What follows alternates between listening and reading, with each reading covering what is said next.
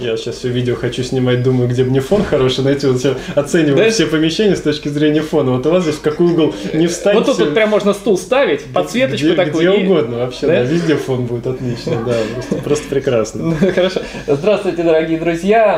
Я Фролов Юрий Андреевич, рад вас приветствовать. И э, сегодня у меня в гостях э, Михаил Владимирович Советов. Э, ну, врач, все его вы знаете, он сыроед доктор, уролог, э, гинеколог и несколько еще других специальностей. Да, и прочее, прочее. И прочее, прочее. Вот. Э, ну, сейчас мы, конечно, в начале вот немножко, э, значит, в гости начинаются с чего? С показа обстановки, территории, так сказать, интересного чего-то. Дети приехали, семья вся.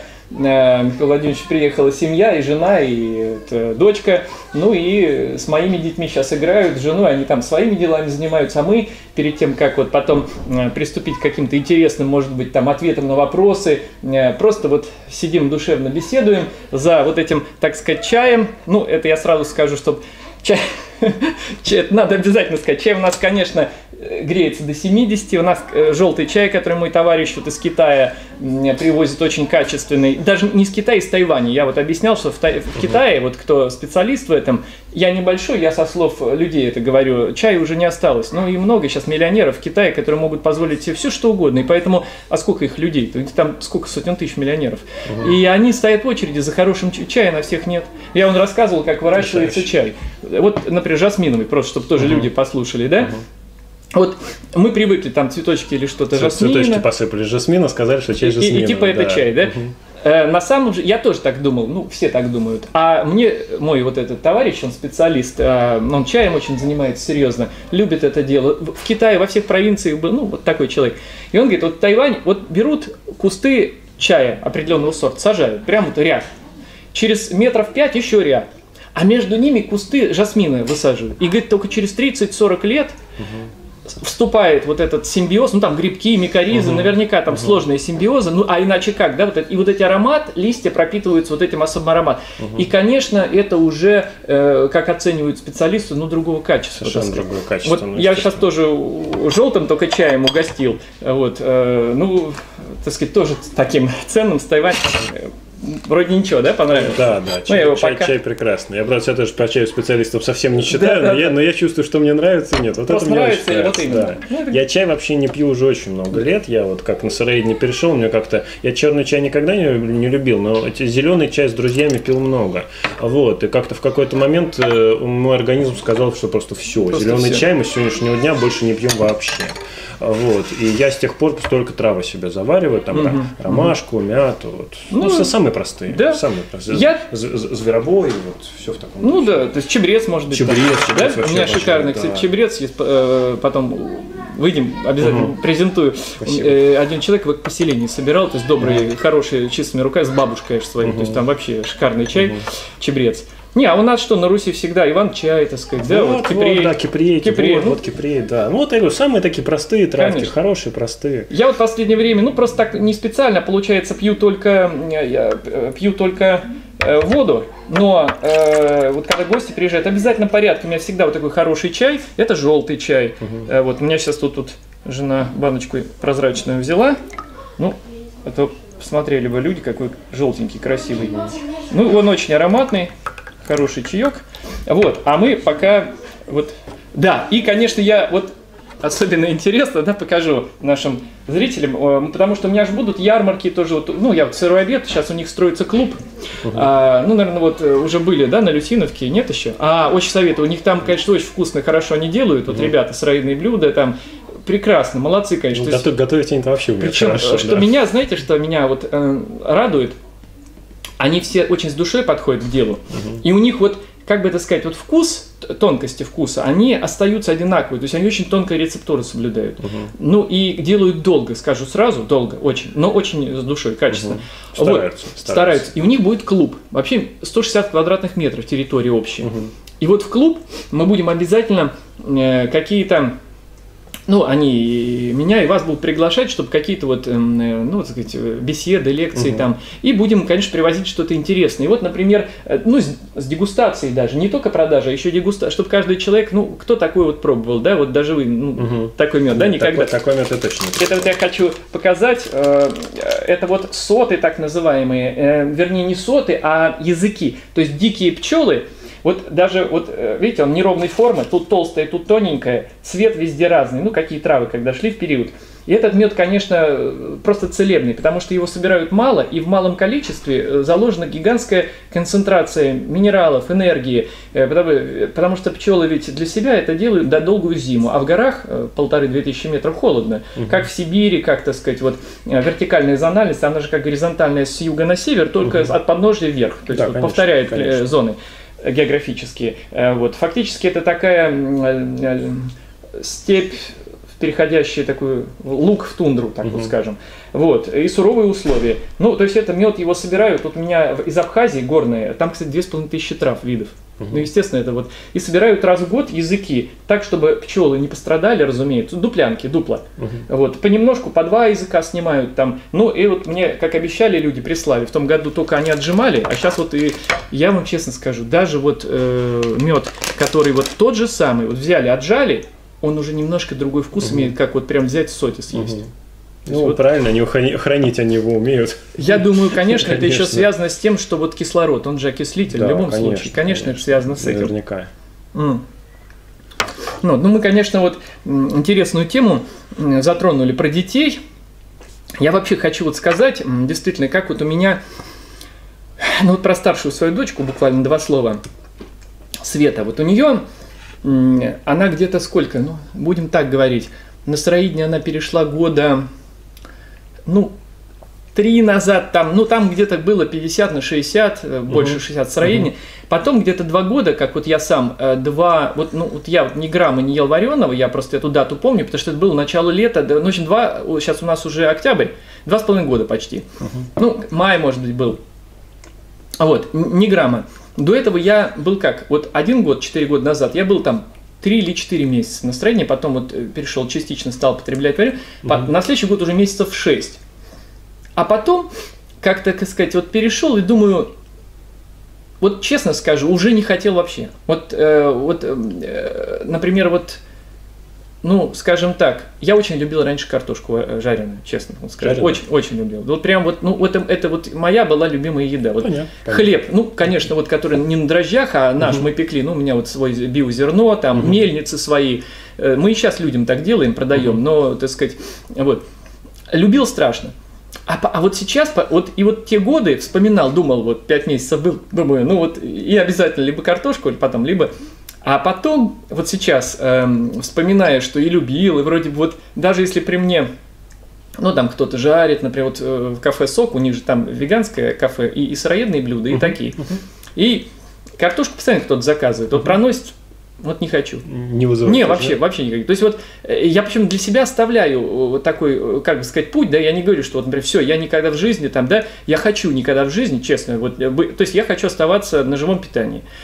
Не хочу, но я как бы себе говорю, ну, если это будет, что если я буду убивать, укорять или что-то там, ну, мучиться буду от этого, думаю, нет. Но э, не хочется. То есть, вероятно, вот этот пройден э, такой этап, когда ты уже э, вот как бы гармонично все становится. Причем самое интересное, что у меня в рационе, например, у меня, я про э, Свету сейчас скажу, но просто у меня в рационе сейчас почти только овощи. Mm-hmm. То есть процентов на, 9, на 80-90. То есть вот, причем это всего лишь несколько э, продуктов.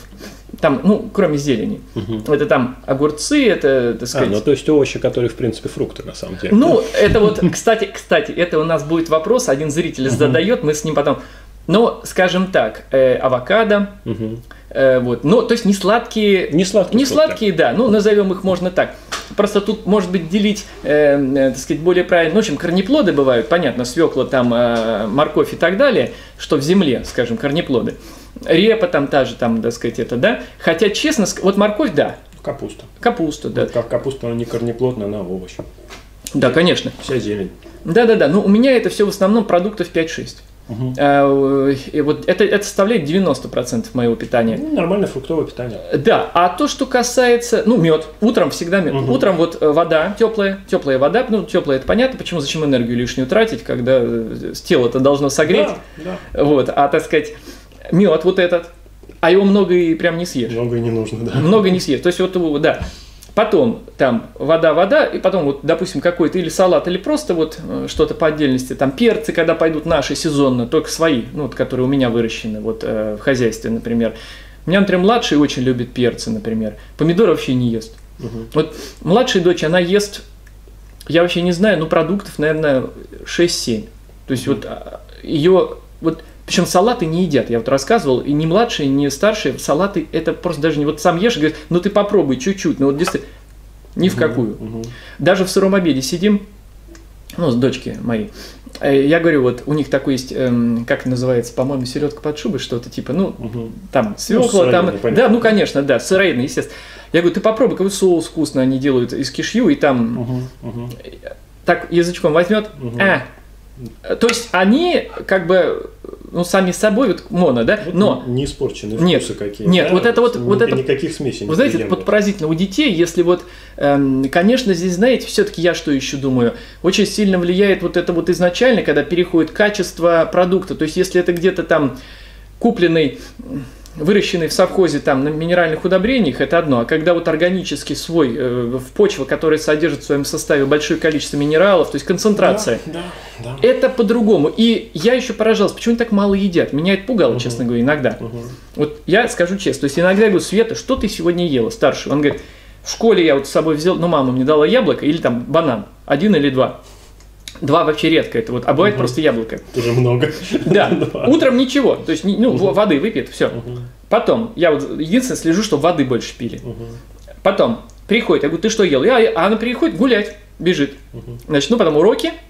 И опять гуляет там с ребятами, с вот э, нашими другими э, детьми. Ага. И потом, значит, что они, допустим, там ну, Света еще может съесть что-нибудь, типа вот немножко арбузика там поковырять вот сейчас или что-то это, перец, ну вот что еще, я даже поражаю, ну может быть 5-6 продуктов тоже. Все, при этом, вот видели сейчас, угу, да, она стеснялась, да. но э, мышцы, да? И потом никто не скажет по этому ребенку, что он ест мало. У нее не только мышцы, так еще и, и такая упитанность. Да, не сказать, что там упитанность, чтобы кости обтянутые кожей были. Причем я говорю, да, э, ну видели я специально, уж угу. я, ну не стал перед камерой ребенка, так сказать, она стеснялась, но вот Михаил Владимирович видел, что, да, вот я прилгал свет, ну покажи, она девочка мышцы, очень, да? очень развитая. Я спортсменка будущая. То есть она готова. физически не занимается, причем угу. она правда не занимается там, но сила, вот когда она перешла на сыроедение, правда она, я говорю, а, они не полные сыроеды, они там вот чечевицы суп иногда раз в две недели вот мама варит, но только без картошки. Ну, без... это разве можно назвать неполными сыроедами? Ну, но это, но это не серьезно. Да? Это, ну, намного, намного полнее, чем да? многие сыроеды, чем многие, которые называют себя полными. Которые, ну я просто привык, ну как сказать, четко, потому что вот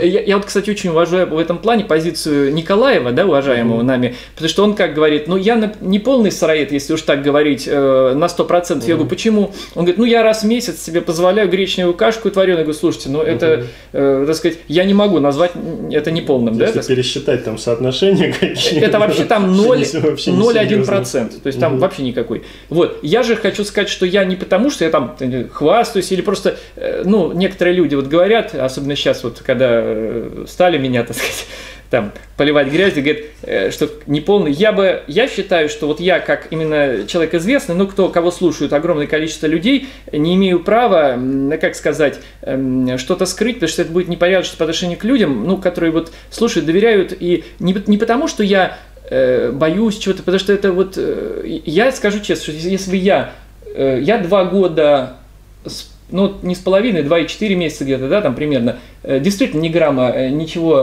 ни, ни, ни сырого не ел, но дело не в этом, ел человек или не ел, это вообще вопрос десятый. Э, действительно правильно, если человек съест что-то такое, я редко иногда, ну вот я даже своих детей не считаю полными сыроедами сейчас, говорит, последний год, именно потому, что они раз в две недели что-то едят. Хотя, угу. в принципе, это по объему очень мало. Да это вообще не серьезно, это значения никакого не имеет Конечно. для здоровья. Потом, кроме физических причин, бывают еще социальные причины, когда просто с, с кем-то где-то где-то как-то, чтобы не обидеть кого-то. Вот, нет, а причем у меня здесь как раз проблемы нет. Вот это, слава богу, может повезло или как, как. Угу. Я объясню, несмотря на то, что в школах, да, вот это все знают проблемы, все дети все едят, у меня, например, э, старшие, младшие не ходят в столовую. Причем многие очень не ходят в классе, то есть вот не ходят вообще. Угу. И с собой кто что, ну понятно, кто-то там ест всякие там эти, да, а мои, вот только вот яблоко это все, они не хотят сами. Меня поражало, что через какое-то время они стали меньше есть. Угу. И когда я сказал, ребята, давайте так своим, ничего не скрывайте, да, там не обманывайте, честность превыше всего. Если вы хотите, они говорят, да, мы там, ну был период, когда они говорят, нет, мы хотим что-то вареное, там, да, Э, я говорю, давайте мы просто вот согласуем, там такие-то позиции, ну нельзя просто никак, а вот это вот, пожалуйста, хлеб там наш, вот это, ну если хотите. Угу. И они хотели больше всего. И знаете, что произошло? Я говорю, буквально, ну месяц там, да, и они вот сами уже ничего... Вот сварит им мама, например, чечевичный вот этот супик, без картошки, угу. а там цветная капуста, она угу. консистенция как вареная ну, ну, да. ну, да. Вот, и, но зато не крахмал. Угу. Так вот, они несколько ложечки, две-три, угу. и, все. и все. То есть это больше и, психологическая и проблема. Психологическая, да, да. И прошло время, и сейчас я смотрю, не только вот они уже это вот раз в две недели что-то так поклюют и, угу. и только живое, причем моно, угу. сами. Э, и они все меньше, то есть они мало едят. Ну, видели при этом какая, почему я хотел показать. А выглядят-то да, как выглядят что надо. Вот то есть, действительно, дети, не изгаженные, как мы, за долгие годы, угу. десятилетия вот этого всего, да, не имея таких психологических установок подсознательных, они гораздо быстрее, легче адаптируются, если моральная обстановка хорошая, нормальная, если никто не давит, да, если не испытывают комплексов каких-то, что кто-то показывает что-то, да, нам, может быть, так повезло в том смысле, что э, и наши, с моей стороны, с жены, жены, бабушки, дедушки уже там к этому относятся нормально. Более того, там мои родители вообще они почувствовали на себе по состоянию. Uh-huh. Вот. То есть они все это уже понимают.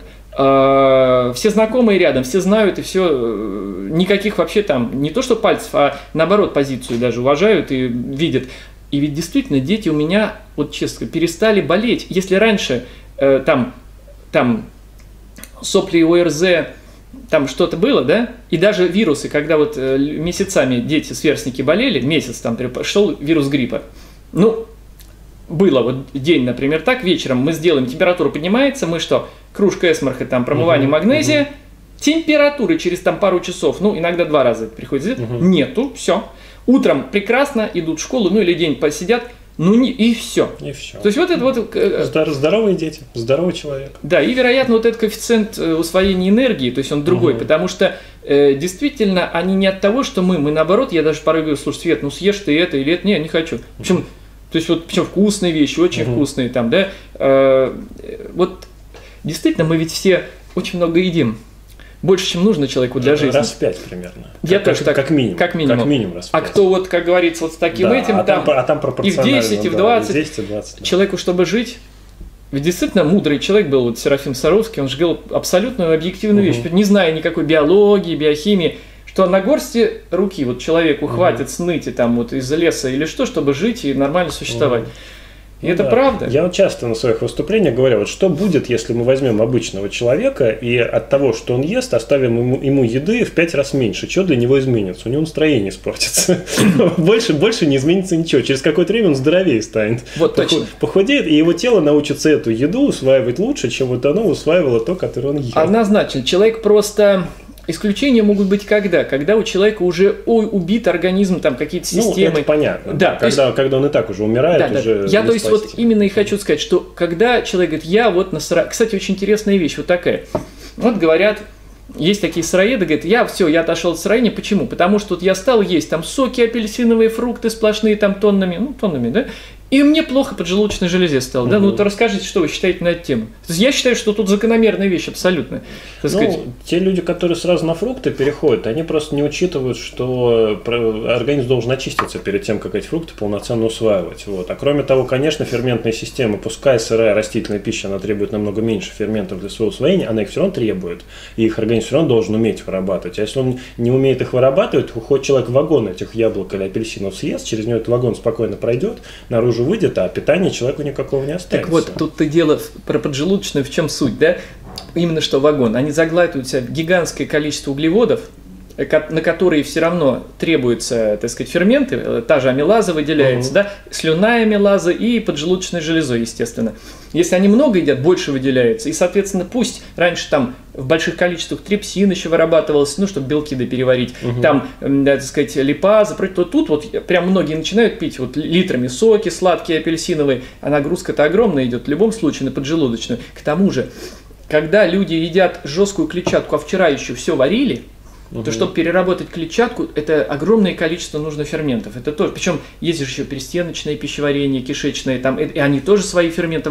То есть идет сбой такой, и, конечно, поджило. А ведь за всю свою жизнь, правильно Аганян, да, Марва Гашакина говорит, что э, люди за испортили поджелудочную железу себе. Вот, ведь она на износ работала всю жизнь у конечно, людей. Вот с такого конечно. возраста. Да, да, да. Просто, именно, именно на износ. Просто было ни шатка, ни валка. То есть пока человек не испытал некого стресса при переходе, да, угу. там вот изменений ферментативных, гормональных систем, да, вот это то у него э, все работало вроде как ниша. Это проявилось бы, но чуть позже. Ну да, рано или поздно вылезли, Конечно. вылезли проблемы. А здесь человек как бы этим ускорил. Но он говорит, виновато строение. Угу. Я спрашиваю, ну как может быть виновато питание, естественное и живое, которое угу. природа для всех создала, и мы только лишь люди действительно так все усложнили. Мы частично вроде бы приспособились, потому что мы получили патогенную микрофлору, которая все-таки она перерабатывает вареную пищу в большей степени, угу. но она же нам и выделяет токсины только. То есть, ну мы быстро не умираем, потому что вроде бы часть мы можем ну, печень, перевар... там, печень кучу нагрузки на себя берет. Печень по колоссальная. По нейтрализации всего. Я этого. вообще скажу, угу. что начинать надо, вот если так по большому счету, да, очищение вообще кишечника, печени. Печень – это, так сказать, э, орган, уникальная железа, которая – это фильтр крови, это мембраны, как и почки. Страдает печень, за ними почки. То есть, если печень белковый обмен не может до конца, то есть белки разобрать, перебрать, угу. она выделяет вот эту, э, значит, различные соли, которые дальше идут уже, соответственно, вот в почки. И почки, почки вот те же ураты, да, урат натрия, ураты, это как раз соли, которые в результате отложения огромного количества азота, то есть их улавливают, вот часто почему еще, если инфекцию человек получит, вот уреоплазму, да, например, известную, угу. они же притягивают ураты, они питаются уреоплазмой, уратами, то есть как внутри, если открыть камушек микроскопический, внутри вот этот вот, собственно, уреоплазма живет, и она, так сказать, угу. как защищается. Да-да-да, и вот эти мембраны, они вот, всему э, подагра, что такое? Это ураты, отложение ну, уратов ураты, в, да. в сустав. Везде, везде во всем организме. Конечно. Более того, я вообще очень много замечаю вот по детям, я знаю других людей вот на своих детях, что если родители ни в чем не сомневаются, да, если для них этот образ жизни стал абсолютно вот, ну, естественным, как вот среда, в которой мы живем, то есть даже вот ну, даже вот мысли никакой-то не приходит в чем-то сами все настолько идет более гладко, естественно, и дети, как бы это сказать, для них перестает быть культ еды. Ведь мы привыкли, мы едим для того, чтобы то есть мы вообще должны есть, должны для того, чтобы жить. Того, чтобы Но мы живем, да, чтобы есть. Да, едим для того, чтобы развлекаться. Конечно. И потом видим, mm-hmm. когда у нас дети вот такие вот, ну, в школах, понятно, ходят колобки, господи, думаешь, как же дети, вот что у них орга... уже внутри. Mm-hmm. Как... О чем тут говорить, о какой Ладно, поджелудочной? в школах они рождаются уже такие. Сейчас да. норма жизни стала, когда ребенок рождается по 5 килограмм. Совершенно верно. И, кстати, вот согласитесь со мной, что многие те заболевания, которые медики считают генетическими, когда не знают, как оправдать то, в чем они не понимают причины, mm-hmm. на самом же деле являются причинами уже в внутриутробном развитии, да, до, да. когда родители себя напичкали такими ядами, что уже изменился даже процесс каких-то делений клеток в некоторых тканях, усвоение там, э, осмос меняется, потому что забито солями, угу. все, да, то есть угу. идут реакции, э, значит, обменные, замедляются или наоборот вообще прекращаются. Опять-таки все новообразования. Ведь раньше действительно еще 30 лет назад такого не было, 20, чтобы у детей были такие болезни взрослых, э, серьезно. Да, да. Особенно, Молодец, все особенно автоиммунные. И вот мы поговорим потом, я письма некоторые распечатал, вот спрашивает человек про такую болезнь муковисцидоз. Угу. Э, не встречали такой в практике? Нет, не в курсе, не да? Ну, это очень такое серьезное считается генетическое заболевание, когда страдают легкие и э, кишечник, э, значит, кишечник толстый обычно, там гниет, просто ткани гниют, потому что э, нарушается процесс, э, так сказать, э, то есть очень много слизи образуется. Вот интересный момент, слизи. Угу. И э, как бы считают, что ген определенный выключается, что э, выдел... не, не расщепляет слизь определенную. Угу, и тогда угу. проницаемость капиллярная, альвеол легких, ну вот эти пузырьки. Ну микро... понятно, и, где и, газообмен и, легкие, легкие, соответственно, И слизь, и, да, да, да, да. Угу. И идет процесс загнивания. И у них, вот, как правило, у этих людей очень страшный э, запах, ну, гниют кишечник, ну, то есть, ага, понимаете, гниет ага. просто. Вот, э, э, признаком детей определяют, как правило, у них очень соленая кожа. Угу. То есть, вот там солевой обмен нарушен сильно. Угу. Но неужели не понимают врачи? Вот если я сейчас мы возьмем просто для эксперимента, да, и зачитаем, что медицинские нам дают справочники, как Эм, э, ну как это классифицируют, что, что они вообще считают, почему, да, то мы прямо начнем читать, и мы очень много интересного поймем. Вот это мне прям очень... Они не видят основополагающих вещей. Вот тот самый гной, Угу. Ну да, он откуда берется, да? Он не из воздуха. Конечно. Явно. И есть первая причина. Они просто не ребенок родился, а с молоком матери. Что угу. она дает? Какие гнойные токсины? Если у нее. Да и уже и родился, какой если не, у нее не легкий, может. Конечно. Да, не может больной организм родить здорового а ребенка. добавим к этому вот что. Бабушка их уже начала неправильно питаться. Там, ну, понимаете, вот еще там 70 лет назад люди были голод. Кстати, заметьте, да, что когда э, война Великая Отечественная, почти люди не болели. Да, Почти ничем да. А не это бол... даже есть исследования медицинские, чтобы вот в блокадном Ленинграде те выжившие люди, там не было просто вот огромного списка заболеваний Точно. в принципе. Там Точно. гипер, гипертонии, диабетов. Абсолютно. Вот, то есть, а ведь, вот смотрите, что такое гипертония, диабет, там, э, панкреатит? Как правило, причин, то есть, эта болезнь относится к группам все-таки, как ни крути, автоиммунных заболеваний. То есть, угу. сам организм уничтожает и муковисцидоз – это тоже автоиммунное заболевание. Но вопрос, почему организм включает когда-то… Ну да, откуда это берется? Такой вообще? механизм, что клетки начинают съедать себя. Разве, я спрашиваю, разве это запрограммировано геномом? Нет, конечно. Угу. Он, программа одинаковая, это вообще голограмма, это матрица энергетическая изначальная. Она идеально всегда Поэтому многие врачи, к сожалению, горе от ума, они считают, не могут, когда найти причину, они сваливают все на вирусы ну, да, и да, сваливают да, все на, э, на генетику. На генетику. Ну, то есть то, то, на что мы повлиять не можем. А не генетика, не на вирус, конечно, не на она взялась ведь откуда? Мама передала папа, но что передала? Передала Генетика – это набор информации, это голограмма через там стволовые клетки, ДНК, но дальше-то организм из чего-то строится – а как он построится, зависит от того, что мама ест, папа, и чем они начинают своего ребенка кормить. И если бабушка уже ела неправильно, уже накапливается много ошибок, в том числе при делении угу. клеток в тканях при построении разных да, видов да, да, у ребенка. А когда ребенок вырастает и такие же дети уже семью создают, то их уже ребенок, то есть внук, там еще хуже все. Угу. Это и есть вырождение, как вот алкоголь. Конечно, конечно. Начали активно народ спаивать в конце 19 века. Вот мы только что с Михаилом Владимировичем Советовым сидели, а мы говорили интересную вещь, я тут про силачей мы вспомнили, я вот про Гелеровского рассказывал, мои скитания, когда там угу. были, когда просто вот, ну, репка такой есть, был, атаман, он так, э, они это, в Рыбинске разгружались, баржи таскали, эти бурлаки, еще последние, угу. 1875 год, 76 таскали еще последние бурлаки, их можно было на Волге встретить. И вот они, сильнейшие люди, природные, огромные, гиганты такие, притаскивали, ну и сколачивались в Атагу, и вот э, в Низовье шли там громить купцов, ну там описывает Гелеровский. Угу. Но тут у них все чинно, ну, свой кодекс чести, что называется, угу. да, там они вот все кланялись друг другу, купец, ну, старообрядцы в основном, они не признавали проходы на тяге вот этой вот, а, значит, уголь, так угу. сказать, и дрова, угу. они считали, что это ну, дьяволь, дьявольское, это, ну, понятно, старообрядцы. Угу. Вот, и все было чинно гладко. И вот он описывает, тот репка, атаман, ему было 70 лет. Он, а тогда мера была куль пшена, это 8 пудов, куль соли 10, 12 э, э, пудов, 12 пудов 198, 200 килограмм. Угу. И вот он брал два куля соли на спор угу. просто, под, вот так вот, в охапке, угу. и сбегал бегом по трапу нету сейчас на планете, я думаю, ни одного человека. Есть силачи, вот такие показывают там мировые конкурсы, вот, да, когда там шар по 150 да, килограмм, да, так да, на пузо, да, причем пузо вот такое. Пузо, да, да, да, силачи-то там Си- такие. Ну да, да, вот так, ну, так сказать, понятно, он весит 200 килограмм, и, так сказать, 150, ну, да, так вот, Гелеровский его описывал. С два кулака, вот такие кулачищи, угу. э, вот такие плечи, то есть это просто, ну, силище, он его там мастодонт, вот такими эпитетами. Угу.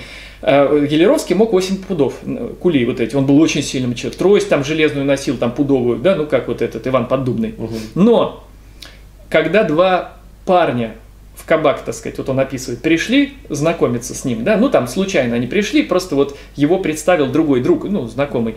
Вот, говорит, так сказать, так и так, он, они, говорят, по, так поздоровались, говорит, что-то у него рука какая-то бабская. Типа, знаете, какие были просто... И вот когда мы говорим о сказках русских народных, где отвори стопудовый камушек, ну, человек, который может 25 пудов, 20 там спокойно поднять и пробежаться, ну, вот 20, да, это то же самое, что мы с вами там, э, там поднимем там 30-50 килограмм, мы можем, значит, сколько, 200 вот в сторону откатить можем? Угу. Можем, конечно. Наверное. Ну, так сказать, э, конечно. Или подвинуть, по крайней мере. Угу. Ясно, что человек может и 25 пудов, значит, он 100 подвинет. Угу. Так что все это было правда, просто мы сейчас, как бы это сказать, деградация ведь идет, она Не, ну это просто действительно уже сказкой стало для нас, для нашего поколения. Так же, как я говорил, дедушка вот в Нелидово, он жив, я надеюсь, и сейчас, вот хочу с ним видео записать, поехать, но мой человек записывал с ним видео несколько лет, шесть там назад, им было там, ну, было 98 сначала, потом 100 вот отмечали, там, ну, я думаю, ему так за 100, сейчас 103 должно быть, но он, что интересно, он э, описывал, то есть он стихи пишет, он на 100 лет писал стихи, хорошие. Конечно, он не пил, сами понимаете. Мгм. То есть вот эти люди, их объединяют, вот те долгожители, которым за 100, вот я говорил, они, что у них характерного общего? Жилистые, крепкие люди, худощавые, да, такие, Мгм. си- Вот именно, что худощавые, никогда не толстые. и жилистые, то есть сильные, Да, крепкие. жилистые, само Такие, собой. которых, как говорится, не сдвинешь. Мгм. Вот такой, он вот такой вот холерик, там вот, говорит, вот прям вот сидеть не может спокойно. Э, Они всю жизнь работают физическим трудом. Как правило, если это вот деревня, ну, как правило, на Ну, Руси это все- свое, свое хозяйство, да. свое и- хозяйство. Соль покупают там, Мгм. значит, свое хозяйство. Очень много зелени едят, все это. Сагар- репу они... а- э, Это вот не как современные горожане не знают, что такое брюква. Мгм. И брюква, и турнеп, все это они едят, как и ели их предки. То есть у них в составе пищи, потом качество пищи другое. Энергия, они съели, сорвали и Потом, съели. да, это сразу, сразу да, Это сразу живая то, энергия, прана. Мгм. Это мы понимаем. Значит, и вот он что говорит, а я у него спрашивает э, мой товарищ, ну я его попросил задать вопрос, он говорит, а скажите, а вот силачи там у вас, ну мы разные вопросы там э, задаем, чтобы, значит, э, обычаи узнать того времени, об обычаях и вообще как люди, вот, эм, он говорит, ну силачей у нас в деревне не было. Ну, подкову это почти каждый мог сгибать, а так силачей не. А почему, объясню. Был там в соседней деревне дедушка. После войны он построил себе э, огромный дом новый из бревна, вот 35-го, 40-го, вот такого. Мгм. А тогда не давали лес, потому что, ну, отстраивали после войны разрушенный, ну, не разрешили. Но он сделал, его хотели зажечь. Как это он сделал? Ни лошади, ничего нет. Мгм. Ну вот. И не смогли. А уже в 60-е годы он спокойно там рассказал, ему уже там было лет 80, да, Никто с ним никогда силу не проверял, не дрался, потому что это, бес- это просто страшно. Мужики еще рассказывали, которые помнят его. Это, говорит, кулачищи вот такие, говорит, ну там 2 метра с чем-то, это ладно, вот, просто титан. Мгм. И вот он такой молчаливый, такой человек такой степенный, значит, который лишнего слова не скажет, ну такой су- суровый мужик такой Мгм. русский. Ага. Вот. И он, э, значит, как выяснилось, он это сделал. Он шел за 10 километров ночью в лес. Пилу вручную, спиливал огромную ель, отпиливал там по 6-7, ну сколько надо, по 6 по метров куски на плечо.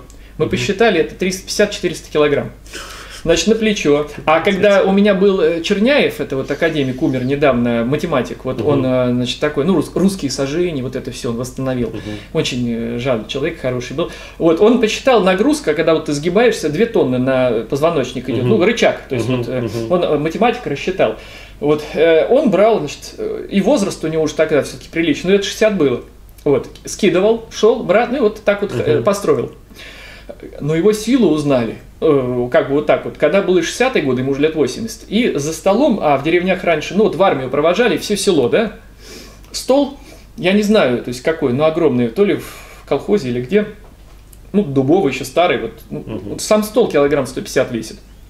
А еды на нем, ну, наверное, столько же. Мгм. И человек на 40-50 там начали пить, ну, как водится уже, в те годы уже спаивание активно, то есть а он это терпеть не мог, ну, естественно. Ну, Вот. И он берет такой, э, ну, такая реакция у него была, вот этот нож свой по руке, ну, нож у него это, Мгм. Тесак такой. он его так раз в стол воткнул, так, и вот так поднимает на вытянутой руке вот этот стол. И все просто были в шоке, ну, он вотк- Мгм. там, значит, все, то есть он их так приструнил, по-свойски, так сказать. Вот, э, то есть это что такое? Это Титан, это Илья Мура, ну, это вот былинные, вот Бога- это. Богатыри настоящий. А теперь я объясню да. последним примером. Вот в этой же самой, ну, может быть, и рядом, я, это вот Пятачок, там несколько деревень, Нелидовский район, заповедник там биосферный. Значит, там был, это уже мой вот этот товарищ, э, зовут Сергей, он биолог тоже, он рассказывал. Значит, э, сына его, про кого я сейчас расскажу, он лично знал. Но вот этот человек, вот этот человек, э, папа, значит, как-то лошадь провалилась в болото. Сколько весит лошадь? 500, 600 там, ну, примерно. Мгм. Значит, он под нее доски подложил, сел и вырвал опоколение из болота. И не сразу упал там что-то распластавшись, он ее понес э, на дорогу, вот, Мгм. значит, поставил. Поставил. Да. Значит, как, он говорит, я папу еще, ну не помню, но вот я помню сына. 2,35 ростом. Мгм. То есть это, говорит, просто страшно подойти, не то что взглянуть, да? Мгм. И как он окончил жизнь? Как под забором. Э, спился и все. Вот, Спился, вот, да. вот это яркий пример вырождения той самой любимой генетики на самом деле. Вот это точно генное оружие, вот это вот генное оружие, которое вырождает, если нация да, не распознает алкоголь как генное оружие, она обречена, правильно, очень хорошая грамм. То есть этим было изничтожено. Почитаешь любых вот э, классиков, там титаны, силачи, ну в каждой деревне. То есть это вот как и уникальные мастера, резчики. То есть вот топором могли виноградину, так сказать, вырубить вот это все, да, кисти, так сказать, без примерок. Рубили. Вот, и вот горечь берет до глубины души, вот ну, как бы сказать, вот тоска нападает в такие моменты, когда думаешь, как же, действительно, какой русский народ почитать был талантлив, да, вот это вот добр, действительно, в своей массе основной, вот эти вот эм, э, уникальные народные, так сказать, умельцы, да, ремесленники, э, силачи, кузнецы, ну вот, вот что там говорить, у меня вот Ржевский район, да, вот э, рядом, а он, кстати, в Ржев уехал, умер там, спился вот этот вот, ну, рядом, 100 километров. И вот он рассказывает, значит, э, да, а мне другие люди рассказывают. Значит, есть кузнец, говорит, жив, вот хочу, хочу увидеть такого человека. Значит, есть какой-то там у них силач э, в районе, но не кузнец, другой, вот силач. Из Москвы перевозят этих, кто армрестлингом занимаются, туда прям ему, говорит. Он их всех кладет. А кузнец этот сделал, сейчас расскажу. Так вот, кузнец, когда приехал, с ним вытащили кузнеца одного. И вот с этим силачом, он его в общем, рукой вот так, что он ему не сломал, а вывихнул. То есть он вот чуть не сломал руку. Ну, вывихнул страшно он там. То есть просто на раз. Теперь про эту кузнеца. Значит, он дает знакомым арбалет, он его сам сделал. Те два мужика крепких тетиву еле-еле вот так за- за- ну, значит, зафиксировали в- на четыре руки. То есть они... Он берет вот так одной рукой, вот так вот раз, 150-й брус пробивает.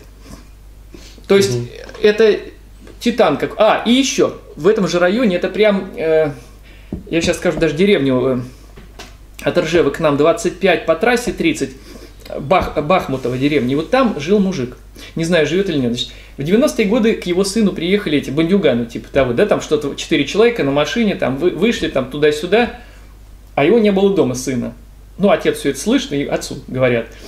Он, ну, в общем, выпендриваться стали, а он такой... И вот реально, это люди просто, вот я их знаю, они мне...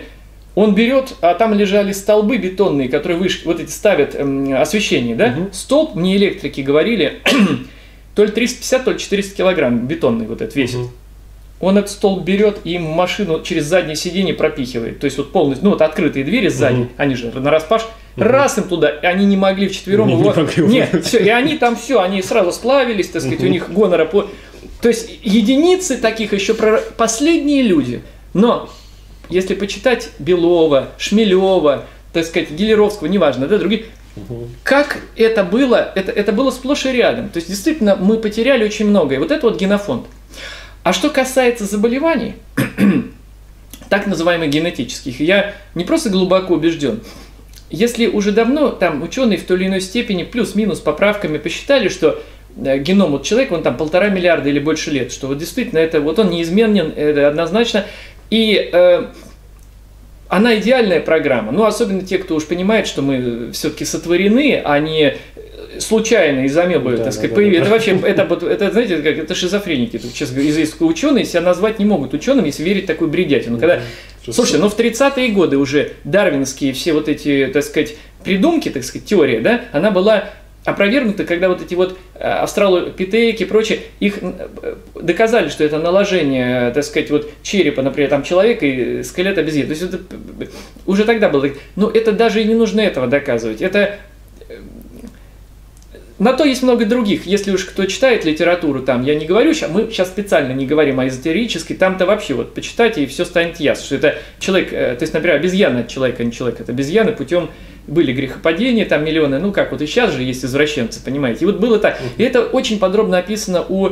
Он не сам придумал, он переписал в более древних источниках тот же Рерих, вот э, «Семь великих тайн космоса», например. Он там подробно, как были вот эти грехопадения, когда вот в Атлантида, там прочее, вот там все это пошло. И, естественно, кстати, потом говорят очень интересную вещь про... Вот я хотел узнать ваше мнение по поводу такой вещи, как... Вообще стоит поговорить об этом. Э, это вот B12. Я понимаю, вообще хотелось бы немножко осветить шире. У меня есть кое-что тоже, что сказать на эту тему. Вот просто хотелось бы послушать мне, как люди говорят. Я даже более того скажу. Ну, кто-то опасается, кто-то действительно имел проблемы определенные, да, и он измерял там ниже нормы, и вроде бы угу. из-за этого что-то. Хорошо. А вот есть человек, по-моему, Денис зовут, на просторах интернета, который такой, ну это вообще в Германии живет, такой кекс. Это, ну, это вот, знаете, он оценивает людей, хороший человек или плохой, э, придурок, как он считает, человек или достойный, как он считает, через угу. призму двух вещей. Одна из них это Э, если человек скажет, что B12 тема преувеличена, не то, что там это вообще, да, просто что значимость, что вот B12, нехватка будет у всех, кто не ест B12, угу. и это, собственно, все. Кто, кто так не считает, он придурок, конченый. Угу. Про меня там он, это ладно, про Доброздравина, угу. там это само собой про вас, угу. говорит, кто вот, вот Аганян говорит, что, например, сидит, молчит, например, не говорит, что это неправильно, что B12 там только надо потреблять из продуктов, Э, соответственно, животных, либо там он дрожжи сейчас там потребляет, и вообще uh-huh. грибка себе загоняет, uh-huh. у кандида, видимо, мало, ну ладно, там э, посерьезнее хочет, ну хорошо, это его дело, вот, и он так считает абсолютно искренне, причем людей именно оценивает, я уж не это, это, конечно, критерий о человеческих качествах человека, когда он такое имеет право, позволяет себе говорить, но, э, так сказать, тем не менее, есть такое мнение, а люди, кто-то вот на это прислушивается, действительно боится этой темы B12 нехватки, вот я э, хотел бы, у меня тоже есть, э, так сказать, э, а вы знаете, на самом деле ведь, ну я не хочу забегать, я просто хочу одно сказать. Вот какая разница, да, человек веган Допустим, если он веган или сыроед, да? Да, я сам это тоже постоянно говорил. Мне вот когда передали про Викторию Бутенко, что она теперь говорит, что здоровых сыроедов не бывает, ну, что обязательно так. нужно добавлять там 10-20% да. вареной растительной пищи, мне сразу хотелось задать вопрос, а что человек получит из вот этих 10-20% вареной растительной Абсолютно пищи, правильно. если этого нету в сырой?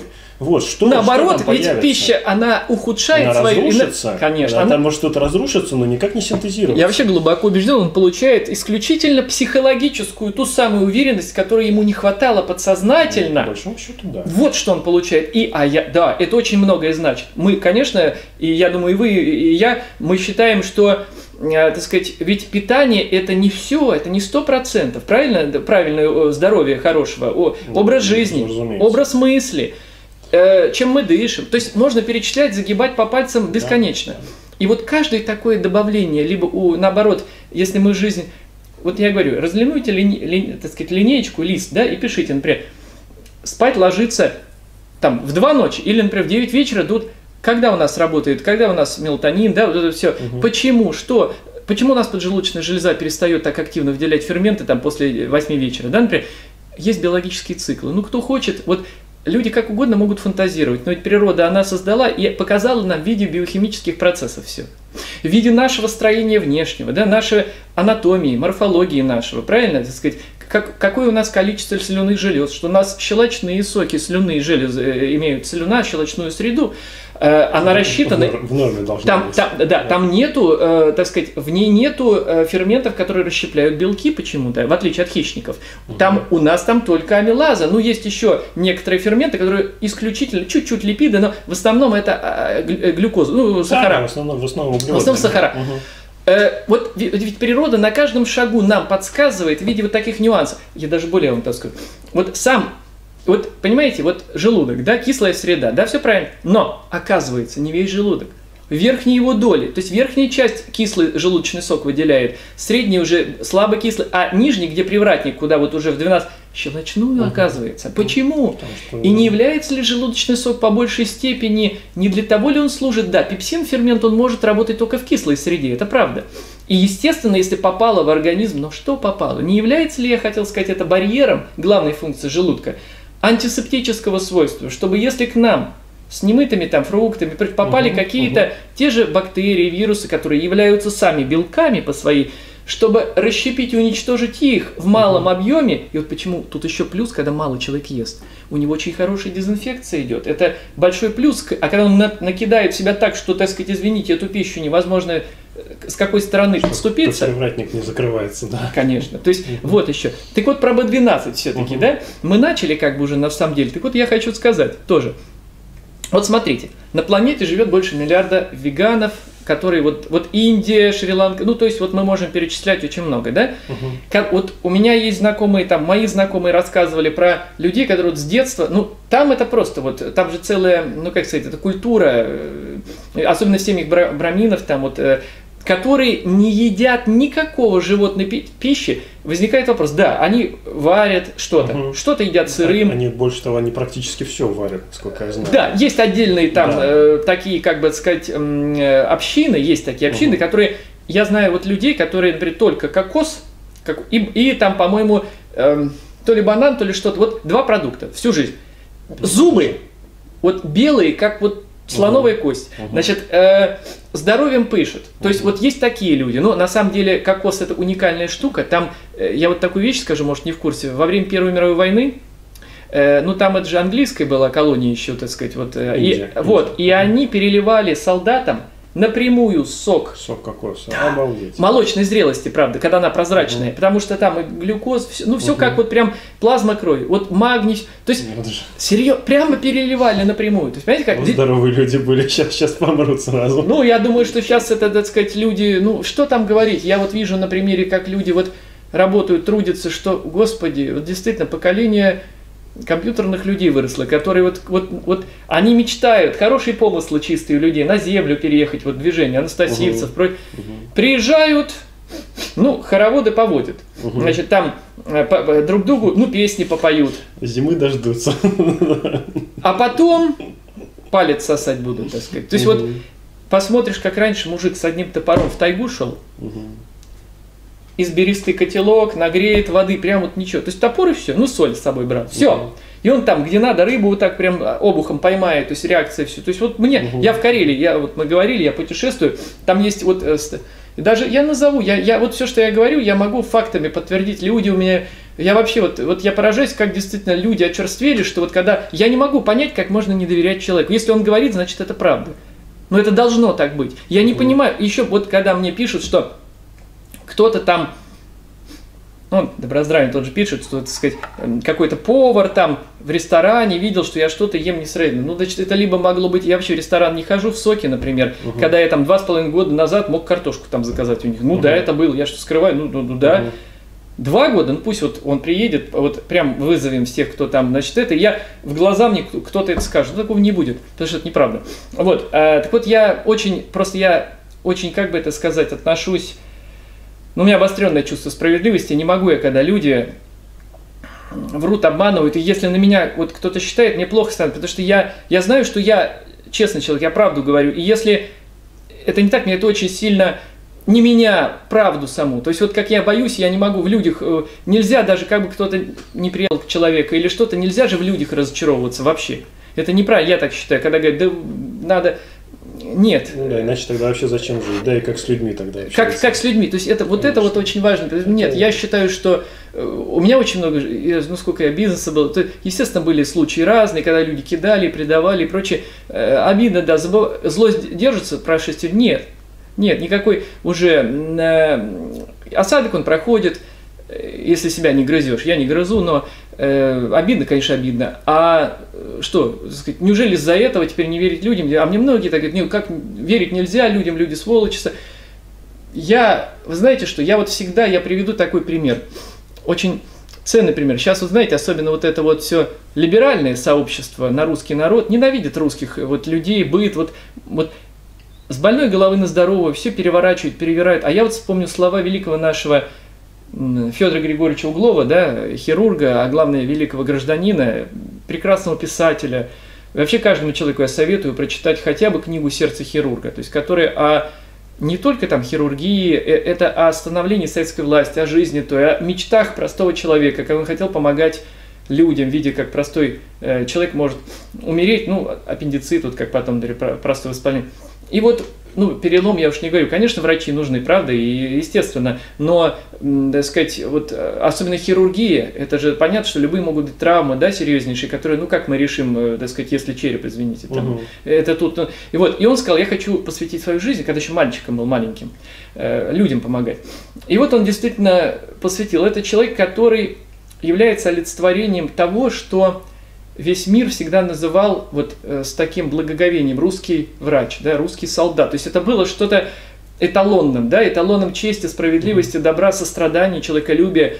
Это то, как вот даже Лео Бакерия, да, который тоже хирург, да, он сказал, когда моего брата спас Федор Григорьевич Углов, он приезжал как раз в Абхазию, там, по-моему, они из Абхазии, или, ну, в общем, куда-то туда, он, э, ну, что-то случилось, я сейчас не помню, он спас его, вот он говорит, я вот тоже хочу быть как он хирургом, и вот он посвятил, то есть это вот тот человек, сейчас э, почти таких людей нет, именно как людей, как э, качеств человеческих, ну, и он свои светлые помыслы воплотил действительно во многое. Вот он подходил, он говорит, я не понимаю, как порой врачи некоторые, хирурги, какую-то манию имеют оперировать, да, прямо вот дай пора оперировать. Он говорит, я считаю, что каждый человек, врач, настоящий хирург, он должен все сделать для больного, чтобы не оперировать ну, его. да, чтобы обойтись. Вот эта позиция, вот понятная любому mm-hmm. здравомыслящему человеку, и таким самое главное не профессия, не что, какой человек самое главное, это ведет.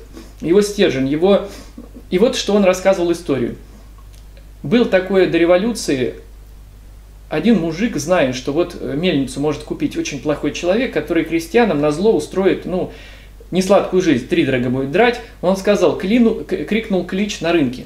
Он говорит, друзья, давайте вот соберем деньги, нужно там 100 рублей, по-моему, чтобы вот выкупить, и я у вас э, честное слово даю, честное слово, что я на следующей ярмарке в субботу вам отдам эти деньги. Дайте, мне не хватает сейчас 100 рублей. Люди подходили, давали, кто там копейку, кто рубль, кто сколько может. И он пришел на следующую субботу, он отдал, каждый подходил, без распис, без ничего. Вот я не могу, честно, без слез вот, практически говорить такое, это о таком говорит, эм, ну, народном вот этом че, бескорыстии, вот этой какой-то веры друг в друга, да, в человечность. Он подходил, каждый брал денег, сколько, да, эм, честно, не обманул. У него рубль остался. Он потом два дня ходил, кому рубль отдать. Вот и этот характерный, и когда говорят враги русского народа, клевещут, что подлость характерна, обмануть друг друга, это, это подлые люди. Угу. Это люди без души, это люди, которые напрасно но льют на русский. Свойство человека судить других по себе. Кто, кто что говорит да, о других людях, конечно. это про себя все рассказывает. Я просто порой поражаюсь. Это действительно вот. Э, но русский народ это вот именно это, что я что привел в пример э, углов. И вот поэтому я всех призываю верить людям, Кому можно, конечно, кто себя не показал, ну как бы это сказать, явно, а ведь человек поступками себя показывает. Словами, да, да. поступками. Э, и это главное. И все-таки мы, да, от темы отклонились, B12. Угу. Действительно есть люди, да, ведь, которые имеют определенные характерные признаки, проблемы со здоровьем, когда они делают анализ и действительно он показывает очень угу. низкий. Ведь что делает в организме B12? Какая его функция вообще? То есть вот что он, так сказать, несет? Вот, и, э, э, значит, действительно, B12, он участвует, э, это вообще кобаламины, да, группа. То есть, причем химической точки зрения, в биохимии, вот что очень интересно, вот вы знаете, что магний и, вернее так вот, э, хлорофилл, и гемоглобин, да? Да. Они идентичны, Похоже кроме одного. кроме одного атома. Ион, да, или атом стоит, а, значит, вот железо, здесь это гемоглобин. Железо, здесь магний. магний. Угу. А B12 то же самое. То же самое, только кобальт, атом угу. Все. Есть очень тонкая вещь, я ее рассказывал на одном из своих вебинаров, что именно благодаря атому, то есть вот B12, он уча, вот, например, в кровеобразовании тоже, магний путем замещения на кобальт э, присоединяет железо и сам уходит. То есть гемоглобин образуется при помощи в том числе B12. И если гемоглобина в норме, B12 достаточно. Это автоматически означает, а, что а, с B12 все в порядке. Да, но если врачи смотрят, а его меньше нормы, угу. дорогие врачи, Нормы надо пересматривать. Вы же на ком делали эти эксперименты, опыты? Это вот кто мясо, да, да, да. потом берет куриную ножку, потом паровые котлетки. И вот на этих людях смотреть, так им надо больше B12. Вы понимаете, люди, им надо больше железа, гемоглобина. Как они будут... Вот им сколько лишней... Сколько токсинов в крови, да, да, ядов. Сколько лишней работы. Это же надо вывести. Угу. Значит, нужно больше иммунных тел, лейкоцитов, там, э, различных фагоцитов, там, да, и им больше надо гемоглобина, чтобы больше кислорода дать. Обменные процессы-то ускоряются. Угу, угу. Ну все же логично. То есть не нужно столько, сколько считается по табличкам. Но нет. Есть те, кто считают, все, как ученые в 20-е там годы, допустим, таблички нарисовали, Это есть истина. Природа это все фигня. Угу. Логика природная, просто простая человеческая логика, да? Ерунда. Есть священная корова, и мы должны, так сказать, вот смотреть. Но да, ведь, да, да. слушайте, ну вот, вот у меня одна врач, э, профессор, она профессор-педиатр, и она гастроэнтеролог в Пушкинске, кстати. Мы с ней ну, разговорились, я это много раз рассказывал, люди, наверное, знают, но не все. И вот она как-то говорит, «А, значит, вы знаете, вы правы, я там несколько дней, я, я говорит, посмотрела последние данные, она прям вот получает, ну она же еще курсы преподает в Академии наук. Угу. Вот, то есть она прям последние новости. Угу. Я говорю, знаете что, вот норму белков пересмотрели, ВОЗ э, пересмотрела. Ну, раньше считалось, что, по-моему, там да, 30 не, грамм в день или Да, не, не так давно не понизили. В 10 раз. В 10 раз. В 10 раз. То есть они э, расписались своей, ну, так сказать, вот ну как это назвать, если раньше-то они, э, как говорится, нож горлу родителям, а ну там печенью давай ребенка да, корми, да, гемоглобин низ. Я вопрос возник, какая печень? Железо-то разрушается, другая валентность становится при жарке. Это уже невозможно. Ну вот из мяса, из печени жареного, вареного угу. невозможно никакое железо, тем более гемоглобин, он разрушается, белок сворачивается, железо уходит. Оно, но ведь никто же не скажет из врачей, из медиков, там, например, что вот э, есть, э, допустим, вот из скважины льется вода, там много железа, да, оно выпадает в осадок.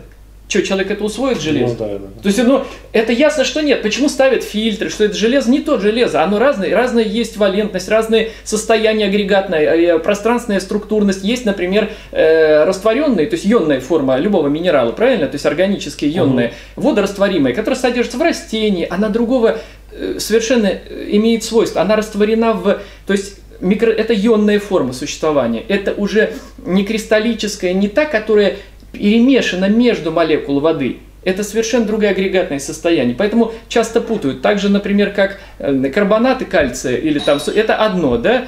А есть э, органит кальция, другая форма, то есть именно органическая. Это угу. совершенно разные угу. вещи. Поэтому человек получит кальций, например, прекрасно из зелени или угу. там, там съест фрукты но он, когда вскипятит, например, э, вот э, воду, например, вскипятит, то минералы, они выпадут в осадок, если они там есть. Почему они в осадок выпадают? Потому что они перешли в другой агрегатный.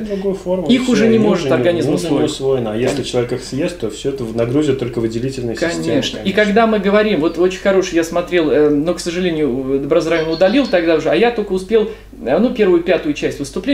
Угу. По-моему, такой темы касались, что вот почему ноги холодные у людей некоторых Э, ну, во-первых, сосуды. Это связано, конечно, с сосудистой системой. Когда микрокапилляры, особенно на периферии, в тканях, почему ноги, да, где венозная угу, артерия, угу. кровообращение замедлено, не как во внутренних органах, где все-таки... И что происходит?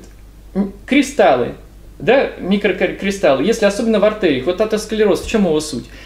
При постоянной повышенной нагрузке, при том, что эластичность сосудов постепенно теряется у тех, кто ест вот эти яды, они же проницают через... И постепенно меняется свойства эластичности, не хватает еще веществ определенных питательных, которые могут делать, э, удерживать эластичность ткани. Обновление ведь идет, мы же не молодеем, каждое деление, оно уже ошибки дает. И кристаллы забивают, встраиваются в микроповрежденные части, то есть вот эти трещинки. А если туда налипает какой-то жир, ну то есть, допустим, холестерин, да, идет, угу. он уже как бетон на арматуру, налипает, ну как вату, угу. пустишь, вот она ну, да, за, да, забилась. Вот это что такое атеросклеротические бляшки. А вот, так сказать, что еще? Допустим, э, плюс еще есть такая вещь, коллаген.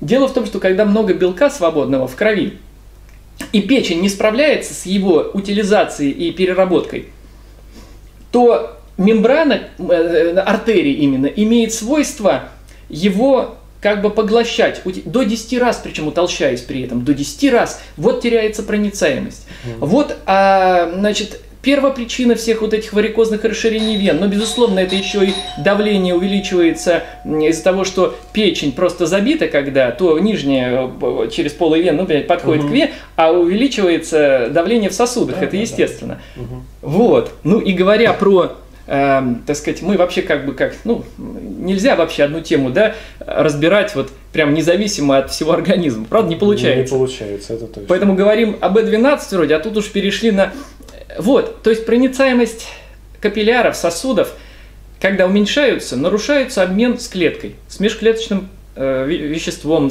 значит лимфа, клетка ведь жизнь ведет, и многие разрушаться начинают. А лимфа, она что? Она берет начало в межклеточном пространстве. Это канализация фактически ну, организма. Фактически, да. То есть то, что нельзя сбросить в кровь, сбрасывается Конечно. по лимфатической системе.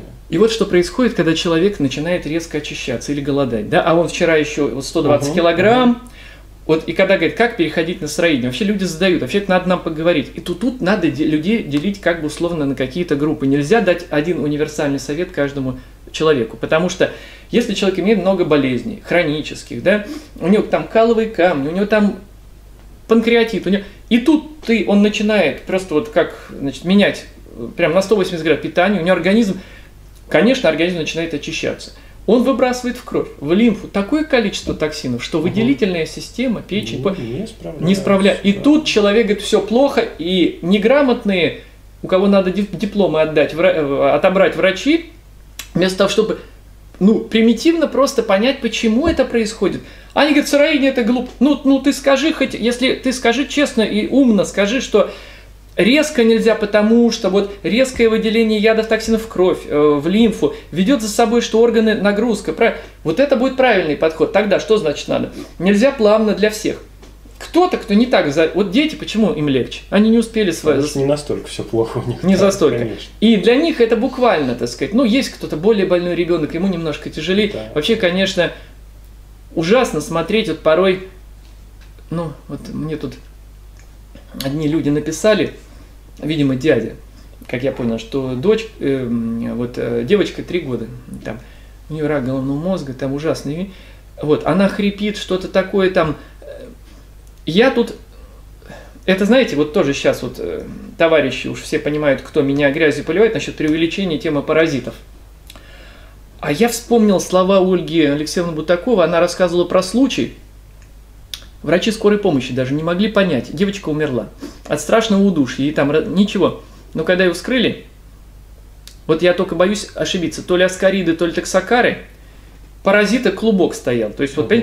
И я вспомнил очень характерную ситуацию. То есть сразу понял. Я сказал, вы знаете, я уверен, что там... Да, и она еще в туалет не могла вообще никак. То есть вообще там ей капельницы и вот катетеры э, чуть ли не... Я ей говорю, я уверен, что проверяйте срочно, смотрите, промывание. Там, говорит, промывание не помогает, магнезий не потом вышло, там чуть не зеленые там у нее. Угу. То есть там уже все. Как организм, представьте, отравлялся. Почему угу. рак был? И самое интересное, то место, где был, разрезали там ну, там катетер, еще трубочка выделения, значит, все.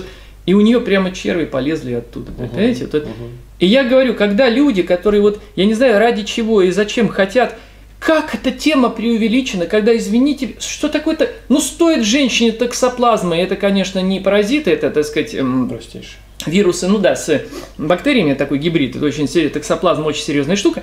Если беременная женщина заразится токсоплазмой, э, ребенок мертвым будет. То есть э, это, это страшный. И таких, я не знаю, как это вообще...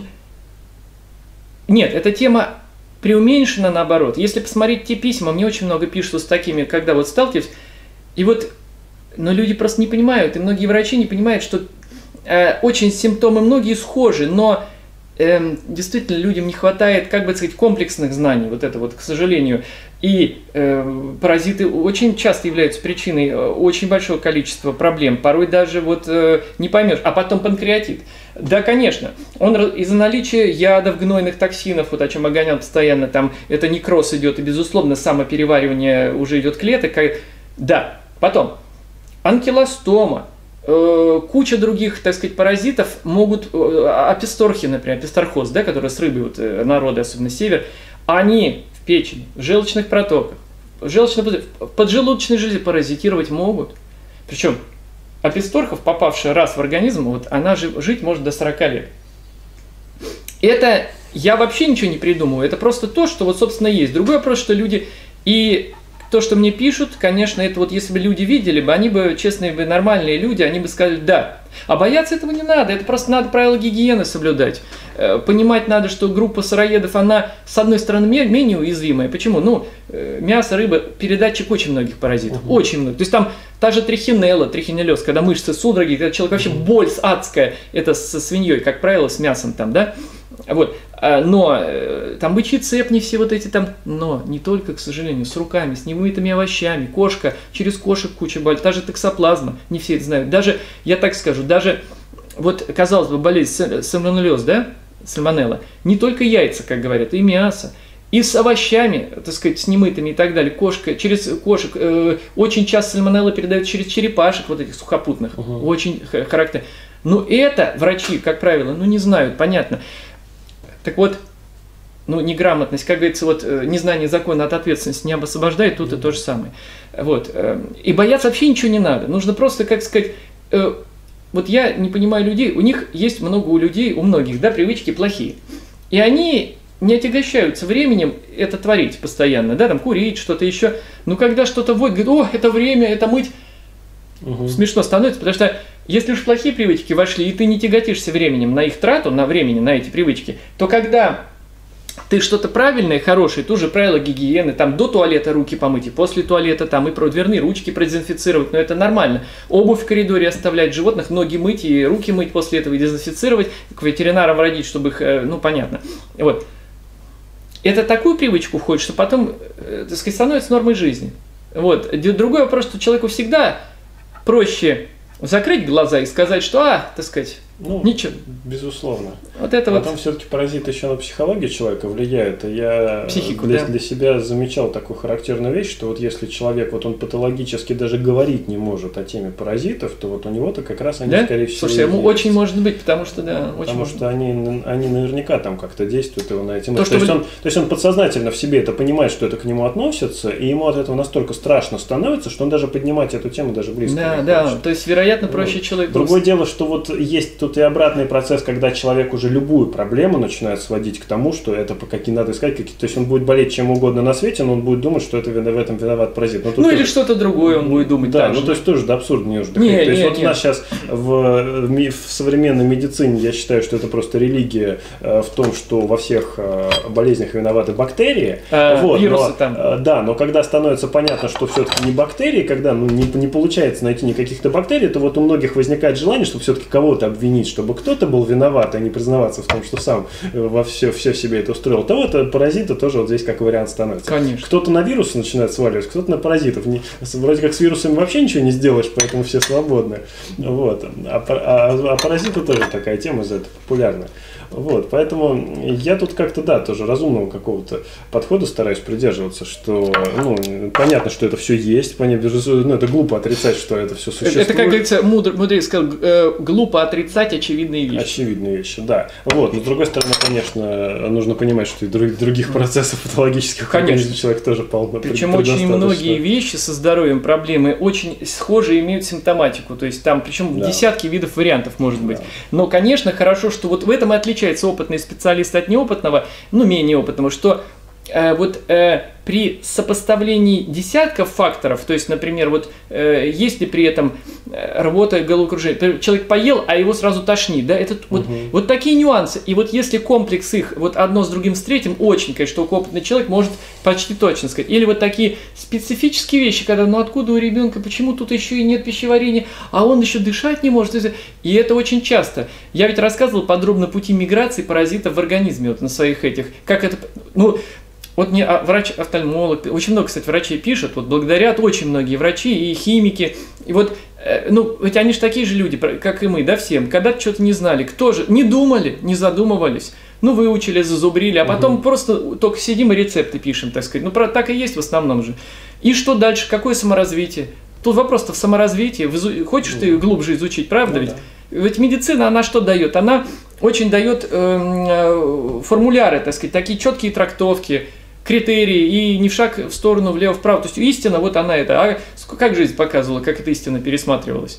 Ведь люди вот напиш... Постоянно. Конечно, люди, написавшие вот эти всю теорию ну, сбалансированного питания, они же на чем основывались? На своих пристрастиях и желаниях. Они просто оправдывали, да, по сути, да, да, свой так. любимый рацион, свою куриную ножку, они оправдывали тем, что закладывали в таблицу Конечно, объясня, объясняли да. это на, на, на, то, что они считают научным путем. Есть такая прекрасная фраза, что 500 лет назад во всех болезнях были виноваты злые духи, а сейчас во всех болезнях виноваты бактерии. Да. Вот.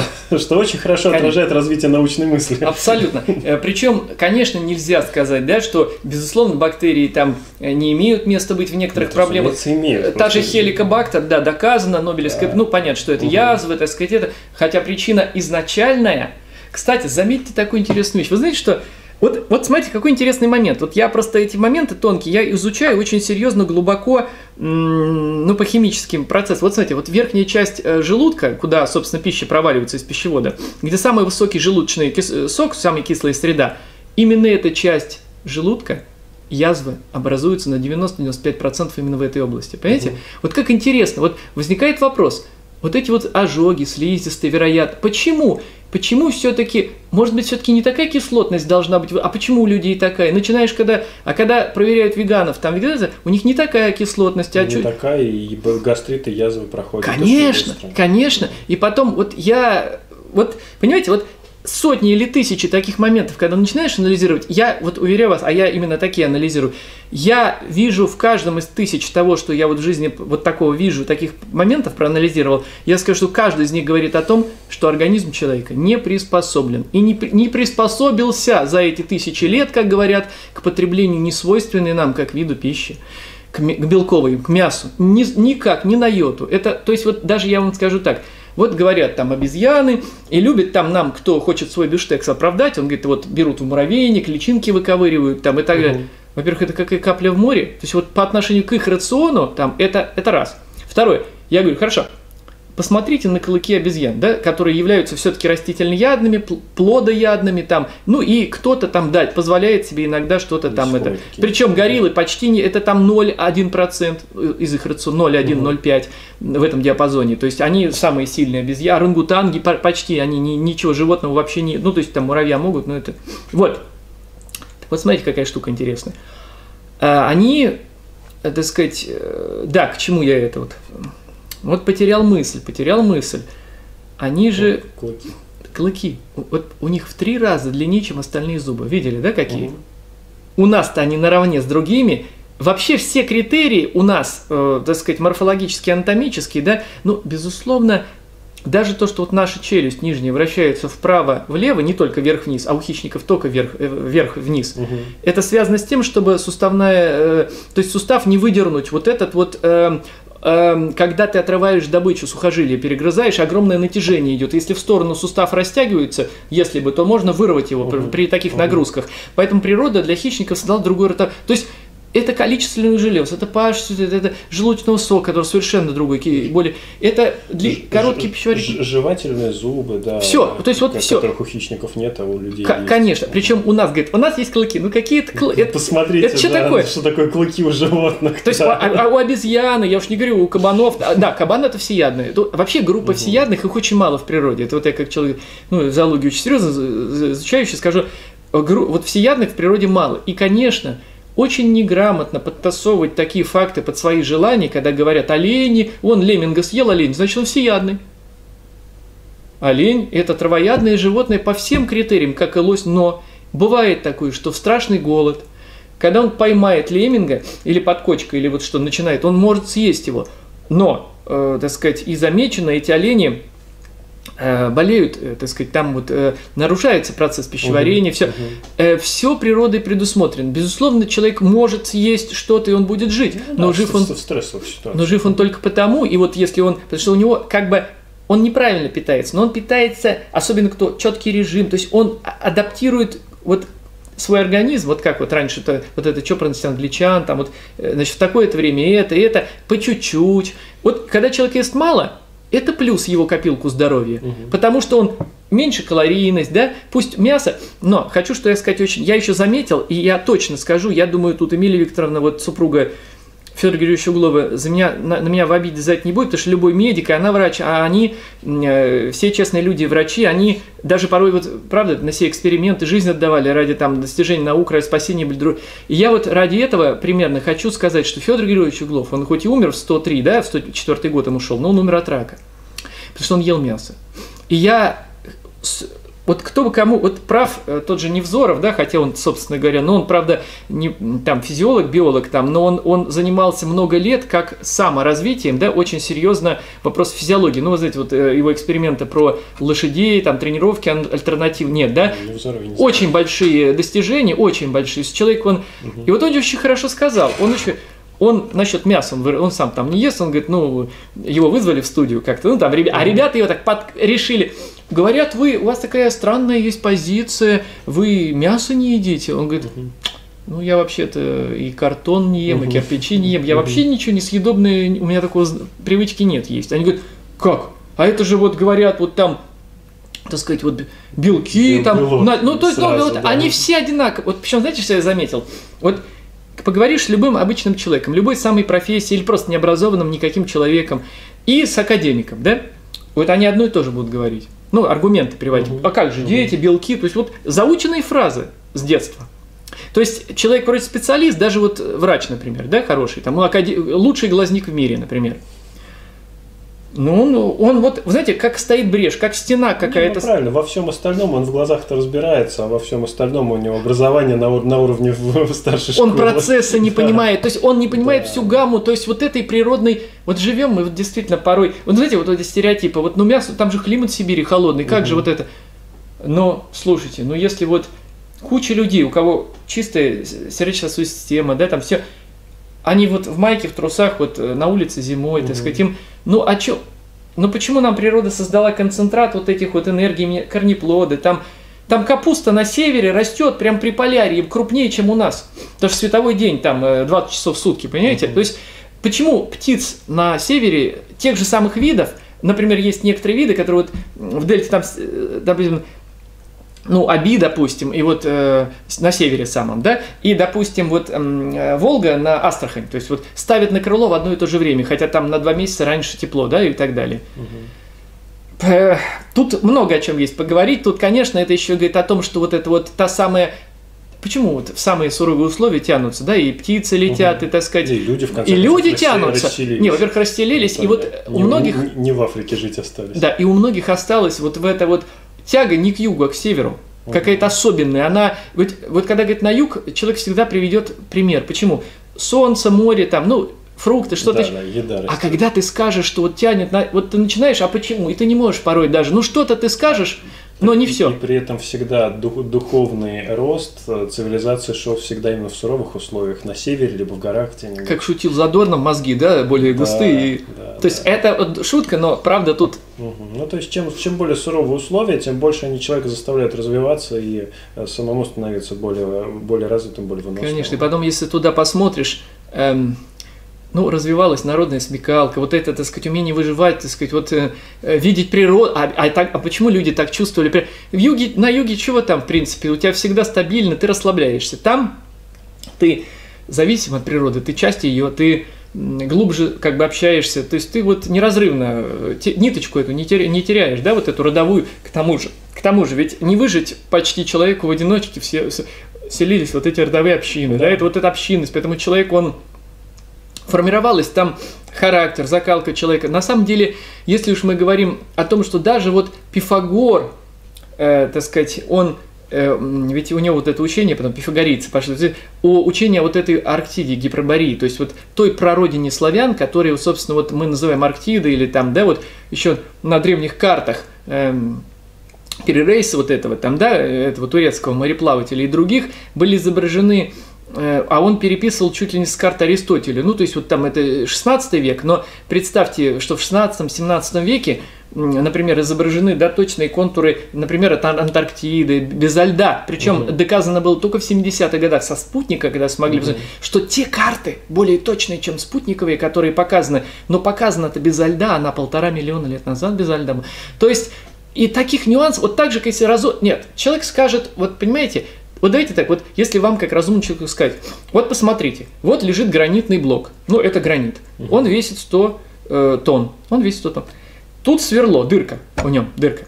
А теперь, если вам, ну вот физик посмотрит, вот просто приборами измерит и скажет, так, тут количество витков такое, что зная плотность гранита, прочие параметры, э, мы можем посчитать скорость сверления, да, ну, значит, какое было, и материал сопротивления, ну, это все это рассчитывается. Uh-huh. И я могу сказать, что в полторы тысячи раз быстрее, чем современное сверло любое сверлит.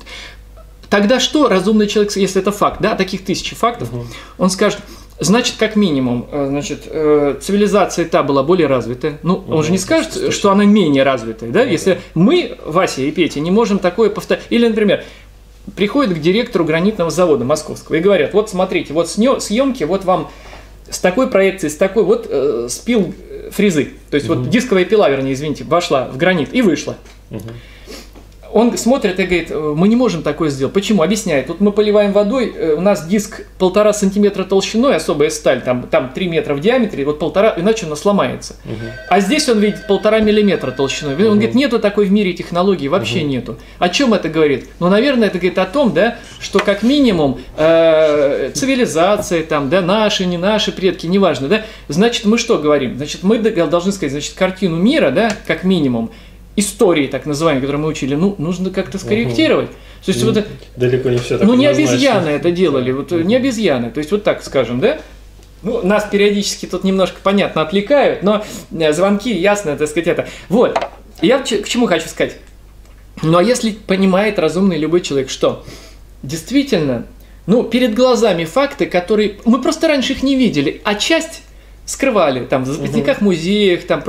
Но если вот пока, вот был случай, просто уже интересно, вот показывают, э, ну, допустим, вот опубликовали как-то, я помню такой случай, значит, след динозавров, там отпечатки и след человека, да? Один ученый, а он профессионал-трассолог, занимается вот изучением э, отпечатков. То есть, uh-huh. ну, он, он специально, ну, все, он знает каждую вот э, нюанс, да, как uh-huh. вот по радужной оболочке глаза, ну, вот давлений в разных, ну, то есть обмануть невозможно, но это же на этом криминалистика основывается. И он сказал, я вру, врут сволочи, ну врут, ну что нам говорят, мол, он говорит, вон, мы же знаем, что там человек там только вот миллион лет назад обезьяны, так сказать, вот, хорошо. И он поехал, говорит, давайте с профессорами, со всеми. И, значит, приехали вот то место, где это, и берут пласты плетника или что-то там, песчаник, откидывают, вот, отнимают, отнимают, нету, нету, раз следы динозавра пустые, раз дальше, и раз человека, да, он берет все, изме... значит, в шоке. Говорит, современный человек. Ну, только, правда, 60 сантиметров след там, это как ага. бы там больше. Ладно. Вот, э, сказать, на самом деле я просто тоже этими вопросами так очень э, занимаюсь, изучаю. Я скажу, что... Э, я скажу так. Вот, я скажу, чтобы сделать из человека раба послушного, быдла из народа, у него отнимут знания во всех областях. Ему заменят эти знания э, суррогатами. И это будет физика, химия, это будет биология, это будет все. Угу. Уклад жизни. Вот. И мы не должны удивляться, что если действительно враг работает, бьет по всем фронтам, таблица Менделеева, которая ложная сейчас абсолютно, не та, что издали при жизни, это же просто проверить. Вот 1900, у меня даже в блоге это есть. Угу. 1903 год, таблица, нулевой ряд, период, эфиры.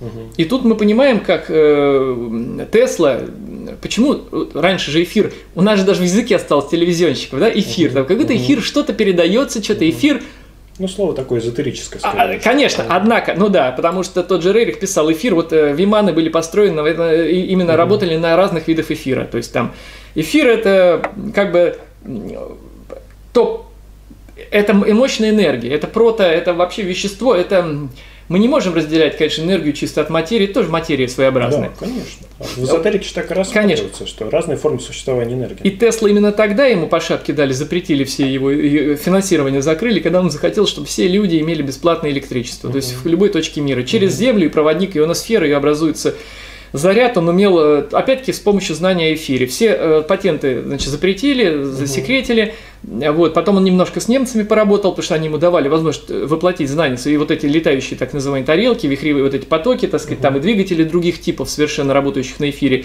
Вот, это все очень интересно. И, конечно, сейчас только, ну, совсем невежда человек, либо просто зацикленный будет отрицать все то, что вот, так сказать, описывают тысячи путешественников по Тибету, там тому же, да, там, когда они видели, как монахи вот эти свои огромные трубы дули, и вот, а некоторые горловым создали резонанс такой, там, определенный, и камни просто взлетали на, так сказать, вот левитации. Это вот французский один писатель, там, в 33 это очень много таких, но, опять-таки, ведь как делает современное правительство мировое, ну, так сказать, в лице там своих соглядателей, она делает так, чтобы у человека жизнь была невыносима. То есть вот он отпахал на нелюбимой работе, пришел, бутылка пива и теле, угу. телесериал или какой-нибудь футбол. Да. Тогда развития не будет. Тогда можно втирать что угодно человеку. Так сказать, он будет верить все, что он вообще будет жизнь видеть через призму того, что показывают по телевидению.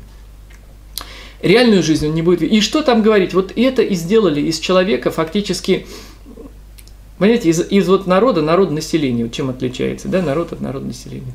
Это какое-то некое население. Угу. Не пойми кого, перемешано ну, все в кривой не, не объединено никакой идеей. Ничем. То есть э, традиции разрушили и, и разрушают угу. у всех народов мира, не только у русского народа. Мне, конечно, больно больше всего за свой, но мне каждый народ жалко, когда говорят, что когда вот я вижу, что малые народы крайнего севера пропадают, да, я только за сохранение их культуры, образа жизни, питания. И, кстати, вот очень интересный момент насчет питания. Я, вот вы знаете, наблюдали, какие есть закономерности, вот, говорят, есть долгожители крайне они едят рыбу там, ну, да, значит... Да. Жир вот этот тюленей. Во-первых, они едят в основном строганину и в сыром виде едят.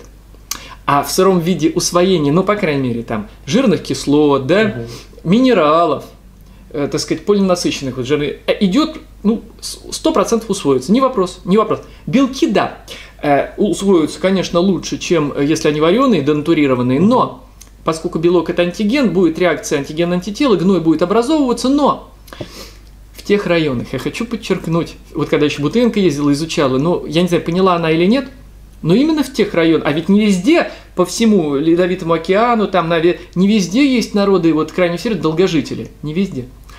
А едят они примерно одно и то же. Вопрос, почему есть долгожительная вода? Уника... система выведения ядов из организма. Вот в чем суть. Угу. И там, где вода, УВП минус 100, минус 200, как в клетке у нас. То есть коэффициент, коэффициент поверхностного натяжения там 40 милливольт, ну примерно плюс-минус, то есть э, вода активная, текучая становится, угу. то есть как бы текучая, она легко проникает.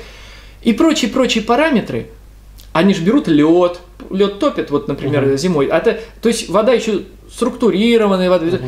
Вот там, где уникальные источники воды, так получилось исторически, если люди селились, вот там формировалось и плюс при одинаковом ритме жизни, образе жизни, очень много двигались, ну, суровые условия, угу, там да труд. Да и ели, прямо скажем, немного. Мало, ели. Не, не было у них еды. Они много. могут вот идти 2-3 дня не есть. Это да, не то, что наши да. васьки, которые уже пройти огород скопать не могут. Я к чему и говорю, что разумный человек, вот глупый человек, он будет что говорит? Он будет охаивать что-то сразу, да, сыроедение охаивать, угу. или вот, мол, ну вот, теперь я могу себя оправдать мою куриную ножку, коль вон они, извини меня, ты с своей жареной куриной ножкой на гормонах, да? И тот человек, который поймал Нельму, вот так ее обстругал, замар, сырую, сыра, э, съел, извини меня, это разные вещи. К тому же, что эти люди, трудящиеся, ну, пока вот алкоголь не пошел, там все, там при равных прочих да. все, там уже 60 лет, потому что был э, съезд, слет вот геронтологов э, в Питере, еще Углов был жив, он был 102 тогда, вот, а там была такая, приехала, ей было 118, а, оленевод, бабушка, маленькая, сухенькая, ну, как угу. и все люди. Когда... Угу. А она говорит, все, я больше не могу, я поехала за оленями дальше, ну, там, туда То есть она там на день переехала, угу. да? А вот, э, ну, у нее там образования нет, угу. трудовой стаж, ну, что-то лет 100 там. Ну, да, вся, вся жизнь. Да, в книжке там. С рождения. Ну, да, 107 или, ну, что-то сумасшедший какой-то стаж. То есть она вот как она, вот стабильность, она при, при физическом труде, угу. вот образ. Вот я почему говорю, люди, будьте разумными, благоразумными. Анализировать умеете, сопоставлять. Почему, всему есть причины и следствия, правильно? Всему. Мы можем их не видеть, но это же не оправдывает э, то, что мы можем мы можем, мы просто себя успокаиваем. Мы пытаемся, а вот, значит, ну давай, значит, бери. Это как врач, э, вот преступник скажет, что а преступник не просто человек. Вот врач, у него больше ответственности, именно потому что он накладывает. Он скажет, пить можно, там немного красного вина, да?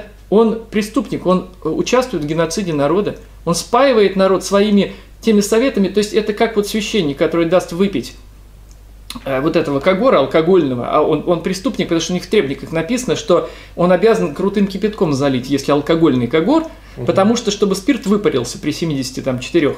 Вот. Но Сколько людей, которые хотели сохранить свои семьи ради семьи, не ради себя. Есть единицы, которые находят такую себе силу. Вот у меня дядя такой был. Он взял и, ну, зашился потом так. Он не пил ни, гра- ни грамма последние 30 лет. Больше поэтому прожил, кстати. Но он ради сохранения семьи. У него была мотивация, ну, высокая, хорошая мотивация. И, понимаете, и вот кто потом, были случаи очень много, когда пошел вот на это, так сказать, причастие, ему, так сказать, дали, и срывались люди. Угу. Убивали при этом друг друга. На ком ответственно? На этом священники.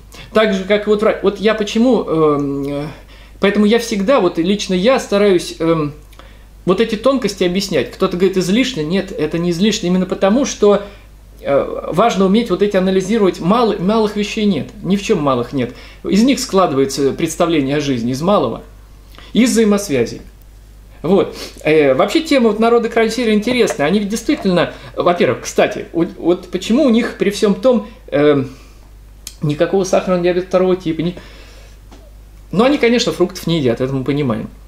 Но они едят, конечно, очень много ягод. Это тоже надо сказать. Морожка, вороника. Причем, да, причем они только, они еще Хотя вот, они, они же мороженые там сохраняются. Конечно. Они едят. Я вот сам поразился, я смотрел как-то кадры, когда вот э, с Дальнего Востока тоже народы красят. А у них, ну, за стол. Они говорят, вот национальный стол, там вот, вот. Ну, там рыба, само собой. Кстати, олени, они их почти не едят. Они едят, но мало. Почему?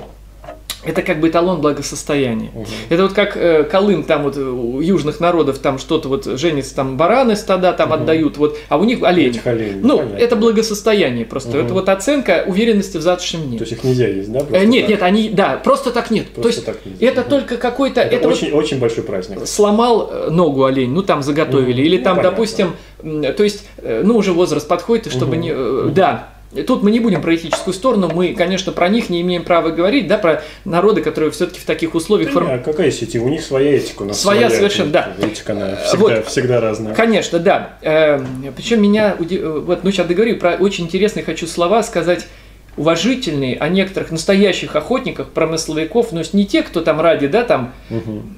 а те, кто живут, да, и они, это что не человек-философ, что не, это вот, э, я вообще всем советую посмотреть, вот есть такой фильм, прекрасный вот человек снял, вот патриот своей родины, да, причем вот, э, вот я вот, вот не знаю, действительно, вот, но человек, он, он курит, вот кто автор этого фильма, а фильм душевный. Э, мне очень жалко, что он курит. Он портит, вот как Стрижак, например, прекрасные фильмы, Игры богов создает, вот эти все, ну, убиваете, видно, как он уже дышит еле-еле. Вот, и у меня горечь просто. Неужели, вот, меня не берет, как бы это сказать, э, какая-то, избай бог, там какая-то злость или что-то, мне жалко человека, искренне, так хочется помочь. Вот, а я к чему? Вот это, вот жалько много людей, хороших людей, вот курят, убивают себя. Пример тем самым, кстати, плохой показывают. Но, эх, взялись бы за... Но, тем не менее, поклон до земли таким... Вот сняли фильм э, э, «Счастливые люди». Про жителей Бахты, это среднее течение Енисея, прям самый центр России. И там охотники, промысловики, это просто вот... Ну вот охотник, он соболей охотится, убивает лосей, там, да, все, ну, что пропит... лишнего ни грамма, ни одну рыбку лишнюю не возьмет. Угу. И он говорит, ну вот, в общем, мужик, со... ну вот посмотришь, скажешь, о, любой человек, даже самый пакостный человек скажет, вот такой человек, хороший, вот видно, честный, хороший человек, мужик такой, суров, но справедливый, то есть у него, он говорит, я таких охотников, он говорит, и мои друзья презирают таких, которые вот вот еще не пошел сезон, ты смотришь, еще Соболь не выходной, не вышел, цвет там, а он уже идет, говорит, хоть 2 рубля до моих, хоть к, зато к соседу не убежит. То есть вот я такие, говорит, презираю людей, ну, мужик, настоящий uh-huh, мужик. Uh-huh. И он говорит, причем это суровый, один там в тайге выживал, ну там вообще не... Он говорит, вот у меня был бычок свой, вот ты выхаживаешь, он в глаза тебе смотрит, ты ему просит от тебя подачки, как бы ты его вот... Э, и вот убить предательство. Uh-huh. Он так вот смотрит, предать. То есть он, вот ты смотришь, и он не смог так убить. Вот соседа позвал, ну там уже, понимаете? То есть вот в человеке, в душе его, и тут надо каждому человеку, вот каждому почитать, умыться слезами, если душа еще не черствая, э, первая ступень Толстого. Угу. После этого ни один нормальный человек никогда не сможет взять кусок мяса в рот, осквернить. Вот, потому что это, конечно, гений, мастер слова. Он так хорошо показал. И вот он говорит в частности, потому что душа человека изначально мы... Почему нам это все не свойственно и неестественно? Потому что каждый такой человек либо страница, как дамочка, да, интеллигентная, что вот, вот она котлетку интеллигентно кушает, там особенно, да, но будет рыдать и плакать, когда там кошечка ножку, ну, понимаете о чем. Uh-huh. И вот этот мужик суров, и, потому что он говорит, я раб, говорил с мясниками, с этими, и когда к совести, и просто вот, вот откровенный разговор, а зачем это? И в общем, совесть берет человека в глубину, совесть просто люди пытаются в себе, ну как бы это сказать, задавить, убить, чтобы легче было сделать то, оправдывая это работой, uh-huh. оправдывая это тем, что вроде бы нам надо есть мясо, потом поговоришь с человеком, он говорит, согласен, вроде бы не надо, причем тогда Толстой говорил, вот с, мужиками. А, еще один случай. Вот представьте, едет он с кучером. Ну, как раз смотреть это мясо. Он говорит, я, ну, я должен был увидеть, чтобы описать этот ужас, что творится на бойнях. И он говорит, и была такая картина. Мы остановились, а мужики гоняли за свиньей. Она убегала, ревел. И вот он говорит, описывает. Это, конечно, мастер слова, но это так не описать. Ножом взяли горло, кровище, обливаясь, бежит. Значит, и потом они ее, значит, прика... в общем, это, поверьте, да, ну, кто прочтет и, значит, описывает, это просто жутко, да. И ямщик, он говорит, мужик, вот этот пропитой, с таким красным лицом, вот этот суровый, но представьте, вот русский, что значит человек тогда, да, началось страшное, вот уже начиналось пьянство, и вроде и совесть люди теряли, но настолько она еще была в русском народе в целом, и он, и он смотрит на это, и он сказал такую фразу, вот этот ямщик сказал такую фразу, и неужто за это наказание не будет? То есть вот угу. он так высказал в малом, так сильно, что прям вот это, знаете, вот и вот этот мужик тот же, я говорю, он говорит, я не смог, это предательство в глаза. Ну вот это, вот я, я вот никогда моральной стороне, я вот говорил биологические вещи, потому что многим людям mm-hmm. они скажут, ну не все поймут, не все дойдут до с этой точки зрения. Я вот, например, считаю, да, что если в основе поступка человека к переходу на веганство, вегетарианство, сыроедение лежит этическая сторона, я таких людей даже в большей степени уважаю, чем о здоровье, когда человек о себе. Только с, это же все-таки эгоистическая позиция, ну как бы сказать, да, так по большому. А я вот и если, вот, кстати, вот этот Денис, несмотря на то, что он вот такие вещи, он, по-моему, насколько я успел посмотреть, что он говорит, у него как раз этическая сторона больше. Угу. Уважаю за это человека, за это уважаю. То есть я к тому, что вот люди действительно привыкли так оценивать, хаять, что человек корыстный, прочее. Я никогда не позволяю себе только из того, что я так хочу, что-то о человеке, да, например, сказать. Если он, э, я вижу в этом порядочные, хорошие э, мотивации, да, там какую-то Эм, ну уж больно, я, я всегда уважаю за это людей, да? Так же, как, например, несмотря на то, что сделал, э, как поступил, как человек, я сейчас вообще ни про что больше не говорю, вот Доброздравин по отношению ко мне, ну вот этот удар в спину, он, я всегда скажу, что я уважаю его за то, например, что он эту тему, ну, как бы в массы, неважно, э, чем руководствуется человек, допустим, это важно, это важно, но, тем не менее, вот хорошее, Э, так сказать, то, что многие тысячи людей узнали, они пересмотрели как бы жизнь, вообще, может быть, пересмотрели позицию жизненную в чем-то, так сказать, это хорошо, это хорошо. Э, вот, поэтому я людей всегда уважаю за хорошие поступки, за мысли, за, так сказать, ну, их жизненную позицию тоже в том числе. Вот. Ну, вообще тему, конечно, мы интересную затронули, а я предлагаю что сейчас сделать? А то по, действительно отвечать на, поотвечать немножко на вопросы людей, да? Поэтому конечно. мы, наверное, перейдем в кабинет, и там конечно. уже все тогда. Ну вот, дорогие друзья, мы перешли в кабинет, откуда я обычно вещание свои вебинары провожу, и продолжим интересный разговор. В принципе, я обещал людям, многим, что у нас будет вот... Я обязательно задам, Михаил Владимирович, какие-то вопросы, которые вы мне в большом количестве написали, и э, сейчас пости... а вот и постепенно мы, вот допустим первый, да, мы их немножко разберем. Мы их разберем. Вот, допустим, пишет человек. Я продублирую эти вопросы, он пишет, что писал на вашем сайте о кальции. А, человек пишет о вопрос именно к Михаилу Владимировичу адресован, и поэтому буду как бы вот от читателя это угу, спрашивать. Угу. В вопросе про оголение зубов э, Михаил объясняет, что якобы недостатком кальция. Но при чем тут кальций? Это же десна, а не эмаль зубов. Я думаю, что это связано с бактериями в полости рта или еще с чем-то. Дальше э, Михаил Владимирович рас, э, рассказывает, что якобы в растительной пище сложно взять кальций.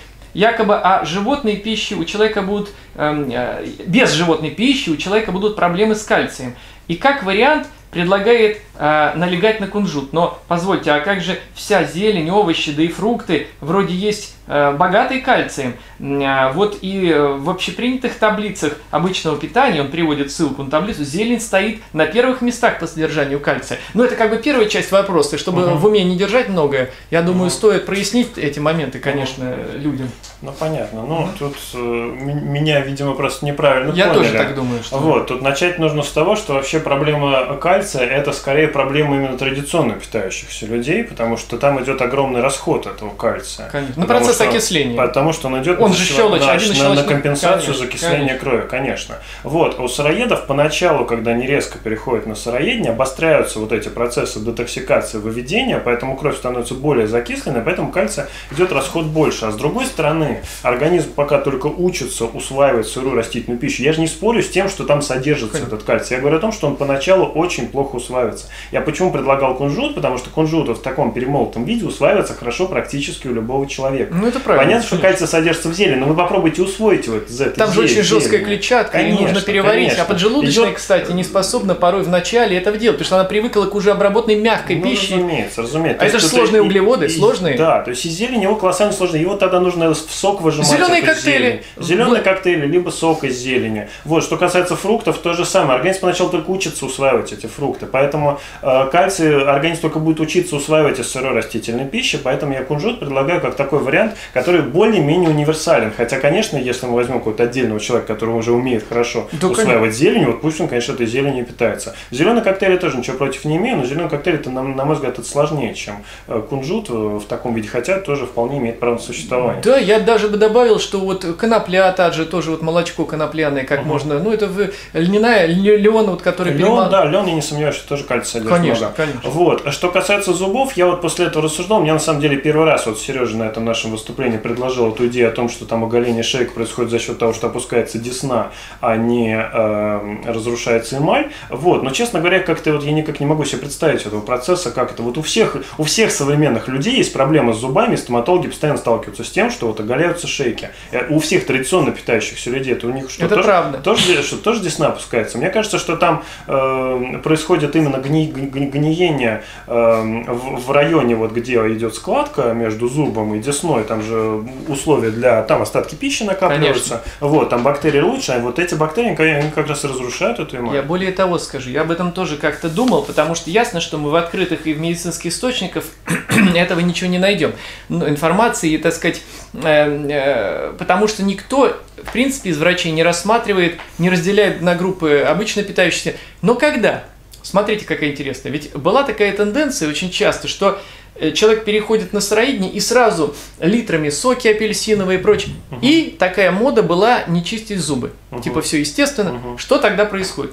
Мы берем органические кислоты, пусть они органические, они кислоты, они закисляют. Частички пищи между зубов также остаются. остаются. Бактерии, налеты, если человек не чистит. Угу. А налеты это как субстрат, где в тысячи раз больше бактерий да, размножают. Да, да, да, да. А бактерии поедают сахара, и они выделяют кислоту, как угу. процесс его жизнедеятельности, а кислота разъедает эмаль. Угу. И больше всего их сосредоточено на границах, естественно. Конечно, конечно, именно вот в этих складках, карманах. Мы когда в институте медицинском учились на биологии, у нас была задача посеять бактерии, мы, мы брали себе именно зубной налет из зубов и, и рассеивали в это. Вообще рот это самое грязное место в организме человека с точки зрения бактерий. Там живет как минимум 14 видов бактерий.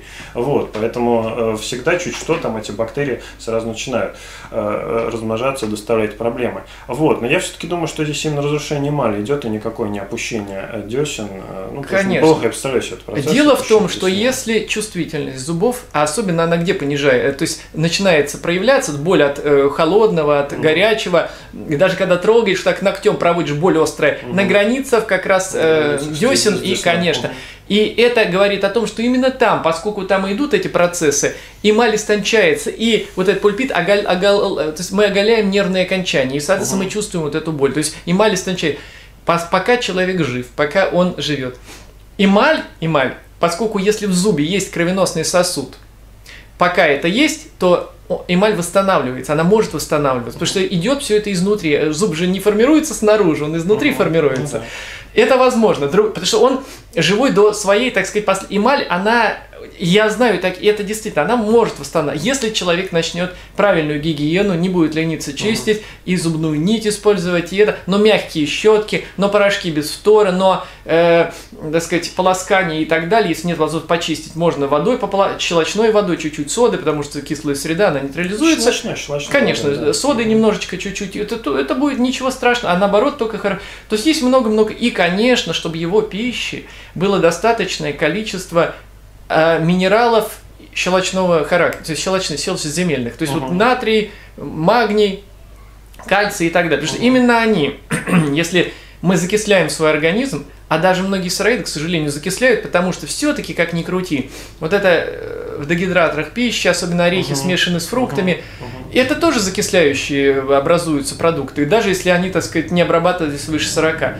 Ну вот, потому что орехи, они сами по себе закисляющие, там очень много азота, белка, и азот угу. закисляющий фактор. И бобовые тогда тоже получается. Да, да. Дело в том, что, смотрите, какая штука, там э, и в бобовых, и в орехах а, белки, они, вот вообще вот чем отличаются белки, если так совсем грубо говорить, животные от растительных, в том, что белки растительные это не совсем чистые белки.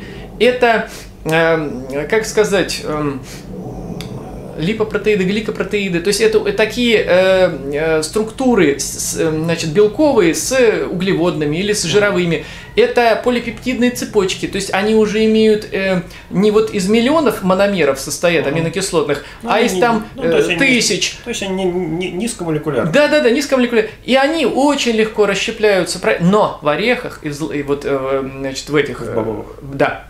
Там почти что как животные. Почти как животные. да. И то есть именно поэтому они, и вот тут абсолютно права Мару Гешек-Наганян, да, ну как биохимика, и, конечно, она говорит и права абсолютно, что они тоже частично, они до конца не переварятся. Меньший процент, но никогда до конца. То есть, если мясо она вот утверждает, я абсолютно согласен, и не только она, она же это не с головы выдумала, и действительно на то есть э, исследование, да, что до 40% съеденного мяса, ну, этих белков, они проходят цельными, пройдя через все системы угу. панкреати и соки, так сказать, и трипсин, панкреатический сок угу. имеет трипсин в составе угу. очень сильный, который вырабатывает из гигантских, почему некроз фактически столько вырабатывает, что уже сжигает свои клетки, так сказать, ну и так далее. Пепсин, желудочный сок, да, вот кислые реакции, никогда до 40% цельные, непереваренные пройдут и в тонкий угу. кишечник и, и сосутся в кровь. И, и все гнить потом. И, конечно, конечно, вот она гниль, да. Именно поэтому, когда мы все-таки, если будет время, мы вот про муковисцидоз, это очень показательная вещь. Я вот прям даже распечатку медицинскую взял. Болезнь автоиммунная, но очень характерная. Я просто на этом примере хочу, ну, может быть, потом разберем вообще uh-huh. всю суть биологическую, как uh-huh. это происходит. Вот. Что пишет дальше человек? Ну, про зубы, наверное, в принципе, мы сказали все. Вообще, конечно, зелень, да, конечно, содержит больше всего. Э, если человек изначально... Зеленый коктейль хорошая штука. Вообще, конечно, очень. Особенно в начале, да, потому что, во-первых, это идет мощная хорошая очистка. Там же клетчатка, сорбент. Там же, так сказать, очень много магния, который вот э, для кроветворения, так сказать. Угу. Ведь, и, и потом, опять-таки, кальций, магний, вот все зеленое это магний. Угу. Вот, ну, понятно, цвет, значит, Э, зеленый. Так вот, преломление. Но ну, это, конечно, мы его так ощущаем, если так уж говорить физически и биологически, то это мы просто идет отражение, а мы часть э, спектра не видим, часть отражается, и мы воспринимаем как другой цвет. То есть это вот интересная вещь, но не будем сейчас. И вот э, магний, без него кальций не усвоится. А вот э, без кремния фактически, ну и без витамина D, а без кремния он не удержится в кости. Поэтому кремний для нас его самый большой современный дефицит, в чем причина многих ну, остеопороз вообще это, кстати, в районах, в странах Дания, Швеция, где развито молочное животноводство, самый большой процент остеопорозов. И это не мудрено, потому что в молоке содержится столько, а, значит, э, почти неперевариваемых казиновых белков тяжелых, которые для переваривания которых одного пепсина недостаточно кислоты. Для них еще нужен фермент ренин специфический, который как ключ к замку подходит, разбирает эти молекулы, то есть специфический фермент. Его у человека вообще нет, даже у грудных детей, там другой принцип. Но, э, кстати, в отличие от других млекопитающих, но и у животных этот механизм только когда мать э, кормит, и вот uh-huh. эта природа так предусмотрела, боги там, кто как хочет, вот понимает. А потом все, и теленок уже не может потом это молоко материнское усваивать, даже своей матери теленок не может в полной. И вот тогда возникают проблемы. Но дело не в том. Кальций это щелочной минерал, да, щелочной металл. Он идет сразу на реакцию нейтрализации кислоты. А поскольку это такой закисляющий фактор, угу. долгоиграющий, что... Весь этот кальций благополучно расходуется сразу же заранее. И еще в 3-4 угу. раза не хватит. Угу. Вот оттуда идет остеопороз, да, разрушение. Да, да. А плюс возьмем проблему современности, откуда кремния взять. Потому что почва высосали. Кремний это минерал, микроэлемент. Его мало в почве. И если каждый год, десятилетие мы будем из почвы высасывать это, но новый. Вот японцы столкнулись с проблемой урожайности риса, смотрят, хуже стало, все, вот нет.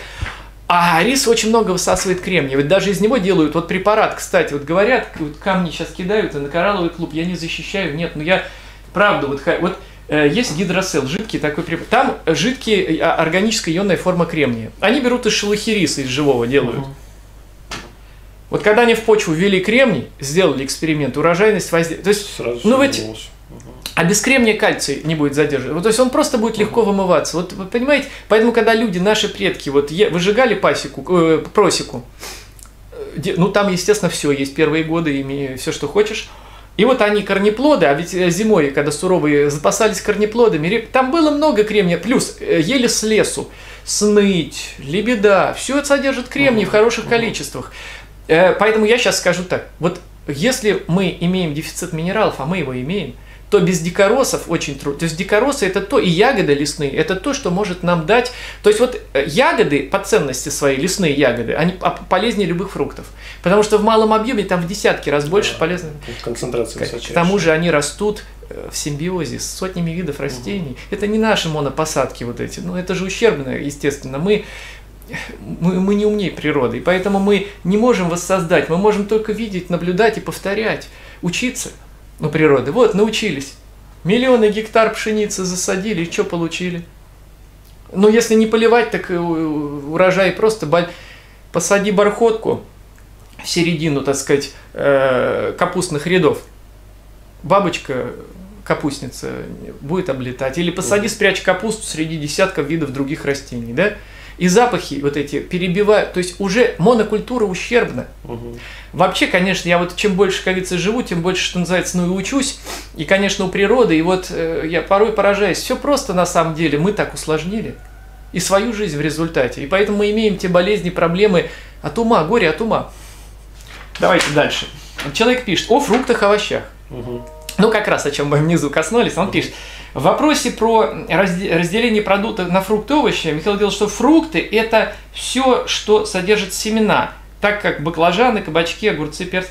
А овощи – это типа, что без семян. Но позвольте, он пишет, э, что произошла подмена понятий, как считает наш э, слушатель. Он перепутал с такими понятиями, как плоды и корнеплоды. Кстати, в некоторых европейских странах, где вообще нет понятия фрукт овощи, там именно делят на плоды, что растет над землей, и корнеплоды, что ну, в принципе, что растет в земле. А одно отличие от, э, значит, фруктов от овощей, как я понимаю, в содержании кислот и сахаров. Значит, э, то есть во фруктах их много, и поэтому они бродят. А, кстати, неплохой... А то, значит, а также они дают много энергии. А в овощах очень мало кислот, сахаров, но больше клетчатки. И они не бродят, но сквашиваются при определенных условиях.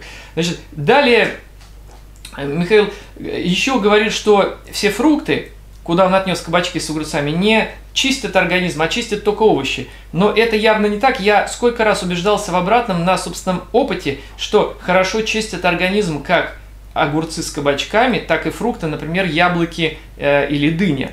Так что хотелось бы разобраться, где правда, может быть, я ошибаюсь, ли лично я не понял мысль Михаила. Вот, кстати, очень хорошо и корректно написал человек. Угу. Он действительно, вот то, что он считает, он написал, он оставляет за собой право на ошибку. То есть, может, я неправильно понял, он пишет. Ну, хорошо, я на самом деле тоже оставляю свое право на ошибку, безусловно. Просто Любой вот нормальный это, человек. Да, вот эта вот э, классификация отличия фруктов и овощей, я просто сам для себя в какой-то момент понял, что вот я, я хочу вот это самое для себя понять, вот как отличать фрукт от овоща, чтобы мне кто-то сказал, что было простое определение. Вот, вот вот это фрукт, а это овощ, чтобы был простой вопрос и простой ответ. Вот, и потом я сам понял, что вот это вот я единственный какой признак могу назвать, вот, что фрукт это вегетативная часть растения, то, что растение выращивает для размножения, вот это мы называем фруктом. А овощ это, это собственная часть растения, то, что растение для себя выращивает, либо корни, либо стебли, либо Ну, то есть, по большому счету, он правильно писал, что то, что запасается в почве в виде корнеплода, это вот овощи, в общем, ну, можно ну, так разделить. Ну, плюс еще стебли, листья, Конечно. то есть какой-нибудь сельдерей, то есть капуста, ну, зелень, это лук, все... парей, да, овощ. лук, да, то есть это все тоже относится к овощам, но, но это уже не корнеплоды. Вот, поэтому, вот, а так на самом деле вот внешне это разница только в, по содержанию клетчатки ну, и, и по качеству. Да, клетчатки. ну и конечно, в принципе, можно как критерий выделить все-таки содержание высокой концентрации сахаров. То есть э, все-таки классические те фрукты, ну будем считать так, назовем их там фрукты там такие вот тропические или, так сказать, ну вот э, те, те, что в общем, фрукты действительно э, такие классические, что вот, ну, обычный человек, спросишь обычного обывателя, он скажет, там, папайя, там, манго, это фрукт, понятно. Ну, яблоки. Яблоки, да, конечно. А вот скажешь огурец, ну, это лиана тропическая, по большому счету, конечно, может. Это знаете как, это по большому счету, вот, э, э, вот томаты, да, их, это вот ягода, вот, угу. а их к овощам отнесли потому, потому что э, тогда пошлина в Америке на э, фрукты одна, на ягоды другая. А, и, да, да, это вот, это, как говорят вот эти вот, как Задорнов говорит, эти продавцы, ну как он их там называет, типа торгаши, да, типа, вот все из-за... То есть, по большому счету, она классификация здесь Э, но, так сказать, нету ее четко, ее очень много раз меняли. Она, угу. Поэтому не будем к этому действительно придираться. По большому счету, вот действительно критерий важный такой. Сладкие фрукты, они, конечно, дают чуть больше нагрузки, они содержат больше энергии, разумеется, ну, глюкозы, фруктозы. Причем э, во фруктах, кроме там арбуза и винограда, содержится именно сахар, как в виде моносахаридов, фруктозы. Угу, ну, Чем да. фруктоза отличается от глюкозы? Фруктоза и, и глюкоза по химическому строению вообще одинаковы. Вообще, до атома. Но угу. Фруктоза лево вращающий да, замер, да. а глюкоза правый. И поэтому, если человек ест фруктозу, но не химическую, это не разные вещи, угу. где нет живой структуры, она тоже права, она мертвая. Угу. А, ну, а когда он берет фрукт, например, ест, Поэтому вот, например, больной сахарным диабетом спокойно может съесть натуральный мед, не тот, который пасечник сахаром подкармливал, где глюкоза есть. Угу. Ну, сахароза вообще это еще хуже, это смесь глюкозы, это дисахарид, да, а, который вообще в природе нет. А вот он, например, глюкоз, у него сразу вырабатывается инсулин, а у него проблема с поджелудочной железой, не вырабатывает, и тогда получает проблемы, да. Но ведь э, инсулин служит для того, чтобы взять глюкозу и провести ее через клеточную мембрану. А если фруктоза, да. лево, она вообще без инсулина она, проходит. в инсулине не нуждается. Вот в чем да, дело, да. конечно. И поэтому, э, так сказать, вот сахарный диабет второго типа лечится фу, за 2-3 недели второго типа. Если человек просто перестанет, ну там окрачка это сопутствующие вещи, там это понятно есть. И если он перестанет есть полисахариды, которые в своем составе содержат именно из мономеров глюкозы, картошка, угу так сказать, там э, рис вареный, ну вот, э, потому что вареный крахмал это вообще, это клей. Но, э, поэтому это самые слизевыделяющие продукты. То есть вот, вот человеку прав Николаев, он говорит, что если человек даже перестанет есть картошку, рис, макароны, хлебулочные изделия, он через год-два, ну, как очи- более-менее очистится, три, он перестанет болеть простудными заболеваниями. Угу. Да, это так. Я это видел в свое время по себе, я это видел по своим детям. Не сразу, потому что мы не чистились. Вот, к сожалению, я хоть и говорю это правильно, но в определенных ситуациях просто необходимо. Но я сам практически клизмами, там, кружками, ну, я знаю, вы тоже, да, не чистили практически, да? Ну, практически нет. Я ну, говорю, для, для эксперимента. Ну, вот, к сожалению, да, я тоже, хотя я понимаю, что это во многих э, смыслах правильно, я сам советую при определенных болезнях, тем не менее. Поэтому у меня это было не сразу, а результат у людей вот именно по очистке лучше, конечно. Но я скажу так, вот у меня были такие проблемы, Конечно, это накопление ядов, токсинов в крови и в тканях, в тканях, разумеется, а в кровь выходит, когда определенные условия, когда вот ты каждый год у меня стало проявляться. Я выхожу на холод, мороз, у меня такие пятна на красные, такие прям волдыри возникают. То есть угу. вот такие. Э, я, причем каждый год все больше и больше. Ну это есть, я же ничего не менял в своей жизни. Разумеется, больше и больше. Разумеется. Угу. И тут я, когда перешел на полное веганство, да, исключил, смотрю, у меня меньше стало. На второй год, а на третий вообще перестал. Угу. То есть, казалось бы, ведь мы на себя порой кладем руки, да, и говорим, а все, потому что, ну, ну мы все медицинские вещи перепробовали, а у нас все хуже и хуже. И люди закономерно говорят, а что я буду биться? Еще ходить, деньги тратить, медикаменты, ну, да. к врачам, блин, они ничего не знают, все равно мне хуже и хуже, да, плевать, доживу как но посмотрите, вот такие примеры, как у меня, как я сказал, они, наверное, говорят о том, что можно процессы повернуть в другую сторону, пока человек жив. Конечно. И если это так, мы начинаем мыслить адекватно. Если, конечно, мы начинаем. Что это значит? И вот всему есть причины. Мы их находим. Раз, два, три. То есть, всему виной, вообще болезнь, на самом деле, как бы правильно Аганян здесь говорит, это гной в организме. Другой вопрос, почему гной? И сколько, и почему, и что, какие следствия? Гной. И возникает вопрос. И права Бутакова, которая говорит, что смерть клетки разрушения, это нехватка кислорода. Но это же между собой. Это, это прав и он, и он. То есть mm она и она. Никто не противает. Просто надо понимать, как в целостности эти процессы. Больше гноя, меньше кислорода. В... О чем мы говорим? Больше белка в крови. Его уже не успеет организм переработать даже в гной. Порой он просто в коллаген переходит. Он запасает эм, э, сосуды. Просто накапливают себе. Это Морец об этом еще писал, э, так сказать, тоже химик. Вот. Ну, вообще интересно, как в природе все устроено, а мы действительно, э, я поэтому всех призываю к здравомыслию, ну, просто вот думать, почему я стараюсь вот общие биологические свои лекции читать именно так, чтобы человек понимал суть процесса. И не старался поверить на слово, а сам разобрался. Это самое главное. Человек должен понимать, у него этой силы больше будет внутренней. Правда, мотивации всего. Да, да. Там вопрос еще про очищение был. Да. Вот. Ну, что касается э, Очень того, что да. человека хорошо чистят огурцы и кабачки. Угу. Вот. Ну, это вот, э, да, например, конкретного человека. Тут же нужно понимать, что э, само очищение начинается тогда, когда мы перестаем загрязнять. То есть, э, просто достаточно самого факта того, что мы перестали кишечник чем-то забивать, он уже начнет очищаться. Но я этому человеку в ответ могу показать десятки примеров того, как у человека, у людей на фрукторианстве, то есть на питании питании фруктами возникают очень жестокие запоры. Вот. И это легко объясняется, потому что кишечник уже забит слизью, накопленной раньше, а клетчатки во фруктах и недостаточно, она очень мягкая, она не стимулирует перистальтику кишечника. И никогда у человека не будет заборов э, при питании э, овощами. Конечно, особенно если он там ест там Кап... укропа, петрушки, там... Зелень, капуста, морковка, да. Конечно, конечно. Вот, поэтому я говорю об этом, а то, что понятно, что кишечники у всех разные, у кого-то он, естественно, весело начнет очищаться сам и безо всякой клетчатки площадке. Вот, но здесь не, не нужно тогда говорить, что это вот э, э заслуга именно огурцов и кабачков. Их заслуга только в том, что они не загрязняют этот кишечник. Вот, да, поэтому это, числе, это да. у всех по-разному. Вот, но для очищения, для усиления очистительных процессов, в первую очередь кишечника, клетчатка совершенно необходима, именно хорошая, грубая, то есть именно настоящий овощем. Конечно, и потом, что еще очень важно, мы, конечно, понимаем, ну, уже наши зрители уж точно это знают, что безусловно, у нас э, пищеварение – это сложный процесс, не как мы раньше считали и учились тоже в институтах, в школах, что, мол, кинул в желудок, все переваривается, и типа, ну, примитивнейшее представление, учителя, а нас так учили биологии. Ну, плюс-минус. Вот. На самом же деле уже есть и перестеночное пищеварение, которое там это, это сложнейший многоступенчатый процесс. И вот, что еще очень... Там свои ферменты выделяются, кстати. Не, угу. не только те, что да, поджелудочной да, да, железой. Да. О, железы вообще все ферменты выделяют, не только гормоны. То есть это вообще, это, это очень интересная, конечно, тема. Ну, кстати, это вот мы про один фермент тут очень интересный как раз поговорим, когда вот написали родители обеспокоенные. Очень интересная тема, попробуем ее сейчас разобрать. Э, что я еще хочу сказать? Та полезная симбиотическая микрофлора, которая есть в каждом живом вообще виде животного, даже у муравьев. Все симбионтные организмы, мы все. То есть кто-то поставляет кому-то какие-то вещества, за счет этого питается другой, и он поставляет нам. Это как вот в мире растений микоризы грибов э, с растениями, которые грибы угу. разбирают белки, то есть поставляют аминокислоты, поставляют минералы, это помогают, а растениям глюкозу, и, собственно, вот идет этот симбиоз. Угу.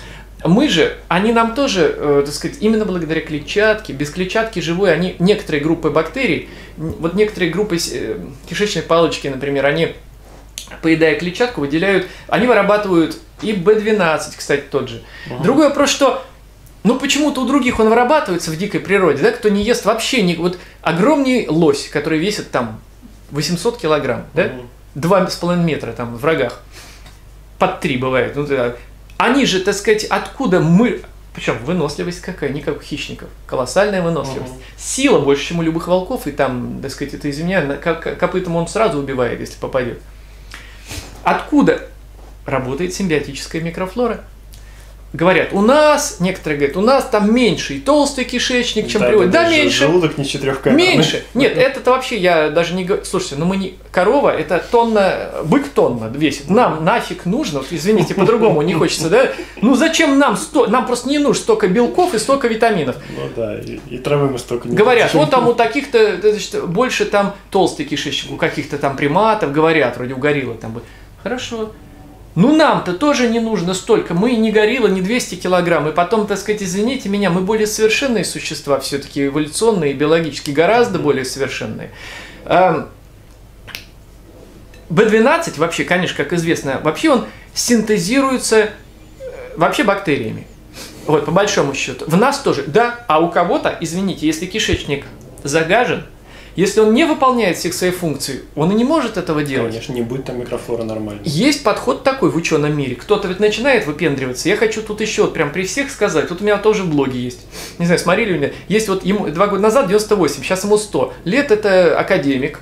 Э, то ли англичанин, то ли американец. Э, такой, ну, ну как вот 100 лет. Угу. Значит, он до 95, что ли, оперировал, да, его, ну, углов вот до 100, он до 95.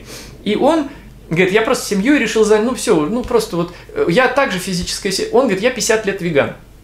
То есть 50, полвека человек не ест никакого животного, ни молока, ни яиц. Угу. Но он говорит, я считаю, он говорит, я считаю. Вот единственное B12. Он берет спрей себе, пожалуй, это подход. То есть, ну, у него такая позиция. Возникает вопрос, да, так сказать, но есть люди, которые из столи, вот Йог 104 тоже там есть, он, он сыроед, ну, почти всю жизнь. Угу. 104 он, он не знает, что такое B12. Ну да, что такое спрей. Он не знает. даже не знает. То есть я что хочу сказать? У него все хорошо. Я не отговариваю, не дай бог, да и никто из нормальных людей не будет. Кто-то считает, он замеряется, что у него мало, и он боится. Угу. Успокой свою душу. Да, Прими да, B12. Я скажу, пожалуйста, люди, ну брызните. Я только за.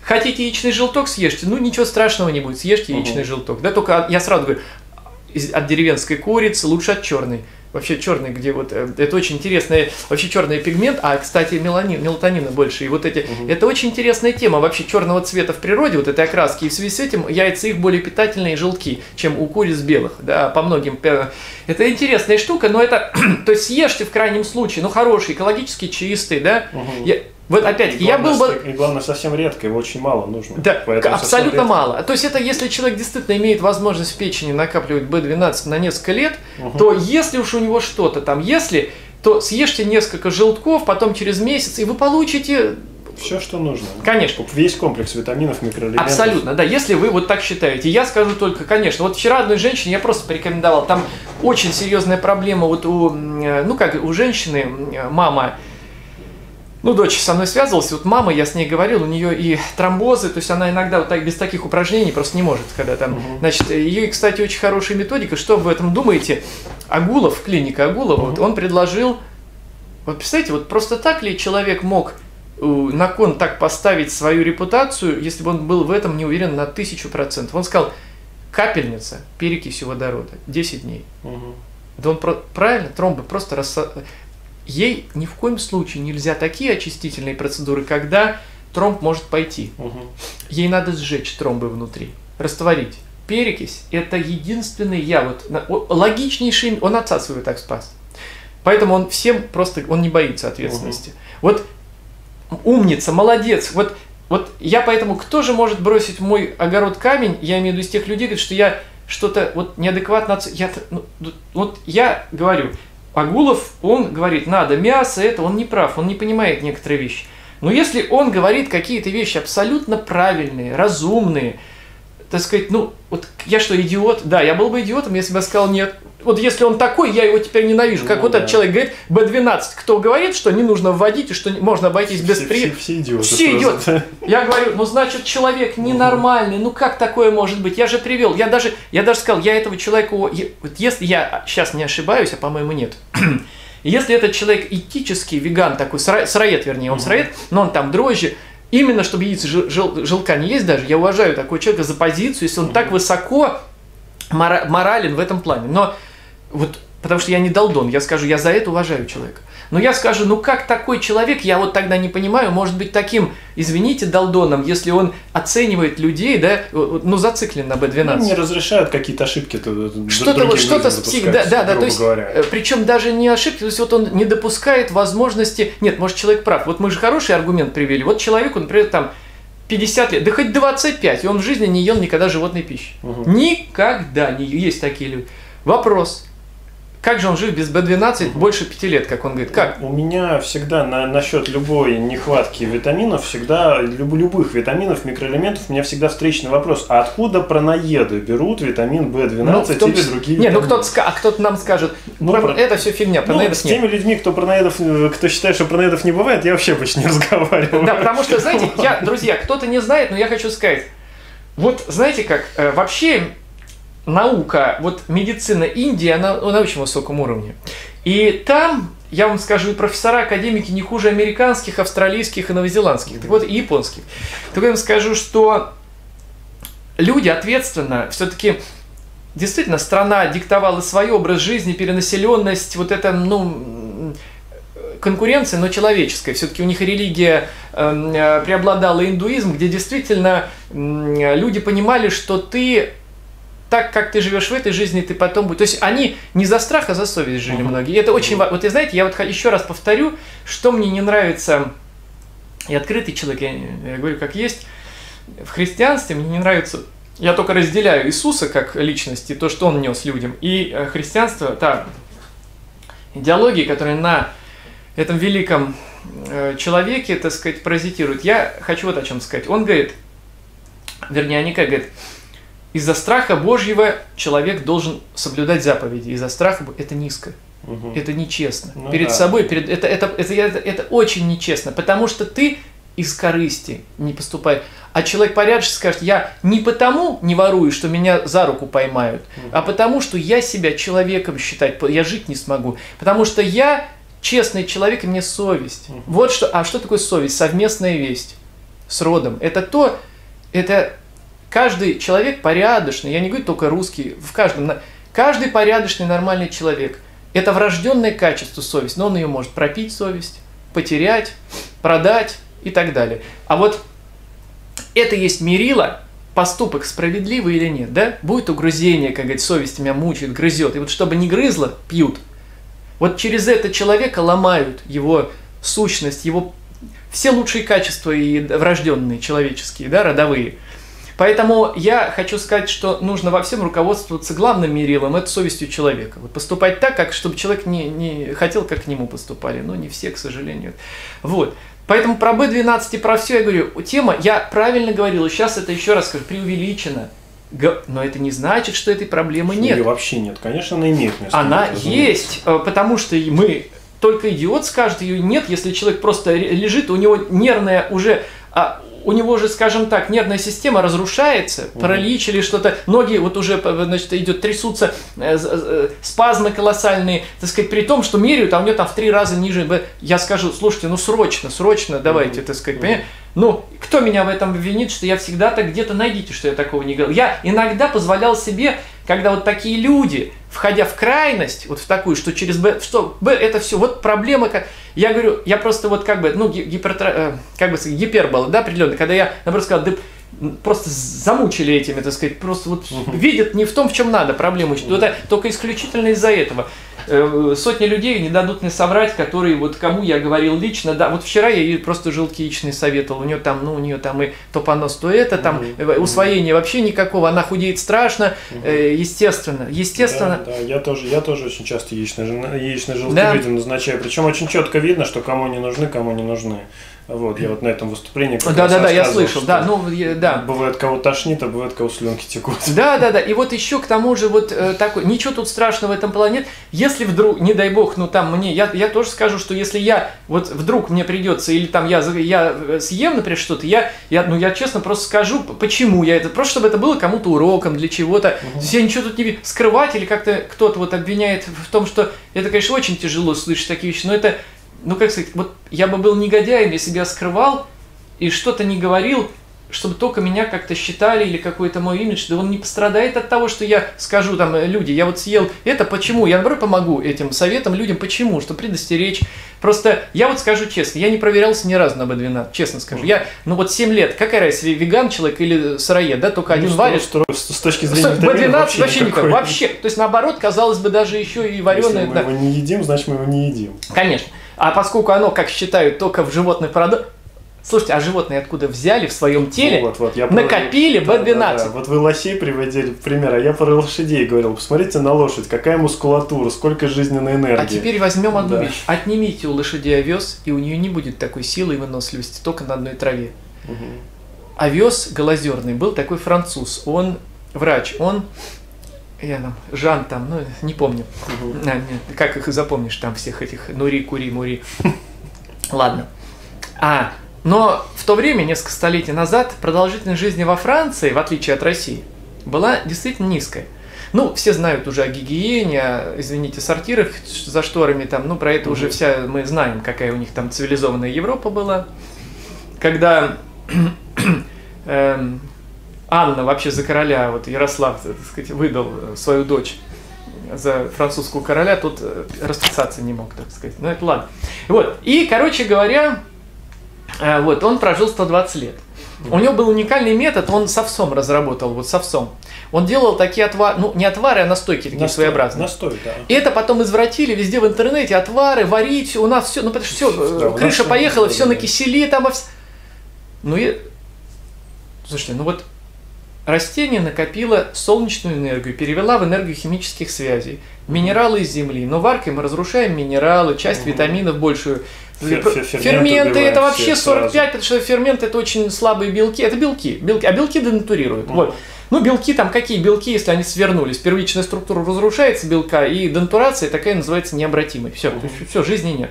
Ну, ДНК плавится при 70. Все, то есть вот и то у людей есть только потому, я хочу это особо акцентировать, положительные изменения даже на отварах, на этих, просто люди не представляют, какие гораздо большие на, на настойках при 60 больше полезных веществ останется, эффект будет сильнее, просто люди это не ощущают, к сожалению. Но эффект люди получают лечебный порой. Почему? А потому что... И не потому, что остаются какие-то вещества, они очень сильно трансформированы. Продукт несет в себе не только ту энергию, которая может уйти, несет еще информацию, вот эту как голографическую, то есть она остается. Вот это сложные вещи для понимания, но современная наука начинает понимать. Вот мы раз говорили, то вот свободный переход электронов, когда на границе поверхностного натяжения воды и воздуха, атмосферы за счет кислорода действия, там э, растягиваются моль, и электроны отрываются за счет высокого натяжения, и они переносятся воздушными массами. Эритроциты, например, сейчас уже установлено, крови на 80% питаются энергией свободного перехода электронов. Угу. И, и бедные те люди, которые в бетонных коробках вынуждены. Одно дело в поле ты стоишь на просторе, и вот это через тебя проходит, ты питаешься, ты уже вышел, и ты есть не да, ходишь. Да, морской воздух, как, да, да, да, да, да, воздух лесну, после грозы. Или ты сидишь костер, да. вот что говорит, на костер угу. можно вечно. Вот энергию. Это, это да. и есть энергия электронов. Кстати, я еще хочу подчеркнуть, потому что не помню, это говорил, нет, но можно. Вот человек варит, жарит пищу, и ты за пять комнат чувствуешь несет. Что несет-то? несет миллиарды электронов, отрываются. Значит, в этой пище осталось на миллиарды электронов меньше. Угу. Значит, это свободный радикал. Да, и была в какой-то книге такая замечательная фраза, что понюхайте воздух, когда кто-то готовит, вы почувствуете этот приятный воздух, вот поздоровайтесь, это из вашей пищи улетают все полезные вещества. О, поэтому, дорогие друзья, почему помогают картошка вареная в мундире, когда ты закрываешь цветы для легких, да, для угу. бронхов, так сказать, да, и ты да, дышишь, да, да. только потому, что те самые-самые полезные, что называется, самые летучие, mm-hmm. самые быстро активные, поэтому они активнее, что они быстрее уходят и быстрее в организме могут действовать на пользу, и быстрее уходят, если ты, так сказать, их выгоняешь насильственно, жаркой, варкой. Они оказывают самый эфиры, те самые хвойные и прочие, то есть вот это вот. Ну, конечно. Поэтому я еще раз говорю, вот почему я призываю к здраво... Вот что такое здравомыслие. В этой беседе вообще я считаю, что такой э, формат даже, да, лучше, вот когда два человека, ну, скажем, не, не самых глупых, так скажем, да, например, там, ну, ну, не идиоты, по крайней мере, э, над какой-то темой рассуждают, один вспомнил одно, другой. Mm-hmm. И вот в этом есть некое, я считаю, что вообще вот, ну, оценит это, вот я даже вопрос к зрителям. Mm-hmm. Если вы оцените, уважаемые друзья, такой формат встреч, бесед, то мы, я думаю, если Михаил Владимирович будет не против, можно так периодически как-то встречаться. Конечно. Потому что вы знаете, даже вот первая встреча, она, как говорится, первый блин комом, но я считаю, что люди оценят. Может быть, она не такая уж и комом, но, по крайней мере, даже если и комом, то ваши будущие вопросы к нам. Мы можем также прямо вот к нам, прямо вот такую страничку я даже заведу, прям страничку, вопросы ко мне и к э, Михаилу Владимировичу Совету. И вы пишите, а мы будем какие-то темы вместе поднимать, потому что как вот, э, когда человек медик, практик, биолог, который там тоже э, имеет разную практику, мы вместе, так сказать, можем потом, например, вот э, есть идея, например, э, вообще устраивать такие встречи интересные, потому что когда ты моно что-то беседуешь, ты вот вроде хотел сказать, да забыл там, или что-то тут, а тут вот один вспомнил, другой что-то перевел. Интересно же это, конечно, хорошо, и для нас, для всех это только лучше. Так что напишите свои э, в комментариях к этому ролику. Когда вы увидите, что вы об этом думаете. Ну, а мы посмотрим, почитаем, и, да? да ну, еще немножко мы... Да, еще немножко, я думаю, мы что-нибудь ответим. Вообще, вот меня человек спрашивал, один, просил, ну, недавно в теме, сейчас я вот посмотрю. Нет, это вот как раз другое письмо, тоже важно. Э, человек спрашивал, не найду письмо, но так скажу. Он говорит, вот я вот новичок в теме, я только вот, я понял, что сыроедение это правильно. Ну, я вот проч... ваш услышал, все правильно, да, логично, я хочу. Но с чего начать, как и что? Тут вот, может быть, чуть-чуть разберем эту тему, как потому что это, конечно, очень много от человека. Я говорю, ребенок одно, там, да, еще не, не имеющий проблем больших каких-то там, взрослый, а бабушка в возрасте 80, это третий вариант. Mm-hmm. Хотя я говорю, были случаи, когда вот бабушка там под 90, вот, вот я вам расскажу один случай, наши зрители знают, но он очень характерный, да? Онежское озеро, люди. И вот сидим мы в компании в такой парень, бугая, метра два, сила. У него э, на, на севере Поморы делали ладью, пол, она полторы или две тонны весит. Он ее на берег вот так выталкивает один. Угу. Людей по 100 килограмм вот так весом, таких вот, которые ходить в гору не могут, он их угу. берет на руках несет, на руках. Угу. Ну вот один из тех, это, это второй человек в жизни, кого я таких богатырей видел. Угу. Ну, у него бабушка, ей 80, сейчас 90, вот было 88. И мама, сидим, вот, вот так сидим. И они рассказывают, знаете, вот вы, мы все вас прекрасно понимаем. Они говорят, почему? Давайте мы вам историю расскажем. Я говорю, давайте, какую? Ну, бабушка, вот она в огороде там активная, все, да, живет, ну, воздух чистый, огород свой, все. Но она любит сало, жареное. Ну, можно представить, что с артериями, с... Ну, в общем, она хоть и худенькая, потому что, конечно, и вода, уникальная там вода. Вообще люди дольше живут только из-за воды. Ну. И она, собственно говоря, так сказать, вот все-таки у нее инсульт. Ну, у, если бы она в городе жила, я сразу люди, люди, люди, сразу, если бы она при равных прочих шкварках, сале жила бы в городе, в 60 лет, там, 65 было бы, ну, у нее 88. Угу. Ну, и организм крепкий, выписывается там через неделю, все. Угу. Проходит время, второй инсульт. И ее хватануло, лежит, все. Ничего уже не ест. И ее домой умирать отправили. И вот она лежит, и не ест, а только пьет. Но внук любил бабушку. И он как-то вот, ну, он такой, он тоже, он вот уходит, что называется, с топором в тайгу, как отец, дед, вот такие mm-hmm. вот, о чем я рассказывал. А он ей прям из Онежского озера, ну не с середины, но далеко отплывал, mm-hmm. банку там пускал на глубину. Ну, в общем, он mm-hmm. ей вот эту уникальную воду, живую, там шунгитовая, там mm-hmm. все, там, ну, mm-hmm. вот это вот нулевой жесткости такой. Ну. Так, и он эти, эту воду ей поил, много поил, поил, поил. И они говорят, вот вы не поверите, я говорю, я как раз вот верю, но он говорит, угу. мы, никто. Вот 30 или 40 день, я боюсь вот сказать, 40 по-моему. Угу.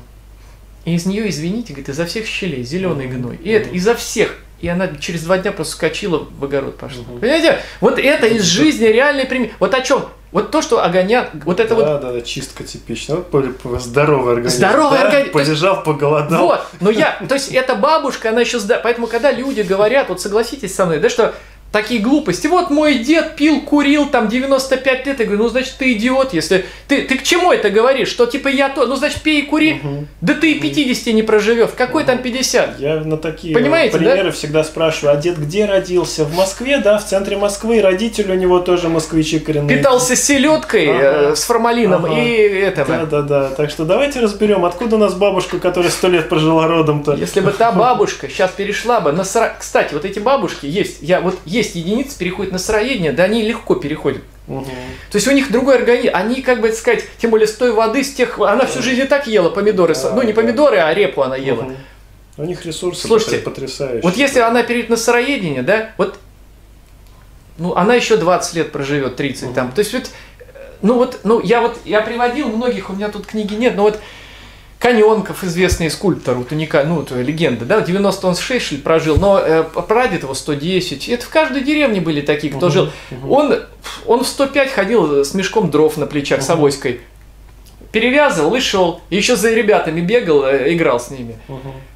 Как же мы измельчали, да, и, и умом, да, и да. физически. Эрит приводил прекрасный пример того, что и это Эрик, который сто лет назад писал да? свои труды, он рассказывает, что приезжает семья в город, она вырождается во втором, в третьем, в третьем, Точно. в четвертом поколении. Точно. Если к этой крови не подмешивается вот снова при, приехавшая из села, из деревни. Кру образ жизни, э, труд, связь с землей. Ведь да, это же да, не да. просто вот это 8,6 Герц. У нас совершенно други, вокруг другие электромагнитные поля. Угу. Но это же формирует, ведь на клетку, на воду в клетке влияют электромагнитные поля. То есть это факторы тоже надо учитывать. Их угу. много. Wi-Fi это страшные разрушающие. Да, да, да, телефон. Прививки, детские. Это прививки. же когда вводят формалин в организм, когда вводят э, силикат алюминия э, с помощью прививок, ну, угу. вот, БЦЖ там. Угу. То есть вот если мы уберем все эти факторы, и поэтому вот глупый человек, он скажет, Вот это из-за экологии. Все, все из-за экологии. Ну, так сказать, ну, жри, чё, ну, так, ну, о чем ты вообще говоришь? Ну, эта фраза, она обычно говорит о том, что человек просто делать ничего не Точно. хочет. И, И он он, пытается- он себя оправдывает этим. Он ну, это же экология, я с ней Он сделать ничего не пытается могу. так дешево себя обмануть. Да, да, именно так. Давайте дальше. Да, и как же человеку, вот он спрашивает, как мне перейти вот на сыроедение? Мгм. Но, в принципе, давайте картину возьмем такую. Достаточно молодой, до 30 лет человек. Не сильно больной. Ну, более-менее все нормально у него. Вот как можно ему, вот какой бы вы совет или советы, или вот как вот можно, чтобы... Ну, собственно, об этом и так постоянно приходится говорить. Вот, то есть, на мой взгляд, первый шаг здесь это просто честный, подробный анализ своего рациона за последнее время. Потому что для меня самое главное, вот ко мне приходят люди постоянно для составления программы Да, вот как вы периода. работаете с людьми? И мне нужно выяснить две вещи. В основном это, состо... это состояние здоровья на протяжении всей жизни, как человек себя чувствовал, какие болезни были, какое было здоровье. А сюда же к здоровью очень часто относятся и физические нагрузки, и закаливающие процедуры. Ну, это вот все вот это здоровье для меня. Вот. И второе это питание тоже на протяжении всей жизни. Потому что одно дело, когда мы имеем там сельского человека, который и так наполовину всю жизнь этой едой питается, а другое дело мы- Дышит тем воздухом. дышит Это- воздухом, пьет воду чистую. А другое дело, мы имеем горо- г- городского такого э, стандартного жителя, который там, поколении. да, который там за компьютером целый день, три раза в день в Макдональдс, вот, и там, и стандартное питание. Это же разные вещи. Поэтому начинается все это с анализа того, что мы имеем на сегодняшний день. Вот, понятно, что и того, и того может на сегодняшний день пока еще сильно ничего не болеть, хотя, скорее всего, если, Конечно. если они ко мне приходят, наверное, уже что-то болит. Ну да, ну- Вот, но допустим, даже если ничего не болит, то все равно, значит, ну, это скоро заболит. Вот, поэтому надо просто разобраться, аж какое было питание. В зависимости от того, какое оно было, то есть постепенно его смещать. Ну, то есть можно сказать человеку так, то есть ел Макдональдс, убирай первым делом самое Вот страшное. первым делом, Попси-колу, да, Макдональдс. да, первым делом надо убирать, конечно, самые вредные вещи и, и, и, и менять их именно на полезные. То есть вот э, в чем ошибка многих вегетарианцев, например, они убирают мясо, если там мясо, рыбу, вот все продукты убийства своего рациона, убрали мясо, рыбу, но поменяли их на что? На макароны, на сладкое, Это, конечно, на пирожки. конечно. Как я обычно говорю, шучу, поменяли гипертонию, инфаркт на диабет. Ну да. Вот, потому что, Ну в общем-то, здоровье их от этого точно не улучшается. Абсолютно. Вот, поэтому менять нужно именно вот на поле. То есть смещать вот это вот, не, не полностью брать, вот был один рацион, а полностью менять его на другой, который он вообще не То есть, знает. если человек, например, ел в день там полкилограмма мяса, то, так сказать, конечно, э, ему просто надо убрать мясо, но оставить, например, Ну, рыбу там, например, всего, пока. даже не убрать, а урезать это мясо. Сначала там, можно уменьшить. урезать там Потом до, он до- может до пол- оставить- до полкило в месяц. Ну да, или рыбу оставить. Ну, Или в принципе, рыбу. так сказать, он оставит рыбу, и постепенно, если он вот и морально, духовно, и, так сказать, дозрел, Да, и да. э, он постепенно уйдет, конечно. Плюс начать очищаться. Да, Вот, конечно, начать очищаться. Потому что, естественно, организм загрязненный, это очищение, оно ускорит этот процесс, если он реально заинтересован. Очищение – это работа. Если он в этой работе не заинтересован, ну, значит, он и в принципе... работа над собой. Вот, это, в принципе, мотивация Тем недостаточно, более- тогда еще надо подумать, надо ли ему это как всё. сильно организм загрел. Вот смотрите, куда он девает вот эти яды, вот эти там э, да, э, шлаки, токсины. Ну, понятно, вот вы очень хорошо сказали, что шлаки могут быть там в виде, так сказать, кристаллов, там, причем, кстати, ураты кристаллы, мочевая кислота кристалл, э, распад вот этих нуклеиновых кислот, ДНК, это как Окса- раз, это, э, как- конечно, да, сульф- нет, ну это форма, да, минералы, так сказать, разные по типу э, содержания, э, по структуре химическому составу, конечно, да. Сульфат, саксал- да. Вот, это да. Но, что еще я хочу сказать? Что некоторые минералы легко можно растворить, некоторые очень сложно. Тут Мгм. нужно, э, поэтому, конечно, очень методики те, ой, ну что там говорить, разве можно сказать, что Морец не прав, что там яблочный сок он, э, вот, так сказать, уча- растворяет, действительно то, что не может.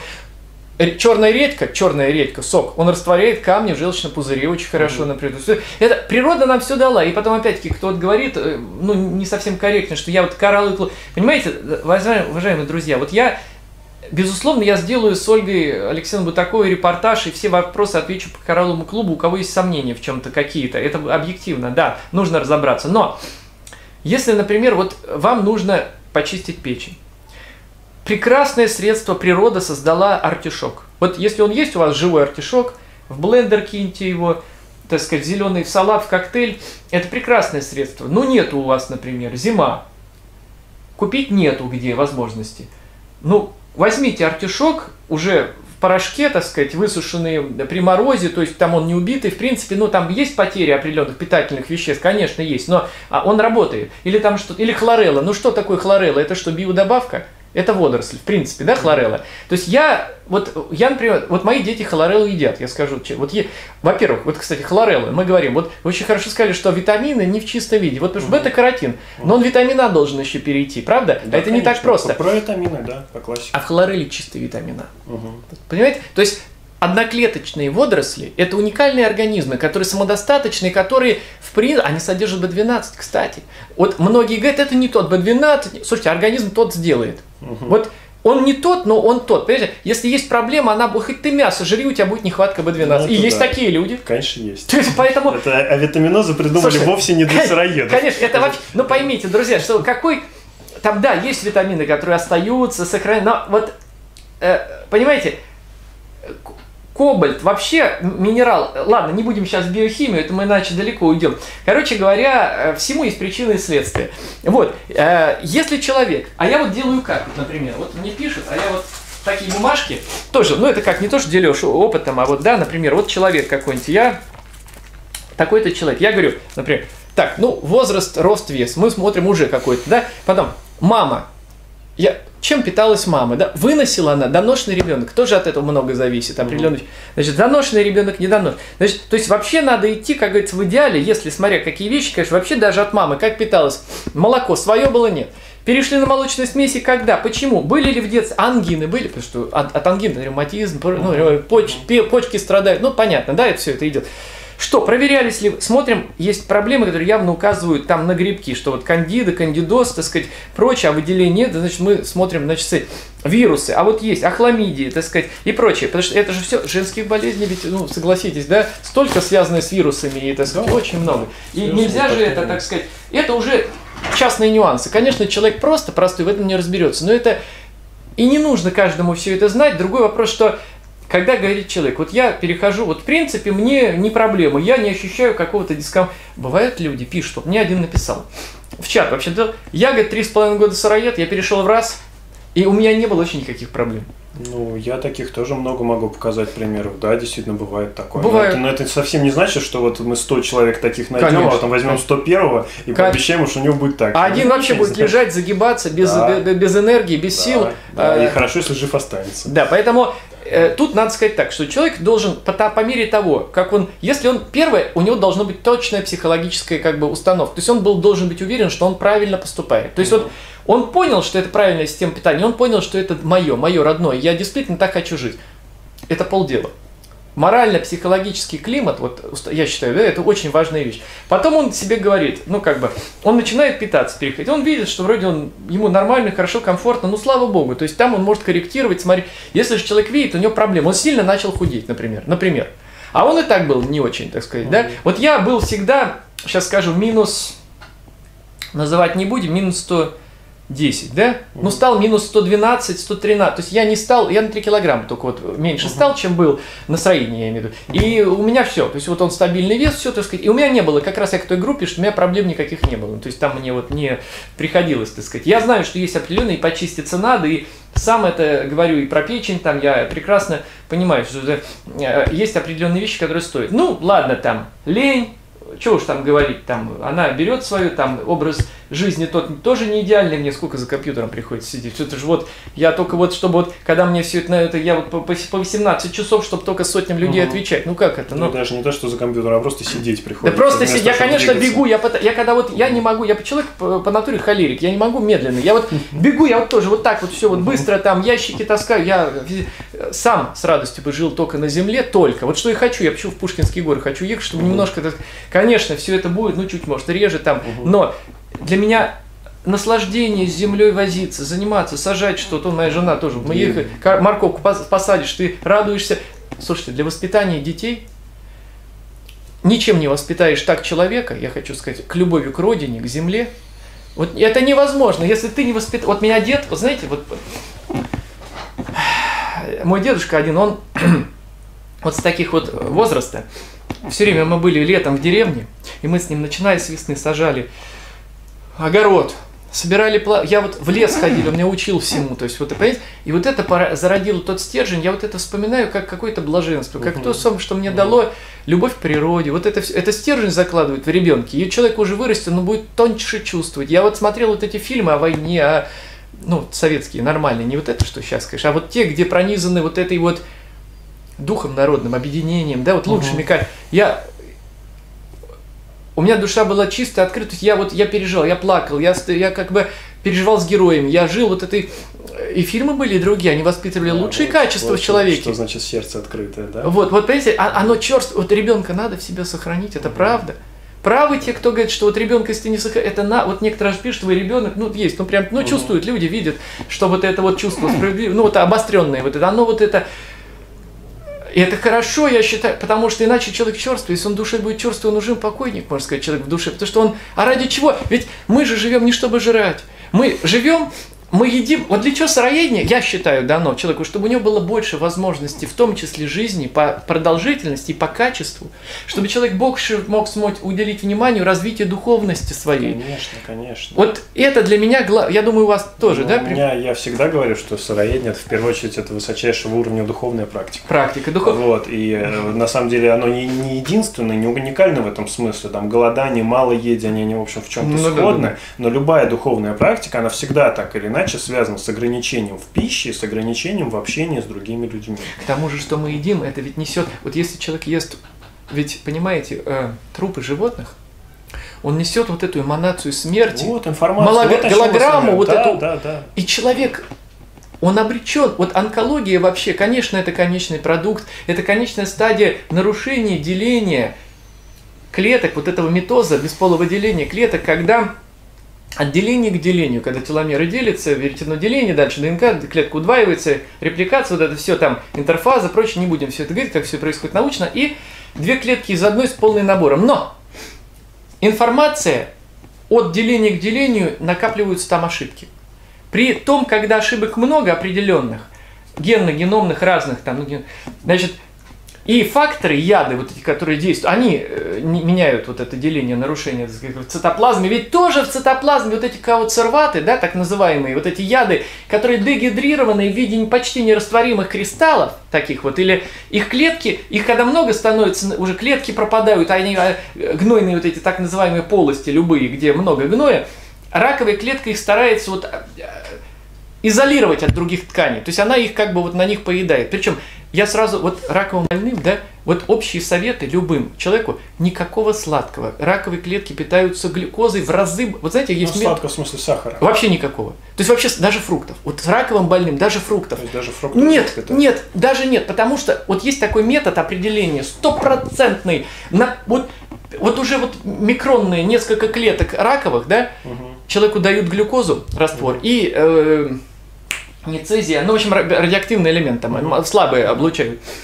Он выпивает теплой водой, вот это все, сладкий раствор, и потом его светят в определенном, значит, и видят точки вот эти все, которые, потому что глюкозу прям раковая клетка в разы, в десятки раз притягивает, вот так вот. А фруктозу? фруктозу да, тоже? да, да, да, все равно. То есть вот поэтому, вот именно этому человеку, вот он, тут уже полисахариды. Но какие?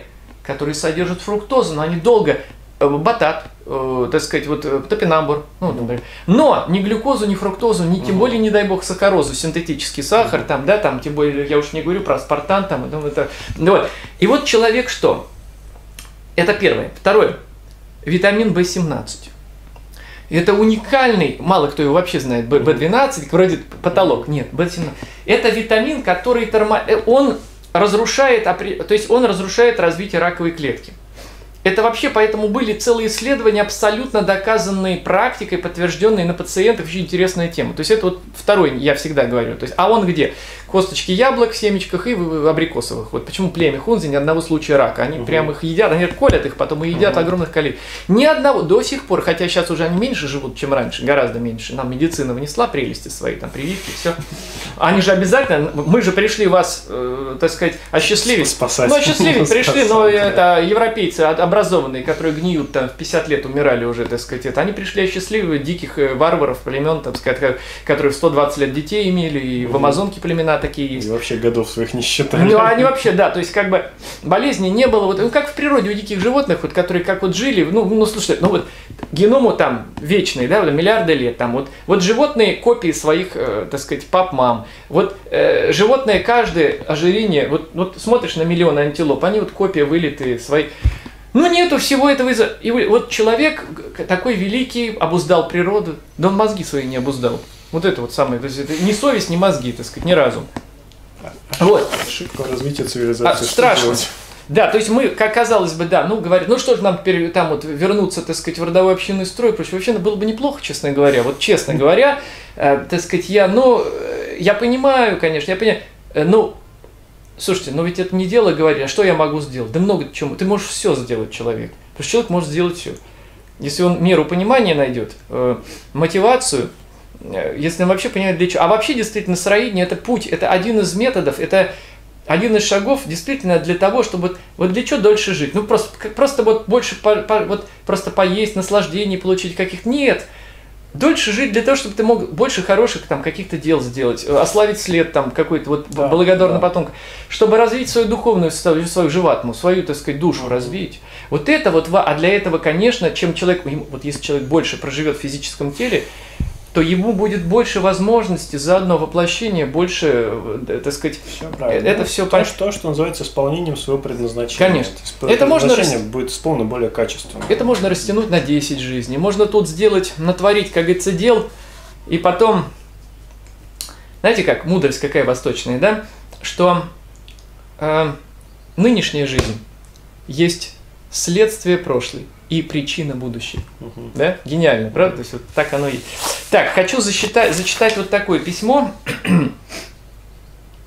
да, ну, конечно, люди пишут. Значит, мы, ну, давайте попробуем разобрать про девочку речь тоже вроде бы. Сейчас, мы с мужем из Омска и Значит, очень хорошо знакомы со многими вашими, так сказать, ну, понятно. Так, меня зовут Анастасия, моей дочке один год и месяц, год и месяц.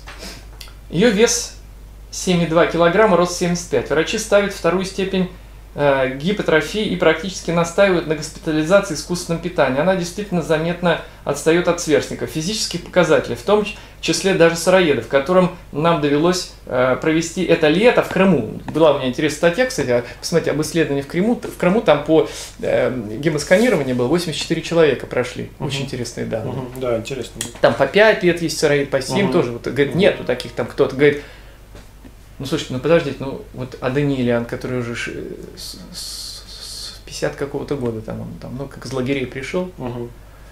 а Сарксян 40 лет, ну ладно, бог с ними, так сказать, а вот, говорит, я, знаете, я вот, у меня есть знакомые на Рублевке, они, э, вот у них есть знакомая, она сейчас, я вот узнавал, к сожалению, уже не работает в этом, ну, как сказать, э, салон красоты, там вот, э, ну, одна женщина, угу. она ходила туда 10 лет.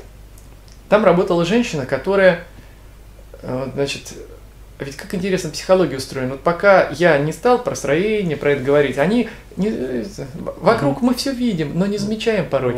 И вот потом она разговорились, как-то это энергетически получается. Да, да, да. И она говорит, а знаешь, вот они 10 лет знают.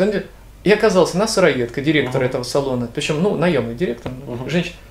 Как она стала сыроедкой? Она больше 10 лет сыроедкой, полной. А у нее четвертая стадия рака была. Угу. Она умирать домой, ее врачи, как водится, отправили, угу. как положено.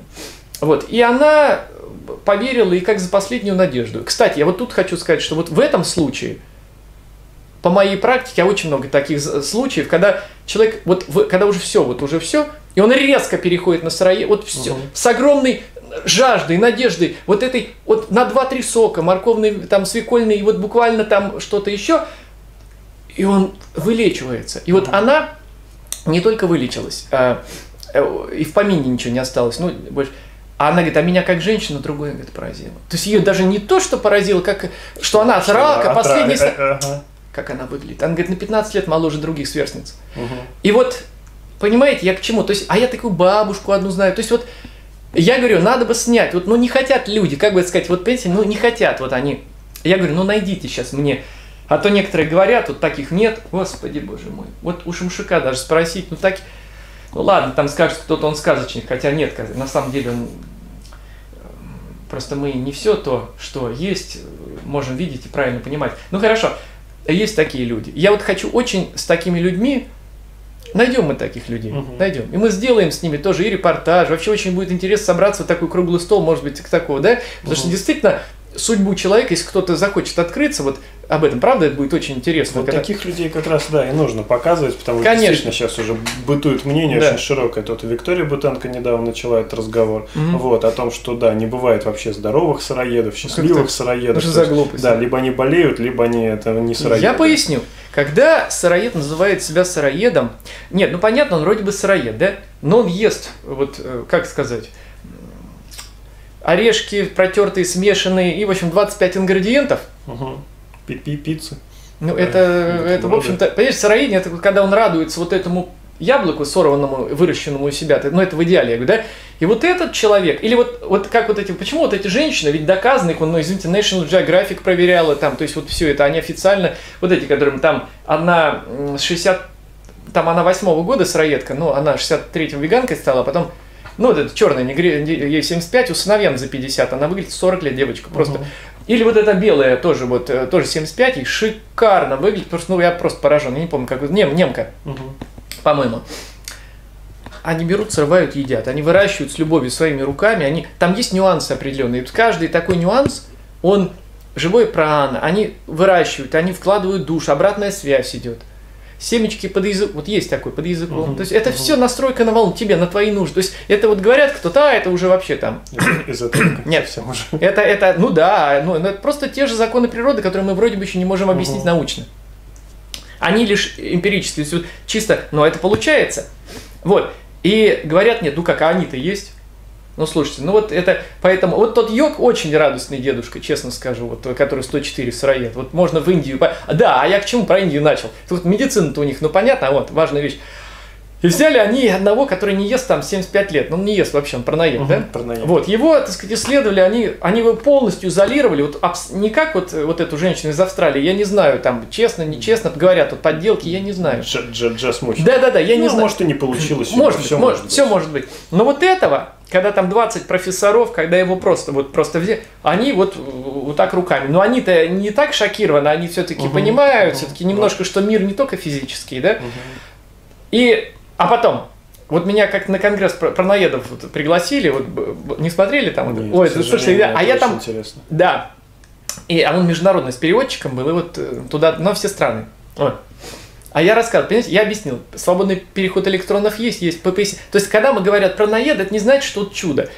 Смотрите, азотофиксирующие бактерии в толстом кишечнике. Ну, если человек вообще чистый, как, как говорится, слезинка, uh-huh, ну, uh-huh. понятно, уж они-то тут Работает, работает, свободный азот фиксируется, да? Печень имеет способность, она, ведь печень, она, вот старые клетки мертвые в кровь, часть, просто, угу. и она разбирает, она синтезирует, а, во-первых, печень синтезирует белки, многие плазмы крови все печень синтезирует, она синтезирует белки. Второе, печень раз, разбирает белки. Угу. Вопрос, мы что, дегенераты? Нет. Печень, значит, может из разобранных собрать?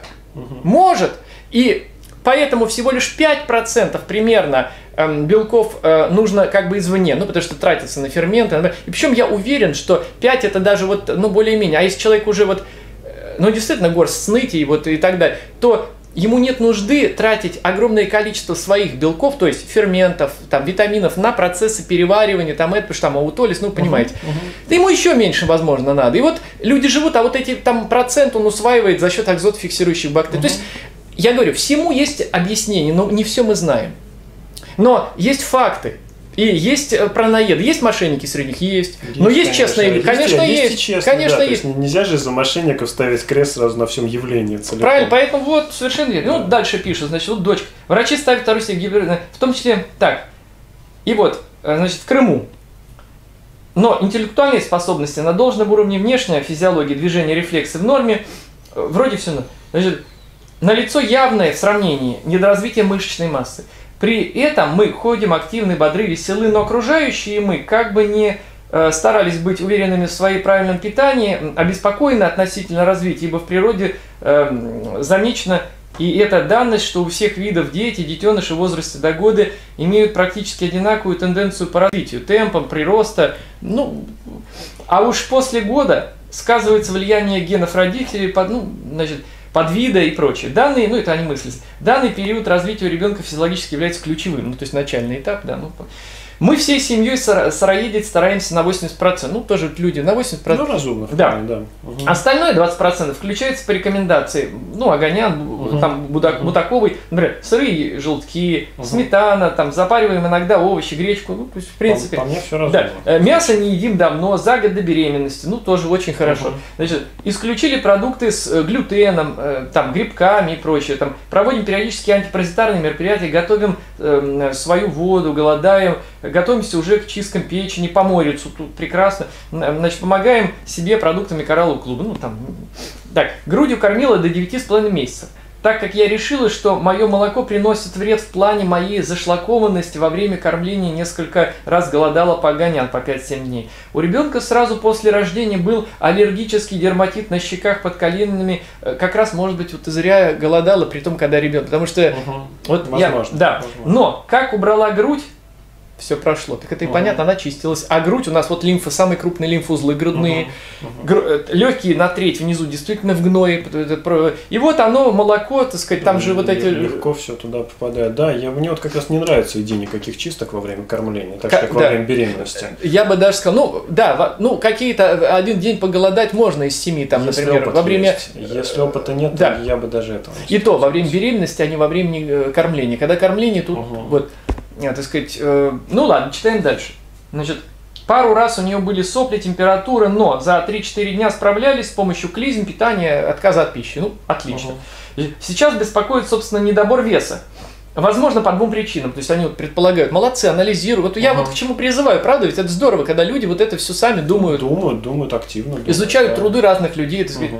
Молодцы. Я, вот, вот это идеально, так каждый должен. Они просто берут, выписывают а вот ты что-то забудешь, да, что было позавчера, ну невозможно, что... А тут ты свои наблюдения, это очень полезно порой писать, чтобы это осталось ну, на потом. Это признак аналитического склада ума. Это вообще правильный подход к жизни. Так, значит, пишет, сейчас беспокоит собственный здоровье.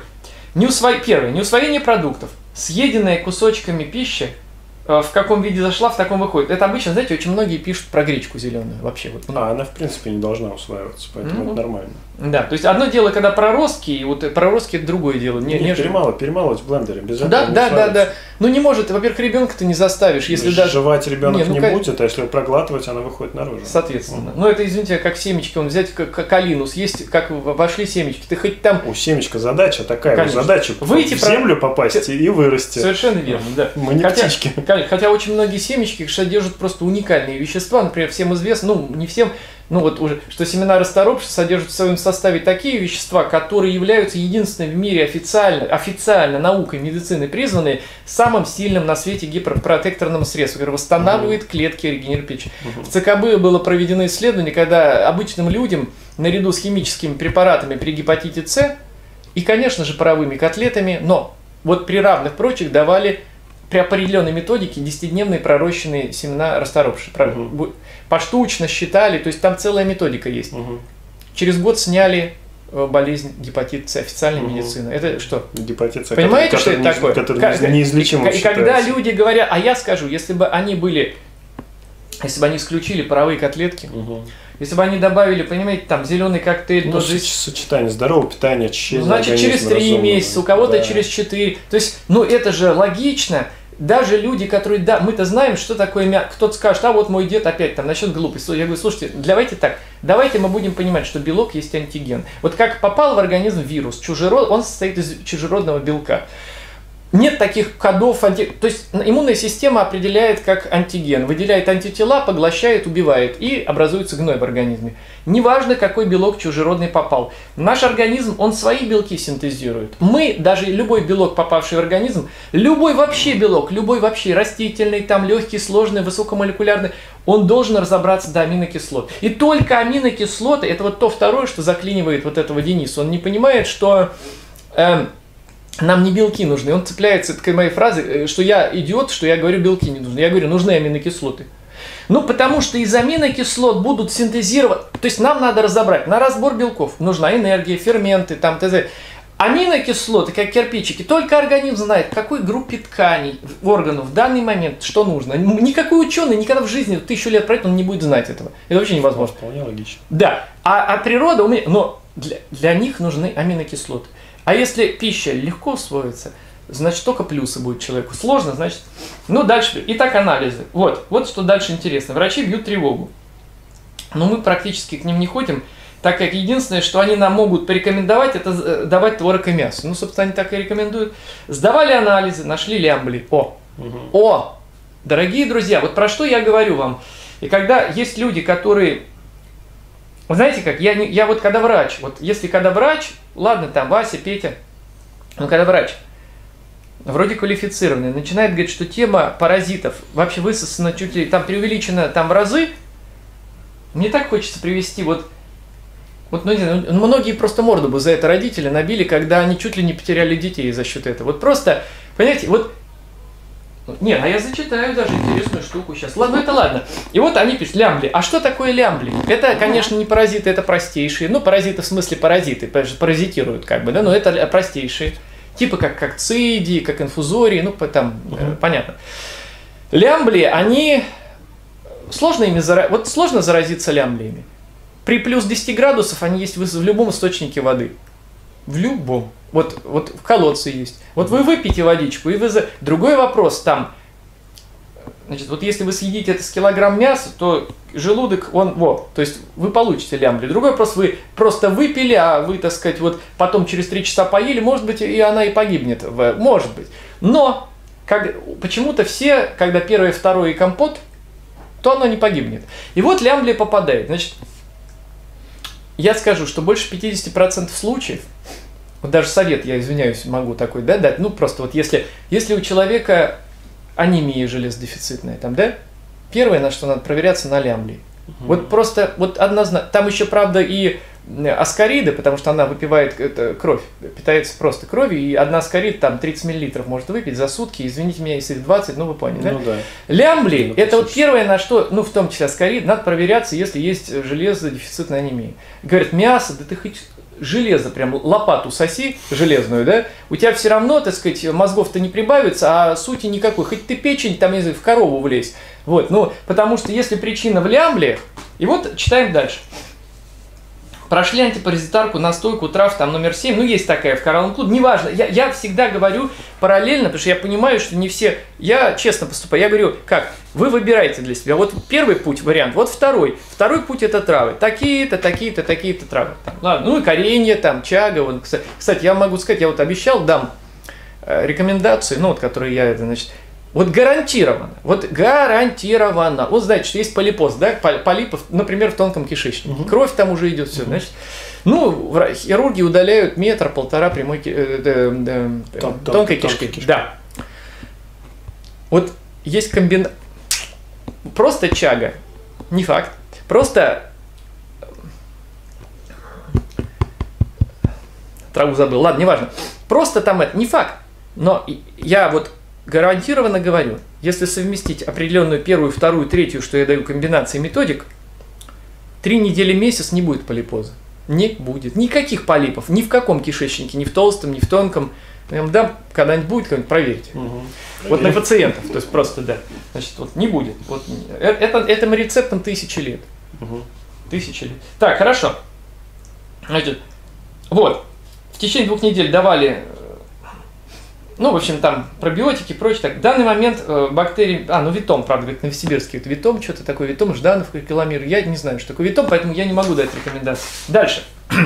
Может, хорошая штука, я откуда знаю. Биохимия крови показала АСАД 55. Угу. Ну, я сейчас людям просто поясню, что я вот специально даже... Ну, АСАД это аспартан-аминотрансфераза. Это такой фермент – Фермент этот, я зачитаю, чтобы было понятно, это клеточный фермент, который участвует прямо с медицинских справочников. Он участвует в обмене, как интересно, аминокислот. Значит, содержится в тканях сердца, смотрите, печени, почках, нервной ткани. А я сразу говорю, вот вы, вот понимаете, вот что такое логика и сопоставление, да? Вот действительно фермент показала меньше. Какого? Он влияет печень, почки, да? Теперь лямблии смотрим. Печень. Понятно, да, лямблии угу. в печени обитают. Угу. Вот как я поражаюсь профнепригодности, скудоумию. Простой человек, я его не могу так обидеть, потому что простой человек, откуда он это все может знать, нужно ли ему это? А вот когда, извините, там медик с претензией и хает про паразитов, Вот, вот, вот что такое. Дальше смотрим. Почек, нервной ткани, мускулатуры. Смотрите как, да, скелетный. Угу. Других органов, благодаря высокому содержанию в тканях этих органов, анализ крови АСТ, значит, необходимый метод диагностики заболеваний миокарда, печени, это необходимое исследование. А вдруг в этом дело, да? Различных нарушений мускулатуры. Норма АСТ в крови для женщин там 31, для мужчин норма 41. Значит, анализ крови может показывать повышение в крови, если в организме присутствуют такие заболевания, как повышение. А мы видим здесь что? Ну, сейчас посмотрим, какие тут... А, вот, значит, 55, да, ну, есть повышенные. Значит, смотрим. Какие? Инфаркт миокард, вирусный, токсический, алкогольный гепатит. Печень, ну, ну печень. Опять проблемы с печенью. Да, он может быть вир, да, стенокардия, острый панкреатит, рак печени, печень. Ну, то есть, где идет разрушение вот этих тканей? Где, Я вот к тому иду, конечно, ну. конечно. Теперь дальше смотри. Повреждение перетравмы скелетных мышц, ожога, тепло ударе, вздутие, кардиологические операции, да? Анализы показывают понижение уровня, понижение вследствие тяжелых заболеваний, разрыва печени, ну, тут понятно, или дефицита витамина В6, кстати. Угу. Которого, кстати, естественно, в той же хлорели, вот две, вот, ну, четверть столовой ложечки, если порошок в день, и все, этой проблемы не будет. Ну, а к тому же я уж не говорю, что B6-то вообще во многих травах практически везде есть. К тому же в проростках вообще во всех. Вообще во всех. Так, это я просто как справку привел. Uh-huh, что это uh-huh. такое? А то ведь, ну и люди, и сами, и, значит, дальше. Ест большие порции. Сейчас начало, на, на, на, начала дробить порции чаще кормить, меньшими. Постоянно вздутый большой живот. А если лямбли, так неудивительно. Дальше. Малое количество белка в питании. Наш рацион. Проснулись. Вода. Один год, один месяц. Значит, вода, свежевыжатый сок 200 мл по сезону, завтрак, фрукты по сезону мелкими кусочками или кунжут перемолотый с бананом или Э, как, как йогурт, ну, типа. Угу, угу. Обед. Льняная каша с перемолотыми сырыми овощами разными, зеленью, гречка коричневая, замоченная предварительно в перемешку с пророщенной зеленой гречкой. Так она любит. Ну, зап... Заправленная растительным сыродавленным маслом, солью морской и чесноком. Часть авокадо. Ужин. Часов 18. Сырые желтки. Значит, в промежутках за 30 минут до еды через полчаса прием воду, то есть не смешивают правильно совершенно, да? Распивай, так, э, распиваемся с мини-дозами меда в прикуску 3-4 чайных ложечки в день. Ну, видимо, смешанные, не цель. Угу.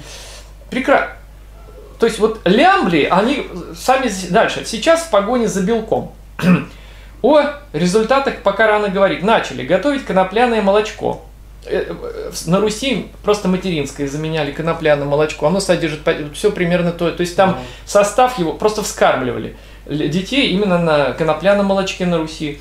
Так, муж предварительно семена замачивает в мертвой воде, полученной в аквариуме. Ну, в принципе, это хорошо, потому что кислая вода, она просто убивает, если есть какие-то там паразиты, там цисты. Ну, не все, конечно, но все-таки плюс большой. Вот, пишет. Кстати, очень ждем ваших рекомендаций по подготовке разного рода семян к обработке. А они есть у меня методика. Прилож... Первое мини-инфопродукт 1, приложение к печени, к десятому большому продукту. Там я подробная методика о профилактике, о обработки семян, чтобы не получить инфекции. Значит, угу. Ну, хранятся, крыса ну, пробежала, да. крысиный цепень. Вот опять, люди не знают пока, а мне писали люди, которые больны, когда человек просто умирает, страшная вещь, крысиный цепень. Я думаю, что тот, кто врач, что это все фигня, он даже не знает, что это такое. И кошачьи есть цепень отдельные. Цепни не только бычьи бывают. Семенова, про которую, кстати, по-моему, этот человек сказал положительно, вроде как, ну кто скажет, что Семенова не специалист, собаку съела на этом, да? Конечно, специалист. Она говорит, я могу человека, вот я стою, и я вижу, что у него уже паразит. Потому какой форма живота бычица. Понимаете, mm-hmm. да? Как же люди... Ой, господи. Ладно. И вот дальше. Значит так. Ага. Вот 150 мл за раз. Значит, какое максимальное количество молочка можно давать в день? Э, можно ли каждые 3 часа? Хотелось бы как можно больше насытить белком. Э, делать упор на морковный сок. Раньше давала больше яблочный. Ну, лучше, да, морковный и печень очищает. Морковный сок вообще очень очистительный сок. Недаром э, даже Норма Нокер вы, э, себе вылечил одна из методик, помимо вода и голодания, морковный сок, угу. печень, цирроз печени. Понимаете? Угу. То есть фиброзная ткань, она может тоже замещаться, если мы даем регенерацию. Но не знал он про проростки расторопшие, например. Тот доктор, кстати, кстати, вот тот овес рецепт, что я вот имею, он так сказать, это регенерация печени тоже, подпитка, это набор мышечной массы, очень питательная вещь, очень угу. там, значит, потом почки тоже, так сказать, это тоже очень полезная вещь. Так, и вот дальше. Делать упор на морковь. Дальше. Планируем пробовать вводить миндальное кедровое молочко. Может быть, начать с миндальной кедровой муки сначала, чтобы ей было легче усвоить. Нацелились на, ну там, серу, спирулину, ну то есть вот эти вещи. Потому что сера, ну конечно, она нужна, необходима, но кто-то не хочет, ненавидит там коралловый клуб или что-то еще другое. Но возьмите вы черную соль, если, конечно, потребляете гималайскую, которая вот прямо как яйца пахнут серой, да, ну пожалуйста, я разве против? Так, с трудом. А есть просто МСМ с микрогидрином. Ну, есть такой там сера. Угу. Ну, для кожи это вообще необходимая сера. Это, и потом многие аминокислоты серосодержащие, да, вы знаете. Так, подготовка собственного кефира. А, это она, вот, видимо, спрашивает. Меры. Кефир – это крайняя мера. Например, кефира козьего деревенского молока с использованием курунгу. Ну, биокурунгу, закваска идет вот этим, так сказать, там, там. Капу... Или капустного кваса, вот, который еремен, да, например. Угу. Вот, тоже хорошая, кстати, мысль мы находимся в замешательстве относительно проращивания злаковых, пшеницы, э, так как они глютен содержат. Но если проросток вырос, там уже не глютен, не крахмал, а там уже простые сахара, полисахариды, то есть э, моносахариды, там уже глюкоза, э, фруктоза в основном, вот, и поэтому это совершенно другой. Так, дикоросы, крапива, сныть, к сожалению, объективно нам недоступны, ну, может быть, место такое, где живут. Uh-huh. Так, будем ждать весны. А, ну, весна будет. Так, будем рады ваши, вот, насчет ответа и прочее, и прочее. Ну, вот, смотрите, девочки один на один, если подытожить, отстают вроде как физическая масса мышечная малая, хотя вот э, активный нормальный ребенок, но и питаются вроде правильно, но они очень сказали, казалось бы, кто-то это пропустит, да, мало ли там, лямбли или что-то, да? Но посмотрите, как интересно. И вот эти анализы важнейшие, которые показали как раз, что вот э, несколько критериев, как мы зачитали из медсправочников, связанные с почкой, с печенью, с мышечной как раз, все четко и закономерно и логично. Итак, лямблия. Недостаток питательных веществ определенных. Нарушение работы печени, разрушение печени – в, значит, интоксикация печени. Тут мы видим сразу по результатам логично. По, то есть вот э, причина, она, потому что мы про, вот можно про питание, в принципе нормальное питание. Адекватно. то есть да. тут, пожалуйста, даже животные вот, вот жиры, там вот поле B12, которого в желтках вообще немерено. Угу. Ну, по, кстати, я еще хочу сказать, ну я понимаю, что маточное молочко пчелиное, да, там хоть залезь B12, угу. потому что с него развивается пчела, матка, которая живет потом в 50 или в 60 раз больше, чем пчела. Угу. Там есть все. Угу. Вообще все там есть. Только самоматочное молочко еще более редкий зверь. Ну это, конечно, да. Я просто... Нет, но это еще иммунокорректор. То есть это вообще иммунитет, вот если наряду с усталость хроническая, там, да, это прекрасные угу. вещи, конечно.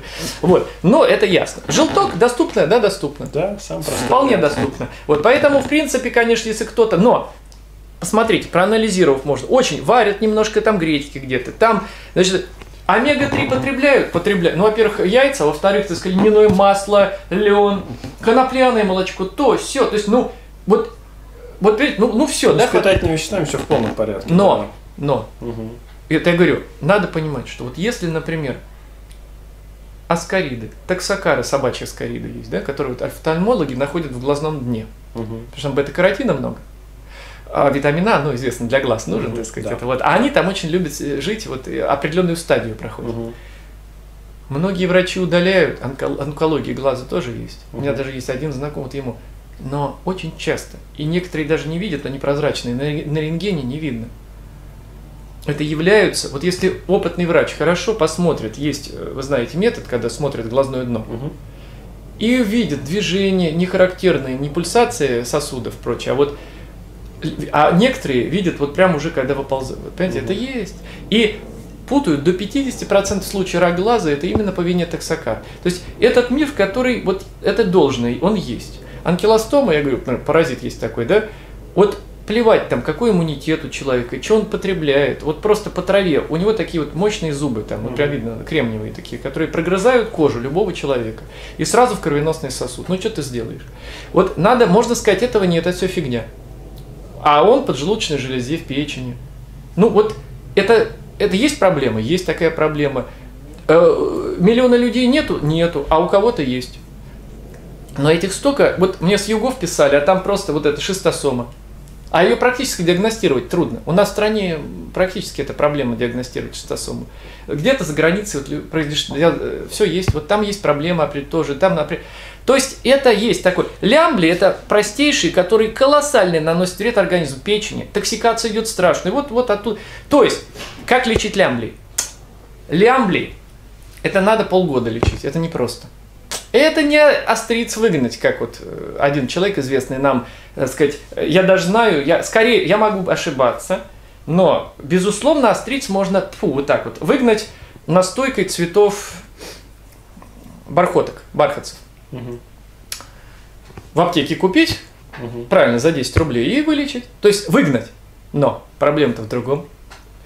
Яйца на коврике, на везде. И если ребенок другой, бабушка в гости раз в месяц приезжающий принесет это, она принесет. Потому что выгнать их не проблема, а вот жизненный цикл их проблема. Выгнали, они же выползают только когда определенно. Значит, когда они выползают раз в определенное количество дней, когда размножаются. Не попал в цикл.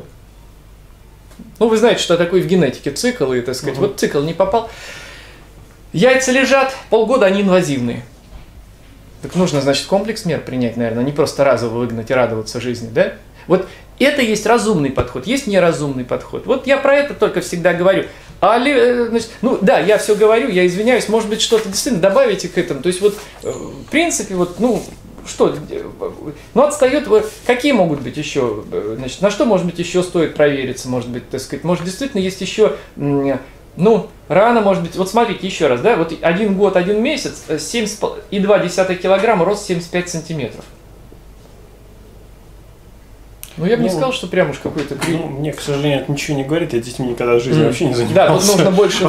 вот, поэтому мне это вообще ничего не говорит. Так, внешность. Для меня самое главное, что если ребенок настроение хорошее, подвижный, то есть такой слабости нет, то уже можно сказать, что растет и развивается. Пускай там каким-то своим темпом, да, что-то там замедленно. Вот, но в общем и целом самое главное, что растет и развивается. Можно вводить больше, например, в пищу, конечно, если мышечная ткань, ну понятно, ну больше аминокислот, да, которые, так сказать, вот, ну, да, да, э, например, да. там Та же хлорелла, пожалуйста, потому что в малом концентрации очень легко усвоится, очень угу. много аминокислот. Любые, причем незаменимые все там есть аминокислоты. Угу. Ну, это, так сказать, вот. Как, допустим, картофельный сок можно, например, кстати, который и очень хорошо очищает, кстати, пищеварительная система. Э, и к тому же там, кстати, аминокислоты тоже содержатся угу. все.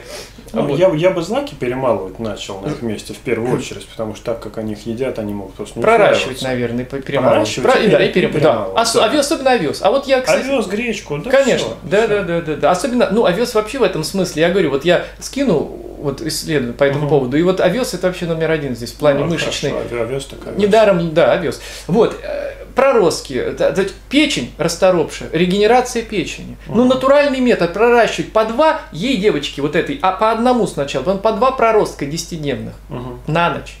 Именно на ночь. Мощнейший гипопротез. Плюс гнать лямбли. Но Тут недостаточно препаратов только кораллового клуба. Хотя есть такой препарат просто апистоп. Он рассчитан был, создан для аписторхов. Другая проблема. Они жрут печень. Они просто угу. едят клетки. Угу. Это с рыбой заносится, вы знаете. Да, а угу. есть еще, кстати, клонархи. Клонархи. Они то же самое, только, значит, это вот э, китайская двуска. Это кошачья двуска, ну, апистор, а это они в ракообразных. Ракообразных. Кто любит, тоже вот. Вот живут они долго, попав, не размножаются в организме человека, в отличие от, вот казалось бы, это очень опасный паразит. Но он не размножается в человеке. Стоит угу. убить и не есть рыбу и прочее, угу. так сказать, человек и, и, прав. И, проблемы конечно. Но лямбли, то есть эти э, австрийцы, их выгнать, фу, самое простое. Но они постоянно размножаются, инвазия постоянно идет. И вот Другой. Таксокары в глаз уйдут, ну-ка выгони оттуда, убей. Ты, извини меня, себя убьешь сначала и так далее. Вот. Надо ждать, пока взрослый особь в кишечник. Понимаете, какая что? Это надо знать. Если ну, тот же врач, как обычный, в общем-то, человек, ну, какой-нибудь специалист там в своей области, да, ну, не может же все человек знать, да, ну, неинтересно ему это в жизни, он не знает, как можно говорить, что это ерунда, правда? Ну, как это ерунда, если сотни видов паразитов, если у нас, если, извините меня, вот люди, ну, с таким горем иногда, вот, когда дети особенно, это, так сказать, не как взрослый человек, да, у меня была домоработица, две домоработицы, у них, вот у одной сын просто погиб, когда вскрыли цисты, типа эхинокока, угу Отравлена как рак. Вот, понимаете, рак и опухоль. Этого что, нет? Это есть. Молодой парень, там, 30 лет, энергичный, семья. Вы понимаете? я просто поражаюсь. Вот. То есть, в принципе, на, то есть, у, я бы, да, вот, наверное, правильно, что лямбли надо выводить. То есть, это кора осины, отвары коры осины, горечи. У нас на Руси горечи, кора дуба осины. Угу, то есть, вот... Угу. Полынь, по... пижма. Да-да-да, но с полынью очень аккуратным надо быть. Полынь это очень сильная штука, там чистотел, полынь это очень сильные яды, яды ну, как бы яды, угу. они все яды. Как бы. Вот. То есть, первое, второе, третье. То есть, надо э, разумно подходить к этому. Это есть методики. Методики четко отработаны в народном, но их очень, вот проблема в том, что их очень сильно извратили. Во-первых, все варить стали, все, что не попадя. Во-вторых, с водкой половину рецептов. Да, там, господи боже мой, как будто... Слушайте, я вам любой назову, вот, вот так сказать, вот э, без этой гады. Ну, что я и делаю. Ну, я пришлю, посмотрю. Вот. Короче, ладно. И вот это первое, да? То есть гнать аписторхов, э, лямбли, ну, разумеется. Тогда организм сам возьмет, и девочка на, и рост, вес, все наберет питаются отлично. Добавить сейчас белков, но пока больше, они же съедают, они же ну, белковые да. тела. Угу. Почему вот проблема с масочной, мышечной массой вообще у тех, у кого паразиты, у многих, да? Потому что они высасывают, либо кровью питаются, либо печенью. Угу. Белками они питаются. Нам не хватает белков, правильно? Это же логично. Угу. Конечно. Вот поэтому, ну, что можно сказать? Я думаю, действительно тут, да, что, сказать, вот такие советы можно дать. То есть, действительно взять методики, э, вылечить лямбли, питать сейчас аминокислотами, увеличить вот это питание там той же спирулины, овес, так сказать, настойки вот эти делать. Очень питательная вещь, очень. Э, это все как раз будет говорить о э, вот э, правильном действии. Ну что ж, мы, наверное, давайте последнее что-нибудь, и уже о том времени много, мы сейчас, ну, да. так сказать, действительно еще пообщаться надо успеть, так сказать, это. Так, а, тема серьезная, но очень интересная. Ну, я зачитаю, а мы подумаем, будем сейчас или потом. А продолжая тему Юрия Эйнштейна, хотел бы задать очень важный вопрос, который будет важен для меня, но интересным для вас. Значит, э, есть такое заболевание, как муковисцидоз. Я о нем давно говорил. Вот мы э, Вообще, э, это автоиммунное стопроцентное заболевание, но врачи относят это совершенно, это генетика. Это якобы вот ген там, там, ну ладно. И один мой знакомый болен таким страшным заболеванием. Не очень грустно об этом говорить, но средняя продолжительность жизни в России 28 лет. Знакомый мой это девушка, которая на данный момент 17 лет. Каждые два месяца она делает обследование в клинике. Каждый день она употребляет антибиотики, и, там ингаляторы. Я думаю, что и цитостатики наверняка тоже. Но это пять дней без этих препаратов, и человек может печально закончить свою жизнь. Так вот, то есть там препараты, они направлены на то, чтобы сжигать слизь, подавлять вот эту, которую... Так, так вот, хотелось бы узнать, да, им рекомен... знаете, какие рекомендации врачи дают?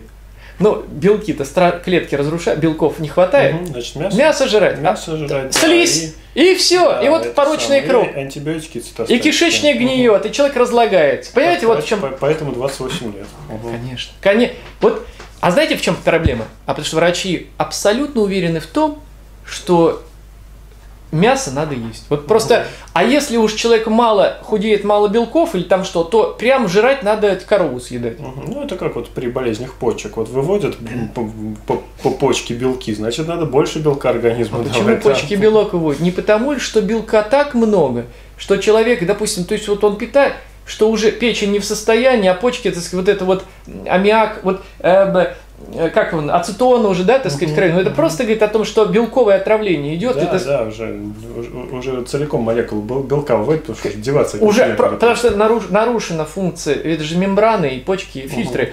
То есть уже просто они не справляются. Да? Это, и, от, организм уже не может отложить их э, в сосудах в виде коллагена. То есть уже вот э, а мы все жрем эти белки. Господи, боже мой, да нам вот пищи-то надо размере, а этого нам вообще, так сказать, не надо. Ну, ну, ну вот да, почему? Если бы надо, в моче бы, да, да дефицит бы, да организм не выкинул бы никогда белок, азот лишний, такую ценность, правда? Это же понятно. Вот, и так хотелось бы узнать, как сравнение может повлиять на общую картину этого генетического заболевания. Да оно не генетическое. Вопрос в другом. Ну, мать могла. Ну, такие накопить яды, что это так, вот именно уже в процессе ношения плода, да, беременности. Вот многие генетические заболевания на самом деле являются заболеваниями во внутриутробном развитии, связанные с накоплением и травлением организма ядами угу. и неправильным делением клеток, накоплением вот этих определенных ошибок, которые называют генетическим, но на самом деле мама-то не больна, и папа, и вроде рецессивный ген, да? А что подвигло к этому? Почему слизь? Вот каждый, начинаешь, вот если бы мы сейчас с вами взяли бы, а я предлагаю, может быть, даже потом это, я вот, вот очень интересно, как делать. Вот мы прям из медицинских, как все это, вот 46 год был установлен фактор наследственных заболеваний. Почему? И мы смотрим, что они приводят в пример. Но самое интересное, что они дальше говорят, сказать, тяжесть болезни, чем характеризована, почему. И мы видим, что что-то не так, не совсем. И если про, мы себе скажем, а может белки, может мясо это все-таки не человеческий, тогда все встает на место. Что слизь, почему? И мы лечим замкнутый круг. Слизи выделяется много, слизь пытаются растворить, уничтожить, сжечь. Вы, организм никак не очищается, паровые котлеты, так сказать, понеслось. Угу. Вот, и пишет, и какие рекомендации, ну, во-первых, уже рекомендации могут быть какие? Ну, если слизь, значит, нужно, нужно очищение от слизи. Очищение. Убрать слизообразующие продукты. Слизообразующие продукты, очищение кишечника. От Ешьте 50 таблеток хлорелла, хуже не будет, или там порошка, который содержит чистые аминокислоты, витамина, прочее, так сказать, чтобы у вас не было естественно. Ну, овес тот же, да, пожалуйста, растару печень, печень. Печень это в первое, печень она страдает в первую очередь, она же кровь бедняга. Представьте, да, больше нигде нет такой воротной вены, такого огромного как от, жил, от кишечника сразу кровь устремляется не к органам, а к печени. Но не про печень лаборатории. Печень синтезирует многие ферменты, там гормоны, она, она синтезирует белки, печень принимает на себя удары яды, токсины, фильтрует, выводит, пытается, а если не может? А если забито? А если почки дальше на, на ходу страдают? Дальше ткани, кровеносные сосуды. Вот вам геморрой, потому что давление растет, и угу. понимаете, а что, да? Вот варикозное расширение вен. Давле... То есть все в организме связано так, поэтому и надо его комплексно все это э, разбирать. Поэтому я предлагаю, что сделать. Вообще это очень интересная тема, потому что на примере вот этой темы мы можем что сделать? Ну, мы можем понять, как говорится, во-первых, откуда ноги растут, мы можем глубже посмотреть на процессы. Вот как мы сейчас разобрались с тем, что, э, так сказать, представляет из себя, где здесь причины следствия. Мы их явно видим, анализы, что медицина нам говорит, и мы видим, почему. Если взять и переломить стереотип, что мясо это табу, то есть угу. это надо. Что значит, ну, тогда все на свои места, правда, да, все просто. Да, в природе да. ведь действительно все на самом деле не так сложно. Наши вообще предки, конечно, обходились без биологии, без биохимии, да, они просто знали, что здесь вот кедровый орех, его надо по осени собирать, отжимать, есть просто, так сказать, здесь растет травы, как говорится, блинные травки и так далее, которые мы, бабушка знает. Я вообще потом расскажу очень интересную историю, как под Дмитровым, вообще стоит поехать в Дмитров, и там есть такой музей, и там стоит домик внутри большого из стеклобетона музея, бабушкин домик одной, такой маленький, 3 на 3 домик, как Баба Яги домик. Угу. Там бабушка, прож... а местные мне рассказывали, вот она еще ходила вот 70-е, 80-е смотреть на свой домик. Значит, ей построили ее, когда она уже была очень взрослой, никто не знал, сколько ей лет, но построили из старинного дома, раскатали, а построили э, что-то лет 130 назад этот домик. Она всю жизнь в нем прожила, 130 лет. Потом, то есть ей было так, ну, по прикидкам, самый минимум 160, ну, просто меньше не выходит по расчетам. Угу. Рассказали это все, каждый там, ну, не каждый, но вот в антикварном был, там, разговорились с людьми там вот. вот. Значит, она э, печку использовала только, чтобы греться пол земляной. То есть там слой, по, по, да, потом еще проверили по слою, посчитали, сколько лет она в нем жила. Ну, то есть там это вот слой. Да, потом она в, только из леса что-то, травы какие-то, непонятно, что она ела. То есть, короче, вот она была, вот знала вот эти все травы, что лечила людей на краю деревни, ну, как вот ведьма говорит, только вот на самом деле хороший человек. Вот, и она прожила очень, ну, то, что считается вот из ряда вон, даже некоторые, ну, это что, такие это есть такие. Вот она одна из таких последних была, да. Вот, ну, слушайте, она не знает, какие вещества содержатся там, да? Она просто знает, что миллионами лет, вот просто вот она от бабушки, она от бабушки, да? Что при, вот она чувствует. Во-первых, вот согласитесь, при правильном питании, вот этой энергетике, да, человек начинает больше чувствовать. Да. А люди с пеленок наученные, которые в гармонии с природой живут, в чувстве, они, они это вот, ну, конечно, у одного ребенка к одному больше у другого, у нее, например, вот к этому был, да, ее научили, бабушка ее передала. И она знала, какие... То, что вот сейчас нигде мы эти знания уже, к сожалению, нет. Да? Угу. Ну неужели в природе нет того... Вот кошка, она чувствует, или какое-то животное. Она поест те травки, у нее, так сказать, это, да? Кстати, а некоторые говорят, вот, оби... слушайте, вот еще интересно. Обезьяна, говорит, вот она съела, так сказать, там муравьев или что значит, она уже не травоядная. Да, я так скажу, слушайте, ну, а давайте так скажем, вот кошка, вы видели, что ко... и фото при, при, там, отковыривают муравьев едят или чего-то угу. еще, да? Вот что они хотят доказать? Просто бюштек свой оправдать. Ну, как Хорошо, всегда. а теперь вопрос. Кошка ест траву. Видели кадры? Я могу угу. фото прислать, кто не верит. Ну, Если ну, скажете, все верим, верим, есть такое. Я даже скажу, слушайте, а значит кошка был бы я идиотом, я сказал, так, так кошка-то травоядная. Вы чем мне, какая она хищник? Она травоядная. Мгм. То же самое, согласны? Ну да. Такой же абсурд. Она хищник. Но! И, кстати, хищники, в первую очередь, желудки едят и кишечники у Мгм. своей жертвы. Ферменты, они не могут даже просто так усвоить. Вот. Ну и потом прямо скажем, что все хищники, они едят растительной пищи достаточно приличное количество. Конечно. Им нужно очищать свои, Конечно. свои желудки, кишечники. И то у них желудок, кишечник так устроен, прямая кишка, выход, то есть там они легче могут очистить, чем Мгм. человек. Человек потому и не хищник, и не всеядный, что у него сложный очень. Конечно, это не, не, не, расти, не, не травоядный, но мы плодоядные. Да. А что такое плоды? И говорит, это что, в этом кто-то, извращенцы какие-то видят ущербность, наоборот, это вершина э, эволюции физического мира, потому что плоды это вообще есть концентрат всего, так Да, сказать, и солнечной энергии, и минералов, и и это лучшая пища, самая концентрированная. Ведь в биологической цепочке, в экологической да, пирамиде, пищевой цепи, ну, знаете, пищевые цепи, Ну, конечно. там первичное вещество – это энергия Солнца. Первичное Мгм. вещество биологическое образуется – это биомасса, зеленые плоды, все, да? А потом энергия уменьшается по мере поедания. Ну, понимаете, почему? Да, да, да. Соответственно, второе звено, третье более ущербное. Поэтому хищник, он может развить большую скорость, прыгнуть. Но когда антилопа убежит, он его уже не поймает, если Мгм. сразу не поймет, выдохнется. Сил-то энергии меньше у хищников гораздо. Кстати, и физических сил раз. Ну, лось и волк. правильно. Но медведь сильный, конечно, но это и не хищник. Ну, не, не, Ну, цел, не чистый не хищник. чистый хищник. Да, да, да, это вообще уникальное животное. Вообще, я говорю, это, эта группа отдельно разбирать надо. Но вот любой, там, там например, взять буйвола, ё-моё, он тигра может, если попадет рогом, он его убьет, может за раз даже убить. Тонна мышечной массы, да? Слон, ну, наступит и раздавит хоть кого. Вообще не заметил. Да, то есть как бы да. Вот, э, так сказать, они что, ущербно? Нет, нет.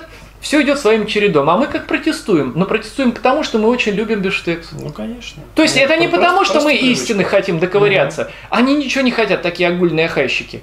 Они просто хотят, чтобы они спокойно могли съесть свой бифштекс. Ну, ешьте на здоровье, хочется сказать. Ешьте. Только зачем позорить вот слово, имя человека, вот эту глупость эм, выдавать за свои желаемое за действительное. И еще глумиться над людьми, кто считает по-другому. Правда? Ну, глупо. Ну, что ж, может быть, в завершение что-то, пару слов э, действительно, вот, Михаил Владимирович, скажете по поводу, там, я не знаю, может быть, как вы вот оцениваете действительно нашу сегодняшнюю вот встречу как идею, как эм, действительно вот э, один человек хорошо, там, кто, раз- а два, Два лучше, да. А два? Ну, в идеале, наверное, вообще нужно создавать какое-то сообщество подобное, вот там, чтобы не один, не два человека было. а собираться за чтобы- круглым столом. Да, чтобы действительно были разные люди, рассказывали разные вещи, разные истории. Потому Конечно. что мне вот тоже там часто рассказывают, а вот было бы интересно вот с этим встретиться, с этим встретиться. Потом, на самом деле, вот что касается сыроедов, которые там по много лет сыроед мне Это самому, однозначно. мне самому было бы очень интересно на них Как- посмотреть. сделаем, потому что сделаем я- обязательно. Я до сегодняшнего дня не видел практически людей, или, по крайней мере, не общался с людьми, которые сыроед там как-то на порядок больше, чем я. Я уже 6 лет на сегодняшний день э, сыроежу. Вот я не видел людей, которые там, чтобы сыроели там по 10, по 20 лет. Мгм. Вот, мне, мне тоже очень интересно было бы посмотреть на них и там и поучиться у них чему-то, Мгм. почему нет. Обязательно Вот. это сделаем. Так что, да, это конечно, обязательно. конечно. Потом еще такой момент.